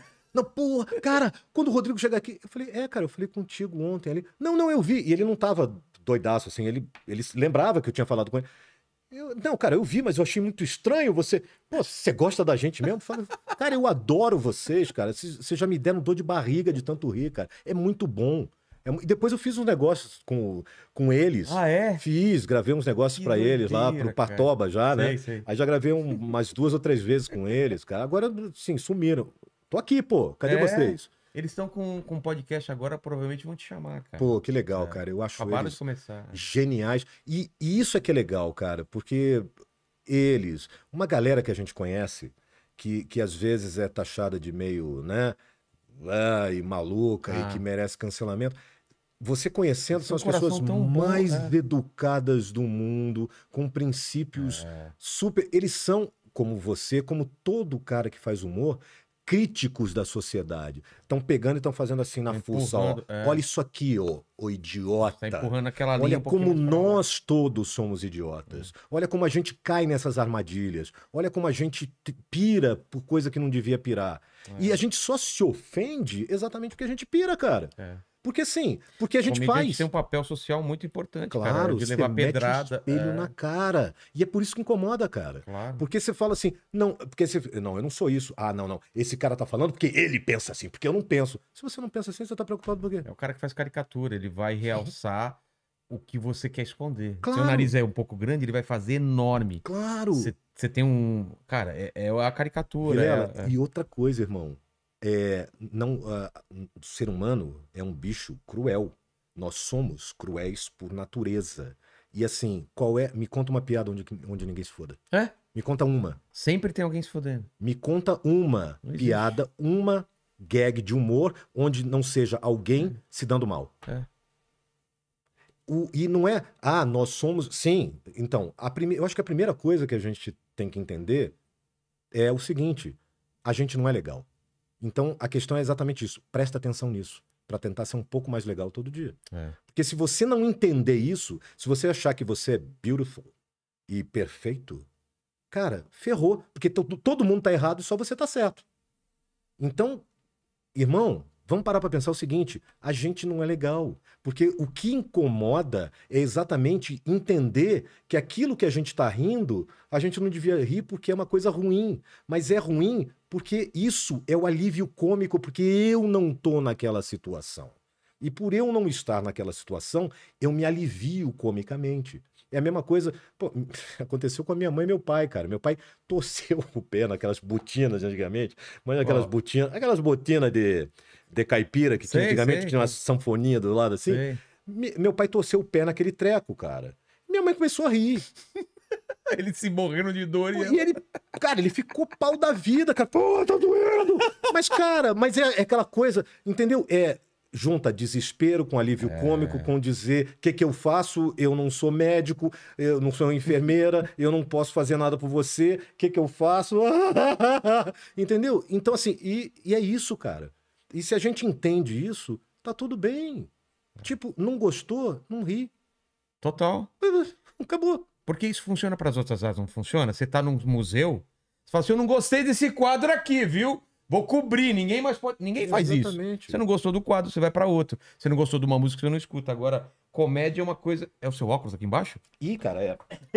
Voou longe. Nossa, eu quase pisei aqui. Tudo bem, não tem problema não. E aí é, o pessoal quer, ah, eu não gosto da piada. Tá bom, mas eu não quero que ninguém escute essa piada. Sim. Não, não é pra você, de repente. Sim. Porque tem piada que não é pra mim. Tem Sim, piada que eu não exatamente. acho engraçada. Exato. Eu, cara, um- e eu, eu Chaves, tem gente que acha engraçado, tem gente que não eu acha. amo. É, então, mas tem gente que não acha E eu tive um chefe mexicano que ele ficava olhando pra mim, tipo assim, você é um ET. Por que eles Não, não... porque ele, ele particularmente não gostava. Ah, tá. Entendeu? Então, assim, tipo, como é que você gosta disso? Uma coisa que, tá, é da minha.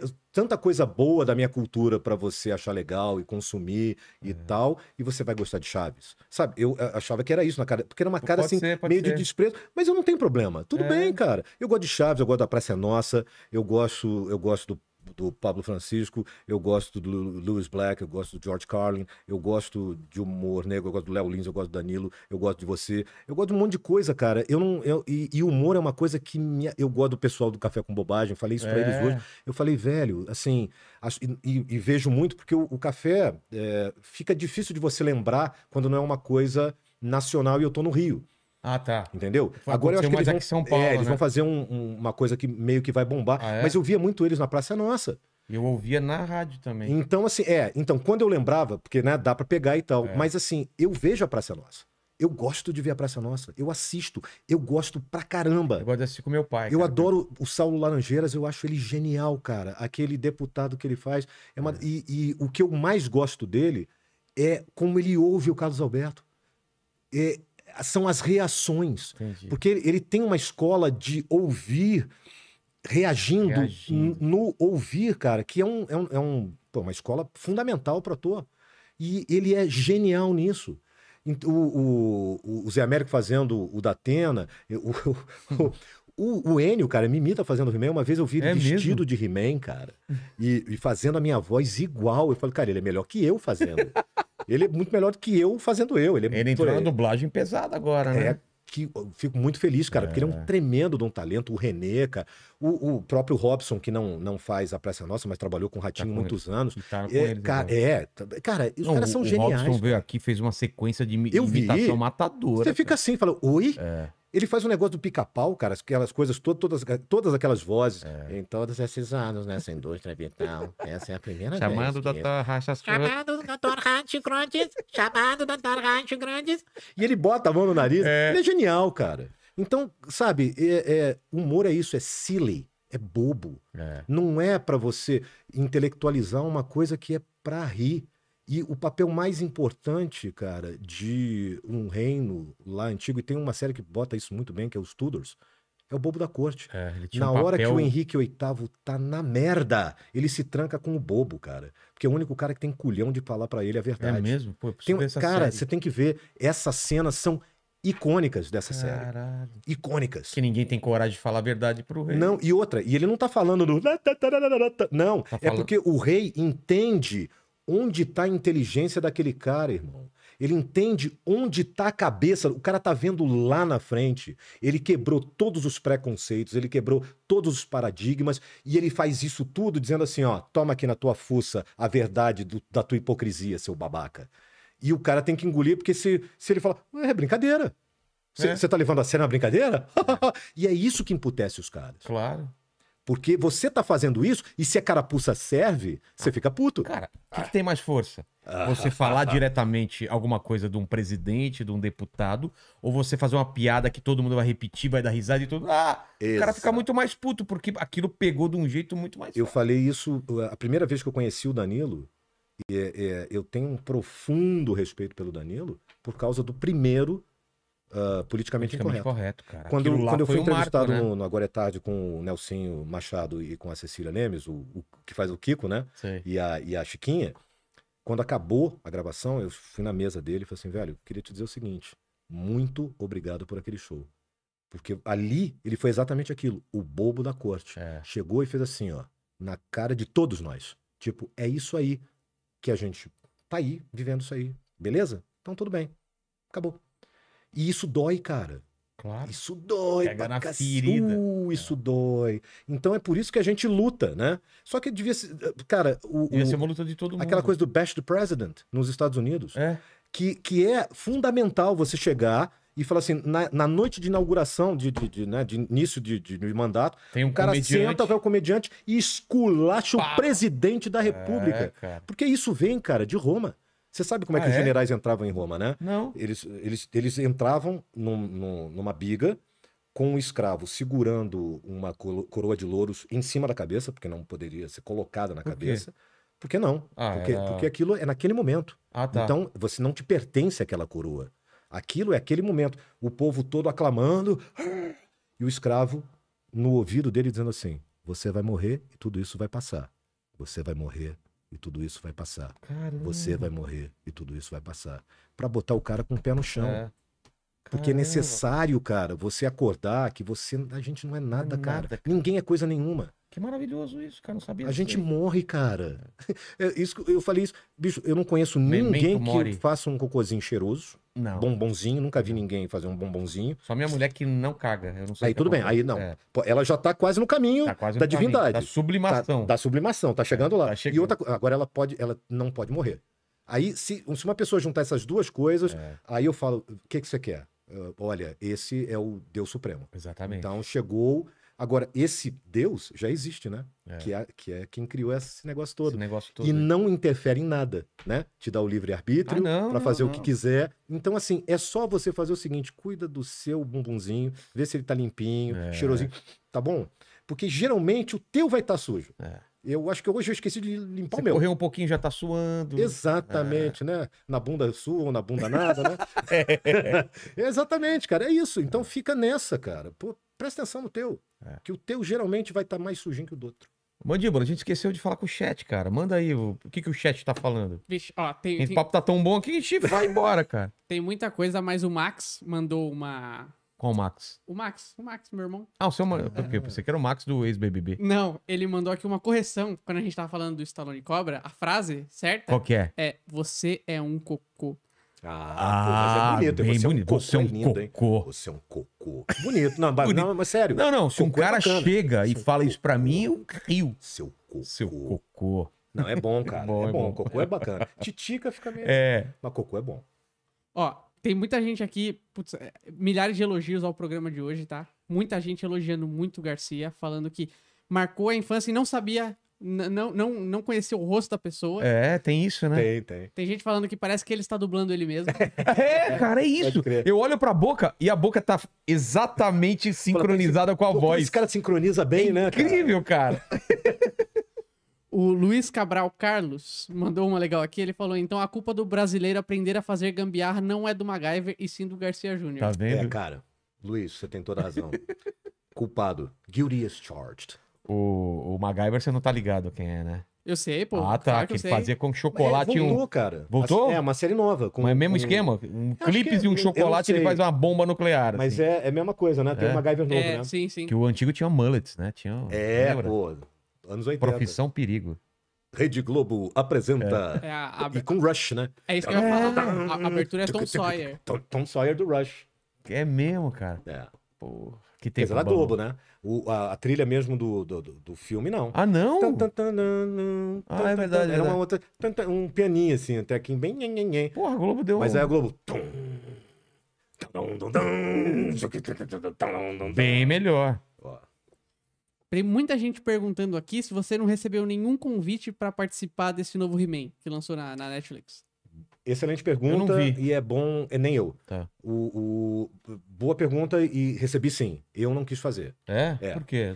Cara, porque é, aquela Passou? questão de princípio. Não, é, era, caiu num estúdio onde eu não trabalho. Ah, tá. E aí o diretor entrou em contato comigo e eu agradeci, desejei sucesso e não quis fazer. É que eu não entendo. é, quando é um estúdio que você não trabalha, é ruim você não você fazer porque você tá tirando o trabalho de um cara não, lá? não, não, não. entendi. Não, tipo, não trabalho porque eu não quero trabalhar naquele estúdio. Ah, entendi, entendi. Entendeu? Ah, tá. Mas assim, mano, é é exatamente aquilo que, aquilo que a gente conversou até agora. Se eu faço agora um discurso, falo um monte de coisa, eu tô indo exatamente contra tudo que É, eu falei aqui. entendi. Tipo, eu não trabalho lá. Ah, E- tá. mas assim, agradeci e disse obrigado por ter me chamado. Então, o estúdio não tem absolutamente responsabilidade alguma e nem a Netflix. Os- ambos fizeram certo.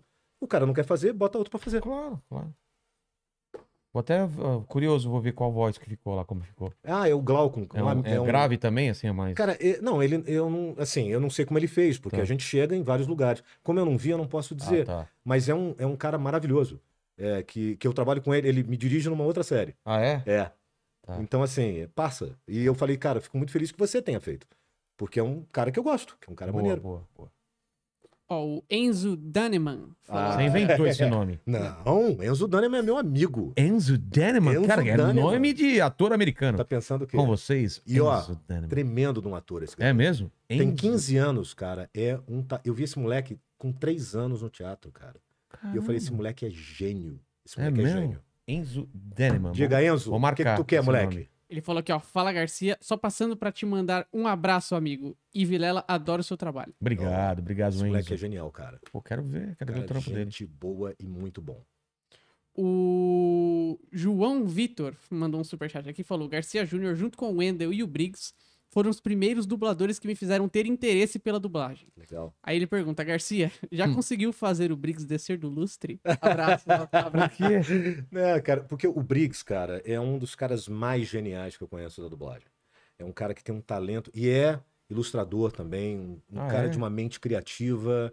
e um- uma alma meio fora da curva, sabe? Em todos os sentidos. Um cara acima de- da média em várias coisas. Um cara muito inteligente e tal. E só que ele é tão dedicado que aí é aquela coisa, né, do direcionamento. Aí você vai dirigir ele, ele tá tão com vontade de fazer, cara, e ele é tão bom que ele ensaia uma vez, ele já entendeu. Então ensaia uma vez e grava, porque já tá bom pra caramba. Aí ele quer ensaiar de novo, e quer ensaiar outra vez, e quer ensaiar. Aí eu falo assim, Briggs, desce do lustre. A primeira já tava, sabe o que que vai ter que- agora a gente vai ter que fazer um caminho de volta difícil pra chegar lá naquela naturalidade do blá, blá, blá, que você fez da primeira vez, porque você sabe o que você tem que fazer. Tá, tá- tá- é orgânico em você. O outro maluco desse é o Celton, cara. A É. nova onda. Você viu a nova onda? Claro, Então, claro. que pra mim é, um- é o- é o é o meu trabalho mais E eu bacana. gosto do desenho pra caramba. Dentro da Disney, pra mim, é o trabalho que É. eu tenho mais amor. É o trabalho mais importante pra mim, é aquele, aquele filme ali. Pela adaptação, pelo, pelo próprio filme, pelo enredo, pela história e pelo trabalho do Celton, da Marieta também, e de todo o elenco, e do Briggs fazendo o Kronk. E, e a maioria das falas do Celton, tudo ensaio. É mesmo? Ensaio. E já valeu. Ensaio, baixinho assim, tipo, ah, você quer? Ah, pois é, você tá aqui, né? Hum. E aí, e, e a parceria também do Celton, a, a, a grandiosidade dele, é exatamente essa também, assim como o Hélio. Porque aí eu falava assim, valeu. Ele falava, velho, não, tá- eu tava ensaiando. Eu falei, eu sei, mas tá genial. Você quer, você quer fazer um caminho longo pra gente voltar aqui, cara? Você tem certeza? Você confia em mim? Confio. Fechou? Fechou. Sei lá, cinco horas depois nós comendo sushi, sushi, cara. Porque, sabe? acabou. Acabou, cara. Porque o cara sabe, sabe muito da técnica, porque ele fez aquilo anos. É. Então, assim, além de ser o ator fora da curva, ele tinha toda a técnica. Então o cara chega lá no ensaio e fala. "Ah, E fica. Porque, assim, é um natural. Senão daqui a pouco começa. né? Não, tô dizendo que chegue nesse ponto, né? Claro, Mas claro. eu, assim, tipo, ah, então, dizer. Aí depois eu, eu já vim pra. É, passou, passou. Aí daqui a pouco, daqui a pouco, nossa, mas. Ai, como a minha voz é bonita. Sabe? Então, cara, e tem- a gente tem que se distanciar disso. Né? Tem que ser o. Blá, blá, blá. É? Ah, o natural, Claro. né? Com que a gente tá respiração, fazendo aqui. tudo normal. É, sujo. Ó, o Vinícius com sobrenome impronunciável. Opa. Tenta. Tenta? Vini, Vini Ponchal. Eu tô ok. É, É. realmente difícil. É. Ele falou: Mandíbula, pergunta para o Garcia sobre o Simon Belmont, do Capitão N. Pronunciei certo? Deve ter pronunciado, eu não tenho a menor ideia. Aí ele, aí ele completa aqui: de onde veio a inspiração para aquela interpretação? Seria o Alberto Roberto? Caramba. Simon Belmonte. De onde? Capitão N. Capitão N? Cara, Tá, né? você tá vendo o que é ser. Como é que é o nome dele? Vitor, né? Vinícius. Vinícius, Vinícius, você viu o que é velhice, Vinícius? Eu não lembro, juro por Deus que eu não lembro do que você tá falando, velho. Tenho a menor ideia. Então, desculpa aí. Quando eu souber, da próxima, da próxima vez, eu juro que eu vou falar Vinícius, ó, é, foi dali. Mas, cara, se parece com o Alberto Roberto, muito provável que era genial o que o Chico fazia ali, né? Ó, eu mandei algumas pra você aí Ah, também, tá. se você quiser dar uma olhada. Enquanto isso, Boa. tem, tem outra aqui. O Wesley Gustavo fez uma legal. Ele perguntou: Garcia, hoje em dia você faz dublagens pra Disney? Aí porque ele falou: senti muito falta das suas dublagens do live action da Bela e a Fera e do Rei Leão. Não, eu encerrei a minha página com, com a Disney em 2 de fevereiro de 2011. E Rei Leão também foi um grande trabalho, né, cara? Foi, Que, pô, cara, nossa. Foi o meu último trabalho antes de entrar pra Disney, antes Ah, de é? eu começar a trabalhar pra Disney. Foi a última coisa que eu fiz como ator, foi o Rei Leão. Que eu fiz teste, papapá, né? Eu fiz o, as coisas mais icônicas como, como ator, foi ah, o Eric da Princesa ah, Pequena, Príncipe Eric da Pequena Sereia, a, a Fera e o Gaston, do- da Bela e a Fera, e o, o Rei Leão, e o Simba do Rei Leão, né? É. Ó, o Rei Bianchi mandou aqui um Rei Bianchi tá aí com a gente. Tá Isso, cara. isso, e esse é outro também, Esse cara. é outro que me deixa com maluco. um sorriso daqui. é, Cara, com- ele vem aqui, fica meia hora. Pô, peraí, deixa- é, de- cara, o Rei Bianchi é Você outro. assistiu a participação dele aqui? Assi- claro que eu assisti. Cara, é de Cara, cagar eu- de dar risada. Cara, velho. eu não perco o rei em lugar nenhum. E Onde esse cara vai, eu tô lá assim, ó, babando. E eu conheci esse cara É. E ele por fez do implante, Niso. eu acho que já, hein? Já fez o transplante de capilar aí. Ixi, aí Eu, acho que- conheço ele por causa do Niso, cara, também. É? Porque ele- o Niso estava fazendo um show de, de stand-up no, no Estrela da Lapa, Nelsinho, que teve aqui agora há pouco Quem? tempo. O Nelson Freitas. Freitas? Tá. Nelsinho Freitas, é, Rei Bianchi e Niso Neto. fazendo um. E eu fui por causa do Niso. Tá. Fui lá ver o show por causa do Niso. Aí, cara, tinha um japonês, que eu, assim, turistão mesmo, com aquele chapéu. Manja aquele chapéuzinho redondo? Sei. Sentado, cara. Coisa mais inusitada, assim, no meio da estrela, que era uma casa de show na Lapa, no Rio de Janeiro, assim. Sentado. Acho que o cara não tinha onde dormir. Ele falou: vou entrar ali, Vou que é entrar escurinho, é. azinho condicionado gotoso. Sentou lá numa cadeira, no meio do salão e dormiu. E aí o Rei Bianchi, eu falei, cara, quem é esse doido? Eu nunca tinha visto, né? E, fazendo pombo. Então eu falei, cara, esse cara é genial. Latindo, né? Quer dizer, não, nunca tinha visto, mentira, nunca tinha visto ao vivo. É, você tinha Eu já visto tinha visto no jogo várias no vezes, tal. Danilo. Mas eu falei assim, cara, né? Até onde isso é uma coisa que o cara prepara pra caramba. Você vê o cara ao vivo ali no É. palco, é outra. Porque você sente a energia do malandro, né? Total, E o cara tava ali, cara, naquele, eu falei, cara, o cara é muito mais superlativo do que eu imaginava. Daqui a pouco ele começou a falar japonês com japonês, cara. O japonês não acordava. E ele saiu do palco, cara, até o, ele atazanou a vida do japonês até o japonês acordar.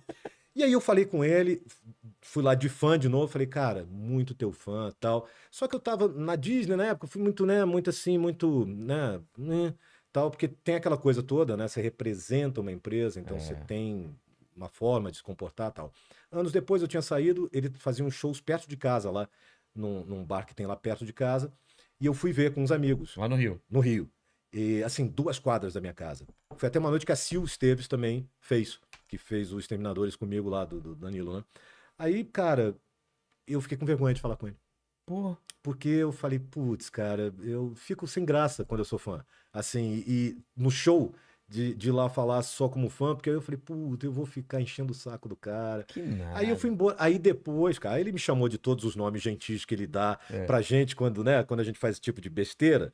E, pô, e depois a gente ficou super amigo, cara. É um cara que eu admiro demais, porque é um cara muito verdadeiro, né, cara?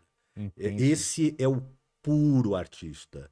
Não tá nem aí pra raio de coisa nenhuma, a não ser ser fiel à arte dele. É. E olha, velho, tem que ter muito culhão. Esse Porra. cara tem, tem o do tamanho do mundo. O que, que ele tá falando? O que que esse gênio falou aí? Ele falou aqui, ó, Garcia Júnior é um ser magnífico, profissional perfeito, ar- artista multitalentoso. Eu estava começando Ele, um ele show, tá me comendo, ele tá me comendo. É.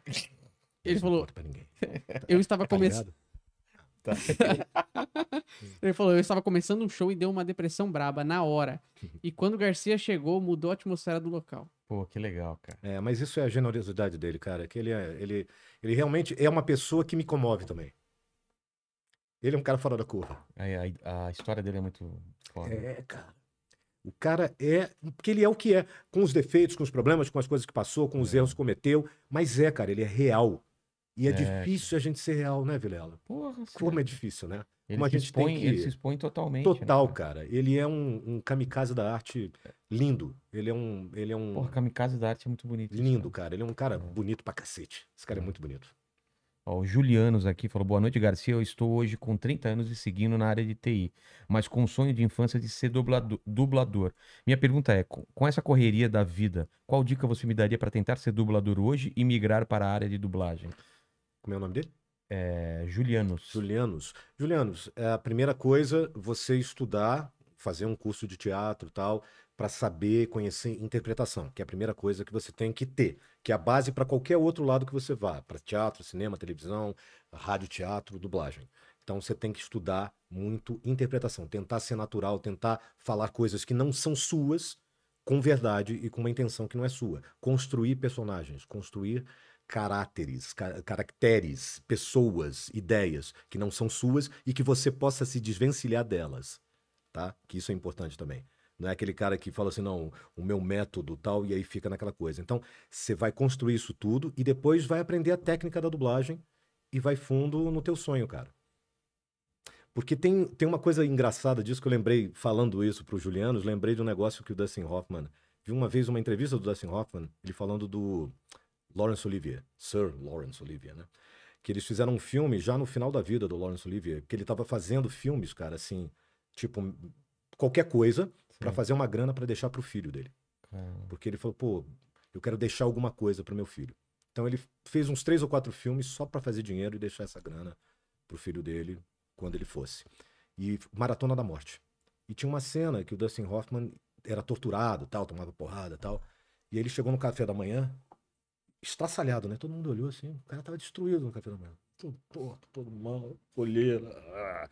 E aí, né, falou, o que foi, cara? O que, que aconteceu? Não, não, pô, não dormi a noite inteira. E, pô, sabe que eu tenho que fazer a cena hoje da tortura tal, não sei o quê. Então eu tô dois dias sem dormir. E papapá, não sei. E o Lawrence Olivier ali tomando o café da manhã dele, né? Fle- Fleumático em inglês, né? Quando ele acabou de falar, ele falou: Dear boy, have you ever heard about acting? Eh, querido garoto, você já ouviu falar em atuar? É, né? Né, cara? É Tudo bem que né? tem esse método também, mas eu É. acho muito sofrido. Você pode chegar nos mesmos resultados construindo uma estrutura para saber levar as tuas emoções num lugar que não é teu, para você depois também não ter que lidar com certos demônios, É. porque é perigoso. O, a Letícia Velinski, Welinski tem uma pergunta. A maioria das dublagens tem um sotaque carioca. Por exemplo, a Pe Peppa Pig. Tem como fazer um sotaque mais neutro? Uma boa pergunta e é, pois é, é, mas é que tá, quanto mais você se aproxima da naturalidade, Letícia, você acaba vindo nas tuas referências pessoais. Então, por conta disso, se a dublagem é feita no Rio, você tem uma tendência de ter um sotaque mais próximo do carioca. Se está fazendo em São Paulo, tem uma tendência de ficar mais perto do sotaque paulista. Mas eu concordo contigo que tem isso. Antigamente tinha muito isso. Mas essa quebra eu acho um negócio legal. Porque, por exemplo, antigamente, se você pegar coisas da década de 50, narrações do Rio de Janeiro, você pega assim, bota no YouTube, Rio Antigo. É um cara do Rio de Janeiro. E o cara fala assim: o Rio de Janeiro está passando por, por um problema Ah. de transporte. O jeito de falar era, era com esses R's, rolês, e esta era a forma correta de falar. O Lacerda, eu fiz uns discursos do Lacerda numa série chamada Agosto, que eu achei né? ótimo, que ninguém falou nada, então pensaram que tinha sido ele mesmo, que eu fiquei estudando os, Baseado no os livro do, discursos dele. do Érico, do Rubem Fonseca, talvez? É, exatamente. É. E, cara, e a, os discos, a, a Globo me deu os, né, umas fitas com os discursos para eu, pra eu estudar. E, cara, ele, povo do Rio de Janeiro, Rio de Janeiro. Ele era carioca, ele estava falando pro Rio de Janeiro. Ele não falava, povo do Rio de Janeiro, entendeu?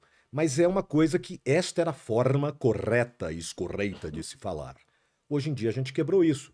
A armadilha é exatamente essa, que quanto mais você quer ser natural, você vai para o natural daquilo que te é confortável, do teu dia a dia, É. né? Ó, o Pedro falou, pergunta pra ele como foi dirigir o Luciano Huck na dublagem de Enrolados. Não houve direção. É? Não. Não houve direção. Mas, mas a direção foi sua de Enrolados? Não, Ah, tá. não, foi então- dele. Tá. Não, não, de enrolados foi. Ah, tá. Do papel dele foi dele. Ele chegou lá, ele fez o que ele quis e foi embora. Mas... Você lembra do reizinho do planeta do Pequeno Príncipe? Ah, entendi. Você- as pessoas dão o que elas podem dar. Entendi. Foi o que ele quis dar, inclusive. Eu não vou pedir para uma pessoa que não quer dar outra coisa para dar o que ela não quer dar. Mas você pediu Não, uma vez? não eu tentei. Ah, tá. Mas aí que tá. E O que eu digo pra você, cara, é energia. Se a pessoa chega ali dizendo que ela sabe o que ela vai fazer, o que ela quer fazer, porque, eh, eh, entendeu? Não tem. Entre a coisa que eu falei do Chico aqui, tudo que eu falei do Chico é com a maior reverência e respeito a tudo que ele estava fazendo ali, porque eu entendi. Eu ente- Quer dizer, eu não sabia para onde aquilo ia. Sei. Mas eu estava tentando, porque não houve essa coisa de eu vou levar isso aqui, eu vou fazer. Não. E o problema maior, no caso do Enrolados, é que eu já estava saindo da empresa. Eu já tinha pedido para sair no dia 10 de março de 2010. E as pessoas não estavam acreditando que eu ia sair. E assim, então, eu naquele momento não me sentia nem no direito de me arvorar de uma autoridade que não era mais minha. Entendeu? Então, assim, não foi para ferrar o trabalho, porque eu não fui a favor, Da escolha. não.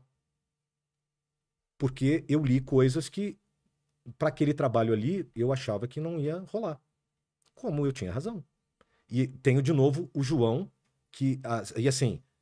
E ainda saiu alguma coisa graças à genialidade do João que estava gravando comigo. Que acertou alguma coisa lá. Não, não, que assim, não, que conseguiu pegar Ah, as tá. coisas que ele falou. Pegou, então, vamos pro próximo, tal, não sei o quê? Eu falei, vamos. Esse- o show é seu. Entendi. Be my guest. Só que assim, ainda depois disso, eu trabalhei muito depois, horas de edição, para não, não vender ele. Eu não, não fiz nada para deixar ele vendido. Em momento nenhum. Tá lá sincronizado, tal. Mas ele não queria me ouvir. Por que, que eu vou falar com uma pessoa que não quer me ouvir? Hum. Porque ele estava falando, hum, assim, primeiro do que eu. E estava falando para mim. Então, tudo bem. Você fala, eu escuto. O Chico se calou. Aí me liga um alerta. Eu quero saber o que, que você quer falar. Eu quero saber se você quer me mandar merda, ou se eu quero saber se você quer vir comigo, ou eu quero saber se você não quer mais brincar. Eu quero saber se você quer dançar ou se você não quer. Agora, se você chega e fala assim, ó, eu tá, tá tocando valsa e eu quero dançar rock, e vem aqui e dança comigo, tá. Toma aqui meu braço. Me chacoalha pra onde você quiser. Você tá feliz? Acabou? Acabou, acabou, acabou. Não sei, chegou aí, tá fim no script? Beleza. Tá feliz? Era isso que você queria fazer? Era. Pô, beleza. Quem sou eu pra dizer pra você o que você tem que fazer? Ninguém, cara. Eu não sou ninguém pra dizer nada pra ninguém que não queira escutar. É, a- tudo que a gente conversou hoje, cara, cai exatamente nesse ponto. Entendi. Cai exatamente converte pra isso. É. Converte pra isso na vida. Eu só vou falar se você quiser me escutar, cara. Eu só tô aqui conversando com você porque você está atento pro que eu tô falando. Porque senão essa conversa já tinha acabado há duas Hum, horas. É. Entendeu? É. Né? Porque assim, pô, você não quer escutar, por que, que eu vou falar, cara? Eu- eu- Você tá me deixando mal. Porque eu tô na tua casa e, na verdade, assim, o, o, o ator, se eu tô te dirigindo um negócio, eu tô invadindo, a por mais que o produto seja da empresa pela a qual eu represento, BDT, né? Cara, é a tua casa. Eu tô entrando em você e dizendo, olha, eu quero isso de você. Você diz assim, ah, não, aqui você não vai entrar. Não vou. É, não vou te estuprar, invadir, cara. é. Eu, hein? Mas nem pensar na vida. Nunca, jamais, na minha vida eu vou fazer isso. Não quer? Tá tudo bem. E o meu, meu papel, o João sabe que eu fiz, o Gustavo Andreviski, que foi quem editou comigo, sabe que eu fiz e sabe o quanto nós demoramos para fazer. O que ele fez em duas horas e meia, que eu, como profissional de 44 anos, teria demorado 7 a 8, eu depois demorei 12 Caramba. para fazer e para ficar da, da forma mais honesta possível dentro do que ele queria dar. Eu recebi de bom grado o que ele queria me dar. Entendi. Mas Primeira vez na vida que eu falo sobre isso. É mesmo? Emendando esse Mas se, assunto, se perguntaram é porque, porque Eu não devem ter gostado. Não, não, mas se a pessoa perguntou aqui, ela deve ter Sim. assistido Não, e é porque isso ter me ach- perguntaram várias Ah, vezes, entendeu? entendi. E eu nunca quis responder. Porque eu nunca Entendi. tive este tempo para que as pessoas entendessem o que eu Ah, estou tá. dizendo. Entendi, entendi. Porque tudo que a gente conversou antes me, me deixou à vontade para dizer o que eu disse agora. Ah, tá. Porque assim, não é por. É, então você vai ver, não é nada. Eu falei assim, cara, é isso que você quer? É assim que você quer? Tá bom, quem sou eu para dizer para você o que você tem que fazer? Na vida. Entendi. esse assunto até surgiu na live do Ceará ontem, que ele falou que dublou alguns filmes também. É, o que você acha de famosos que não trabalham direto com atuação, que são chamados para os papéis principais dos filmes? Como nesse caso, por exemplo, acho que é, acho que é um, um, um exemplo legal. É, você, como diretor ali, uma pessoa do meio trabalhando direto com isso. É, eu vou completar. Eu queria saber quem escolhe primeiro e se lá fora é assim também. Porque às vezes a gente vê uns atores grandes que não são dubladores de origem faz... é, liderando grandes papéis. E quem escolhe isso aqui pro Brasil? Quem é que fala? É esse cara, esse cara? É o diretor ou não? Não, não, então, não. Geralmente é a empresa num consenso de uma série de coisas. Ah, tá. E isso, uh, não, não sejamos mais ingênuos. É a mesma coisa. Tipo, é, é- é a mesma coisa você chamar uma pessoa para fazer uma propaganda, tal. Quem que você vai chamar hoje? É um grande ator? Não. É quem tem 2 milhões de seguidores. É. Não importa quem seja. Pode ser um cara que faça. Acabou de ganhar o BBB, por exemplo. É. Sei O lá. cara chega É. e aí fala, pô, mas aí finalizou, tem 6 milhões de seguidores. Aí o cara vai fazer seis comerciais, 20, eh, chama três caras pra cuidar da carreira, tem, né, tem tudo. É, tem tudo tudo. bem, a vida é assim.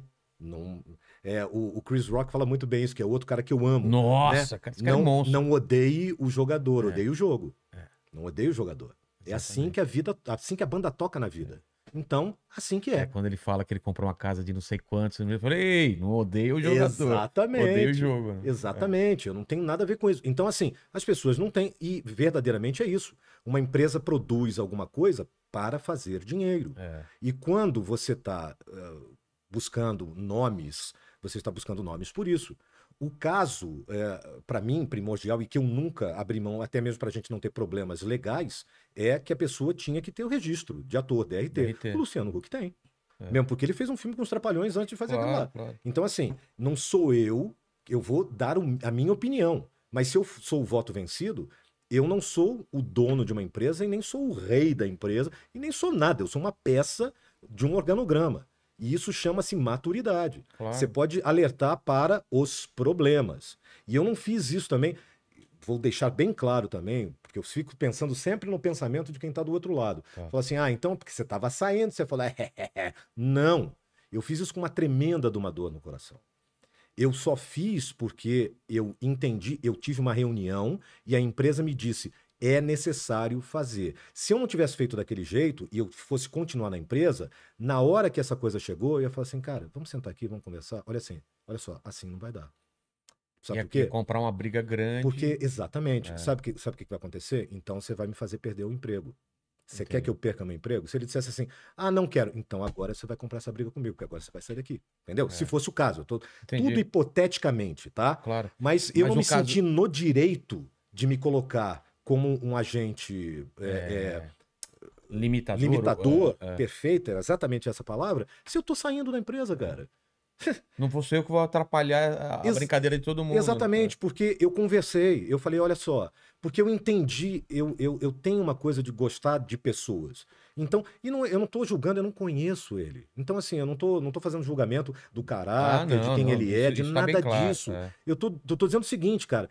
Naquele momento, ele agiu assim, por- pelas razões dele. E já nas trocas de e-mail, eu sabia que não ia funcionar, porque não era uma pessoa que estava ali para se doar para o projeto. Ele estava ali para fazer uma coisa que ele queria fazer, só. Era, uma- era um processo individual. E qualquer coisa ligada à arte, como a gente estava falando antes, mesmo quando você está sozinho no palco, você está fazendo isso cacetão de gente. Se você não atingir aquelas pessoas, você errou. Exatamente. Então, assim, não tem trabalho artístico sozinho. Solitário, é. Não tem, cara. E quando a pessoa se coloca nesse lugar, eu acho que ele até pode, porque ele tem poder o suficiente para isso. Se ele chegou lá, parabéns para ele. Mas ali não era essa a onda. E ele não estava afim de escutar outra coisa. Então, tudo bem, quem sou eu para falar para o Luciano? Quem, quem é Garcia Júnior? Pega Garcia Júnior, Luciano Huck. Quem é? Quem é Garcia Júnior? Ninguém. Então, assim, não quer ouvir, eu não vou falar. É Porque, assim, Você é um e- He-Man. eu sou He-Man, sim, mas ele não me viu de He-Man, não me viu de É, tanguinha felpuda. exatamente. Se eu botasse uma tanguinha felpuda e dançasse pra ele, Aí- talvez eu pegasse o lugar da feiticeira. Mas Hoje, não no- ou da hoje você aprendeu, não sei o quê. Hoje você aprendeu que eu sei com a minha espada muito mais do que a tiazinha com o chicote. Mas não era o caso. E na verdade, assim, é, de novo, é, eu não tô dizendo, ah, não. Não, cara, ele fez o que ele quis fazer. E tudo bem. E era o possível. Era o Claro, que claro. dava para fazer. Eu fiz o meu trabalho exaustivamente. Então, voltando. É, é essa questão que ele perguntou. Sim. Qual é a sua opinião geral sobre. Não, eu acho que é absolutamente normal. Porque, Entender na o verdade, mercado, as né? pessoas não ganham. Também porque. É, porque os caras vão lá e ganham mais do que o dublador. Não, o quê. não, não ganham mais do que o dublador. É o Elas- mesmo cachê. Não, elas. Sim, para dublar. Tá. O que elas ganham de diferenciado é para promover o filme. Porque o teu tra- meu Ah, trabalho tá. como dublador acaba quando eu saio do Eu estúdio. achei que eles ganhavam bem mais o tempo de dublagem. Não, claro Ah, que não. É a mesma Sim, coisa. n- Vilela, você pode, você pode categorizar como você quiser. Mas a Tá. questão é a seguinte: quando eu termino de dublar, eu vou embora para minha casa. Tá. Esse cara assina um contrato dizendo: olha, esse é o EPK, você vai ter que estar em, em Tantos duas, programas. tantos programas de falar do filme, você tem que dar tantas Ah. entrevistas, você vai ter que fazer um making off. Faz Aí o cara falou assim: sentido. sim, mas eu também quero fazer. Sim, mas ninguém está interessado no Garcia Júnior, só o Vilela. Então, assim, o Vilela, graças a Deus, está interessado. Mas, Entendi. assim, sabe, a grande mídia que tá hoje, que não é mais a coisa se o cara tá na Globo, se o cara é o Luciano Huck, ou se, É o se é o Tarcísio Meira, traz. né? e- Ou o Tony Ramos, é, é assim, quantos seguidores esse cara tem? É isso, essa é a moeda de troca hoje em dia, que é o que traz dinheiro e ninguém faz nada para não ganhar dinheiro numa escala universal. É isso aí, o jogo é esse. É. Não quer, não, não faz parte do jogo. Mas assim, tipo, ah, mas eu também quero. Então tá, então consiga 3 milhões de seguidores e vai lá fazer o teu. A vida é assim. Ah, mas isso não é justo. A vida não é, É. justa. Quem diz que a vida é justa? Né? Tipo, é isso. Porque as pessoas estão pensando em lucro, em ganhar dinheiro. Aquilo ali é pra você, e claro que às vezes prejudica o trabalho. E esse é o tiro no pé. Mas geralmente isso acontece quando pessoas ligadas à parte artística não são escutadas. Ou são diminuídas, porque diz assim, aí que é o que eu entendi perfeitamente do Chico, porque eu já passei por isso. É o gênio que chega lá e fala assim, nunca, não sabe nada daquela bagaça, mas botaram o cara lá. Por outras, porque o cara é uma raposa, porque o cara é inte- inteligente pra caramba no business e tal. Mas aí o cara vai lidar com arte, vai lidar com artista e não sabe lidar com artista. É. E aí, cara, se ferra, ou ferra o trabalho, ou ferra as duas coisas, entendeu? Porque lidar com a arte é outra história. E aí, quando o cara. Aí chega o gênio ali, e ele não sabe o que fazer ali. Então ele fica. "Ah, ah", E muitas vezes o cara chega nessa vibe também, que o cara já passou por isso várias vezes. Não, se eu deixar o cara chegar em mim, ele vai ficar aqui nas elucubrações poroléuticas que catirizam a mesa Sebastião até as 6 horas da manhã e eu tenho vida para viver, entendeu? E aí, por proteção, o cara faz um negócio desse. Então, a escolha, isso que eu sempre fiz. As minhas escolhas, tipo, e as minhas, minhas escolhas, os meus conselhos dentro das escolhas coletivas que eu tive dentro das empresas onde, onde eu trabalhei, sempre estiveram ligadas a, ó, aqui tem um sinal que tá mostrando que não é isso. Porque é a tal história, se eu tô pagando você, fala assim, ó, Vilela, e eu sempre falei isso, o filme, é, isso aqui, primeiro, vai ser mole, porque eu vou te conduzir. Tá. O difícil é o que você vai ter que fazer depois. Você vai ter que vender esse filme pra gente. Então, cara, você vai ter que estar sorrindo ali É. em entrevista e falar que foi muito legal e não sei o quê, e ir nas pré-estreias É. e conversar com as pessoas e divulgar o filme e vender o filme. Eu tô te pagando por isso, porque isso custa dinheiro. Porra, se custa. né, é muito cara? mais caro isso. Exatamente. É. Então só quem não entende, só quem não faz parte do jogo é que é ingênuo pra dizer assim: "Ah, mas tal, é, mas entra lá". E por que que as pessoas piram quando entram lá? Por que que muita gente entra em depressão, cheia de grana, cheia de coisas, cheia de viagens internacionais, cheia de gente puxando o saco, tal, os caras estão na merda. Porque é difícil pra cacete ficar com a cabeça fora d'água, com todo mundo te puxando pra baixo, Porra. querendo um pedaço de você. É. Então, eu entendo tudo isso, cara. Mas eu também tenho que entender meu lado. Tipo, você quer fazer, quer, não quer, tchau. Mas o jogo é esse. Porque é um jogo de dinheiro. É, é No- no- muito dinheiro investido Você tirando tudo que por sobra uma é isso. janela muito curta. Porque antigamente os filmes ficavam três meses em cartaz. É, não, você tem que já Hoje em dia, arrebentar. na- arrebentou e sai. Porque É. o próximo tá aí, É cara. o final de semana, né? É. Pá, pá. É isso. Assim como também os influencers, o caramba. É. O- os 3 milhões de seguidores hoje são os 200 de amanhã, ou os É. 20, ou os 2. Entendeu? E se você pautar a tua vida nisso, Nossa. coitado de você. É por isso que muita gente entra em depressão, porque não tá acostumado com isso de altos e baixos É e isso. tal. Chegar não é tão difícil, se manter é muito difícil e Exatamente. causa todo esse tipo de coisa. Mandíbula. Ó, o Alan falou aqui que curtiu muito a camisa do Calabouço Rock Bar na Tijuca. Sim, com muito orgulho, cara. Pena que esse bar fechou. É? É, tá por causa da pandemia. O cara Não aguentou não aguentou, infelizmente. Mas o Marcelo, que era o dono desse bar aqui, um cara maravilhoso. E obrigado pela camisa, Marcelo. Uso com muito orgulho. E fiz questão de trazer hoje por isso. Pô, que legal.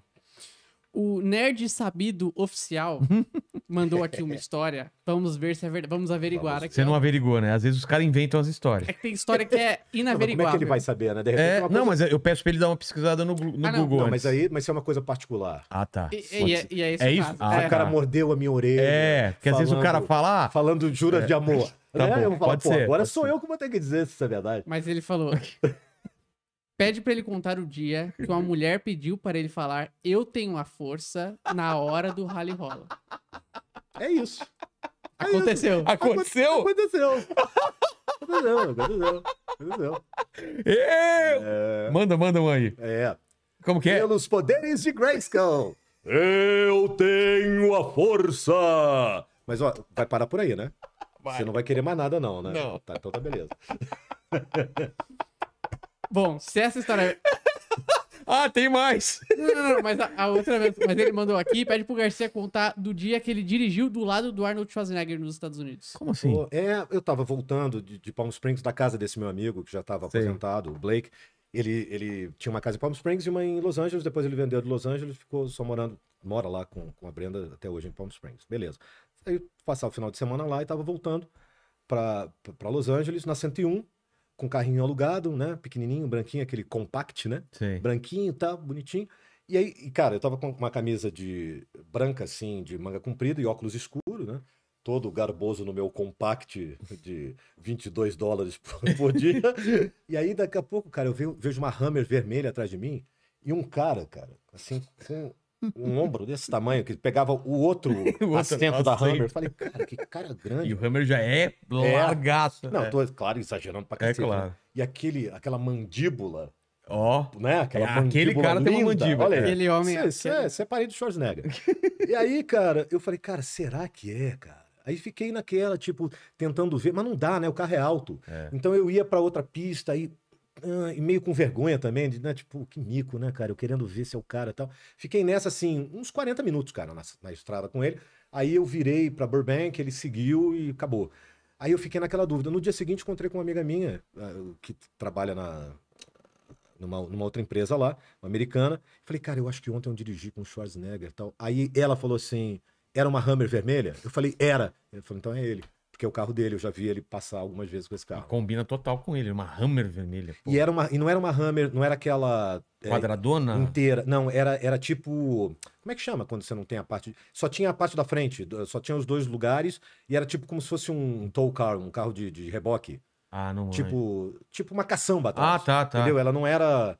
Ela não era Não inteira. era sedã, sei lá. Não, é, exatamente, não tinha lugar atrás. Tá. Ela só tinha um lugar da frente e cortada ali e tipo uma caçamba atrás. Caramba. Com a bandeirinha dos Estados Unidos ali, é porque ele era republicano, né? Garcia Júnior, muito obrigado pelo papo, cara. Foi um papo maravilhoso e eu acho que nem arranhamos todas as histórias que ainda poderiam ser contadas, que você vai contar numa outra vinda. Mas, como eu faço sempre três perguntas para todo mundo que vem aqui, você não vai escapar disso. Estamos aqui celebrando sua história de vida, sua carreira e olhando para trás, qual foi o momento mais difícil que você passou, ou da sua carreira ou da sua vida?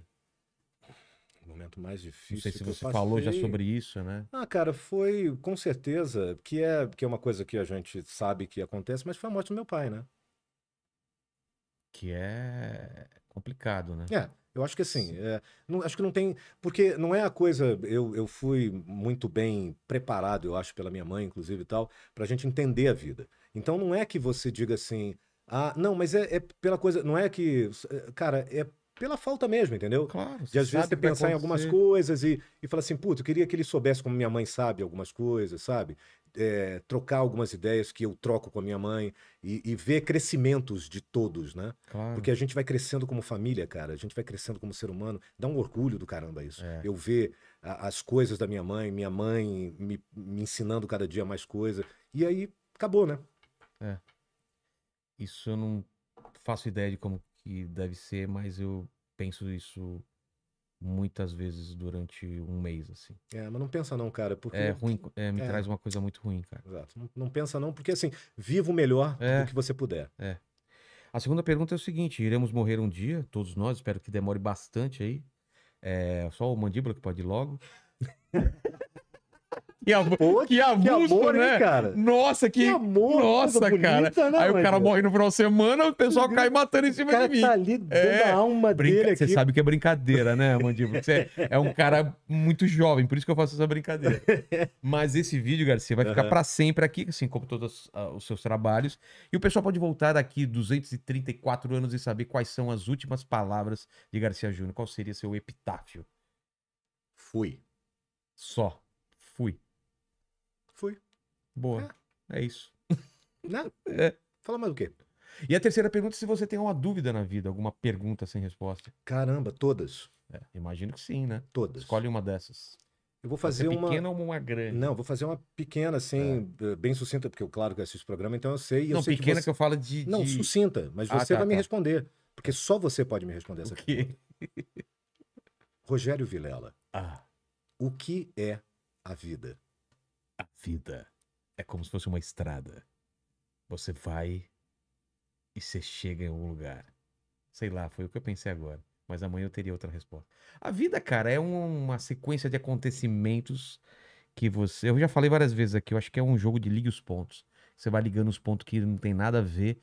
E no final da vida, quando você vai chegando no final da vida, você fala: olha, formou uma figura legal. É o que a gente, eu vejo aqui todo dia, cara. E, e você foi juntando os pontos, fala, cara, peraí, como essa história? O cara tá em Lisboa, tá em Los Angeles, tá não sei o quê. Os pontos que não tem nada a ver. Só que você olha agora e fala, agora eu entendo quem esse cara é, porque ele juntou dois pontos e formou uma figura que é você. Então a vida é isso. Muito obrigado, Garcia. Muito obrigado a você, Mandíbula. Não quero que você morra logo, tá? Porque eu preciso, Agradeço. porque eu preciso de você aqui. Só por isso, tá Então, bom? tudo bem. Muito obrigado. Palavras finais com voz de dublador. Antes de eu dar as palavras finais, É. eu, eu não posso. Não podemos encerrar aqui sem duas coisas que o povo clama, Sim. que é se o Garcia poderia lançar aquela famosa frase voodoo é pra Jacu, Tá. do pica-pau, e se ele, depois dos meus recados finais, poderia encerrar com um hasta la vista, baby. Tá bom.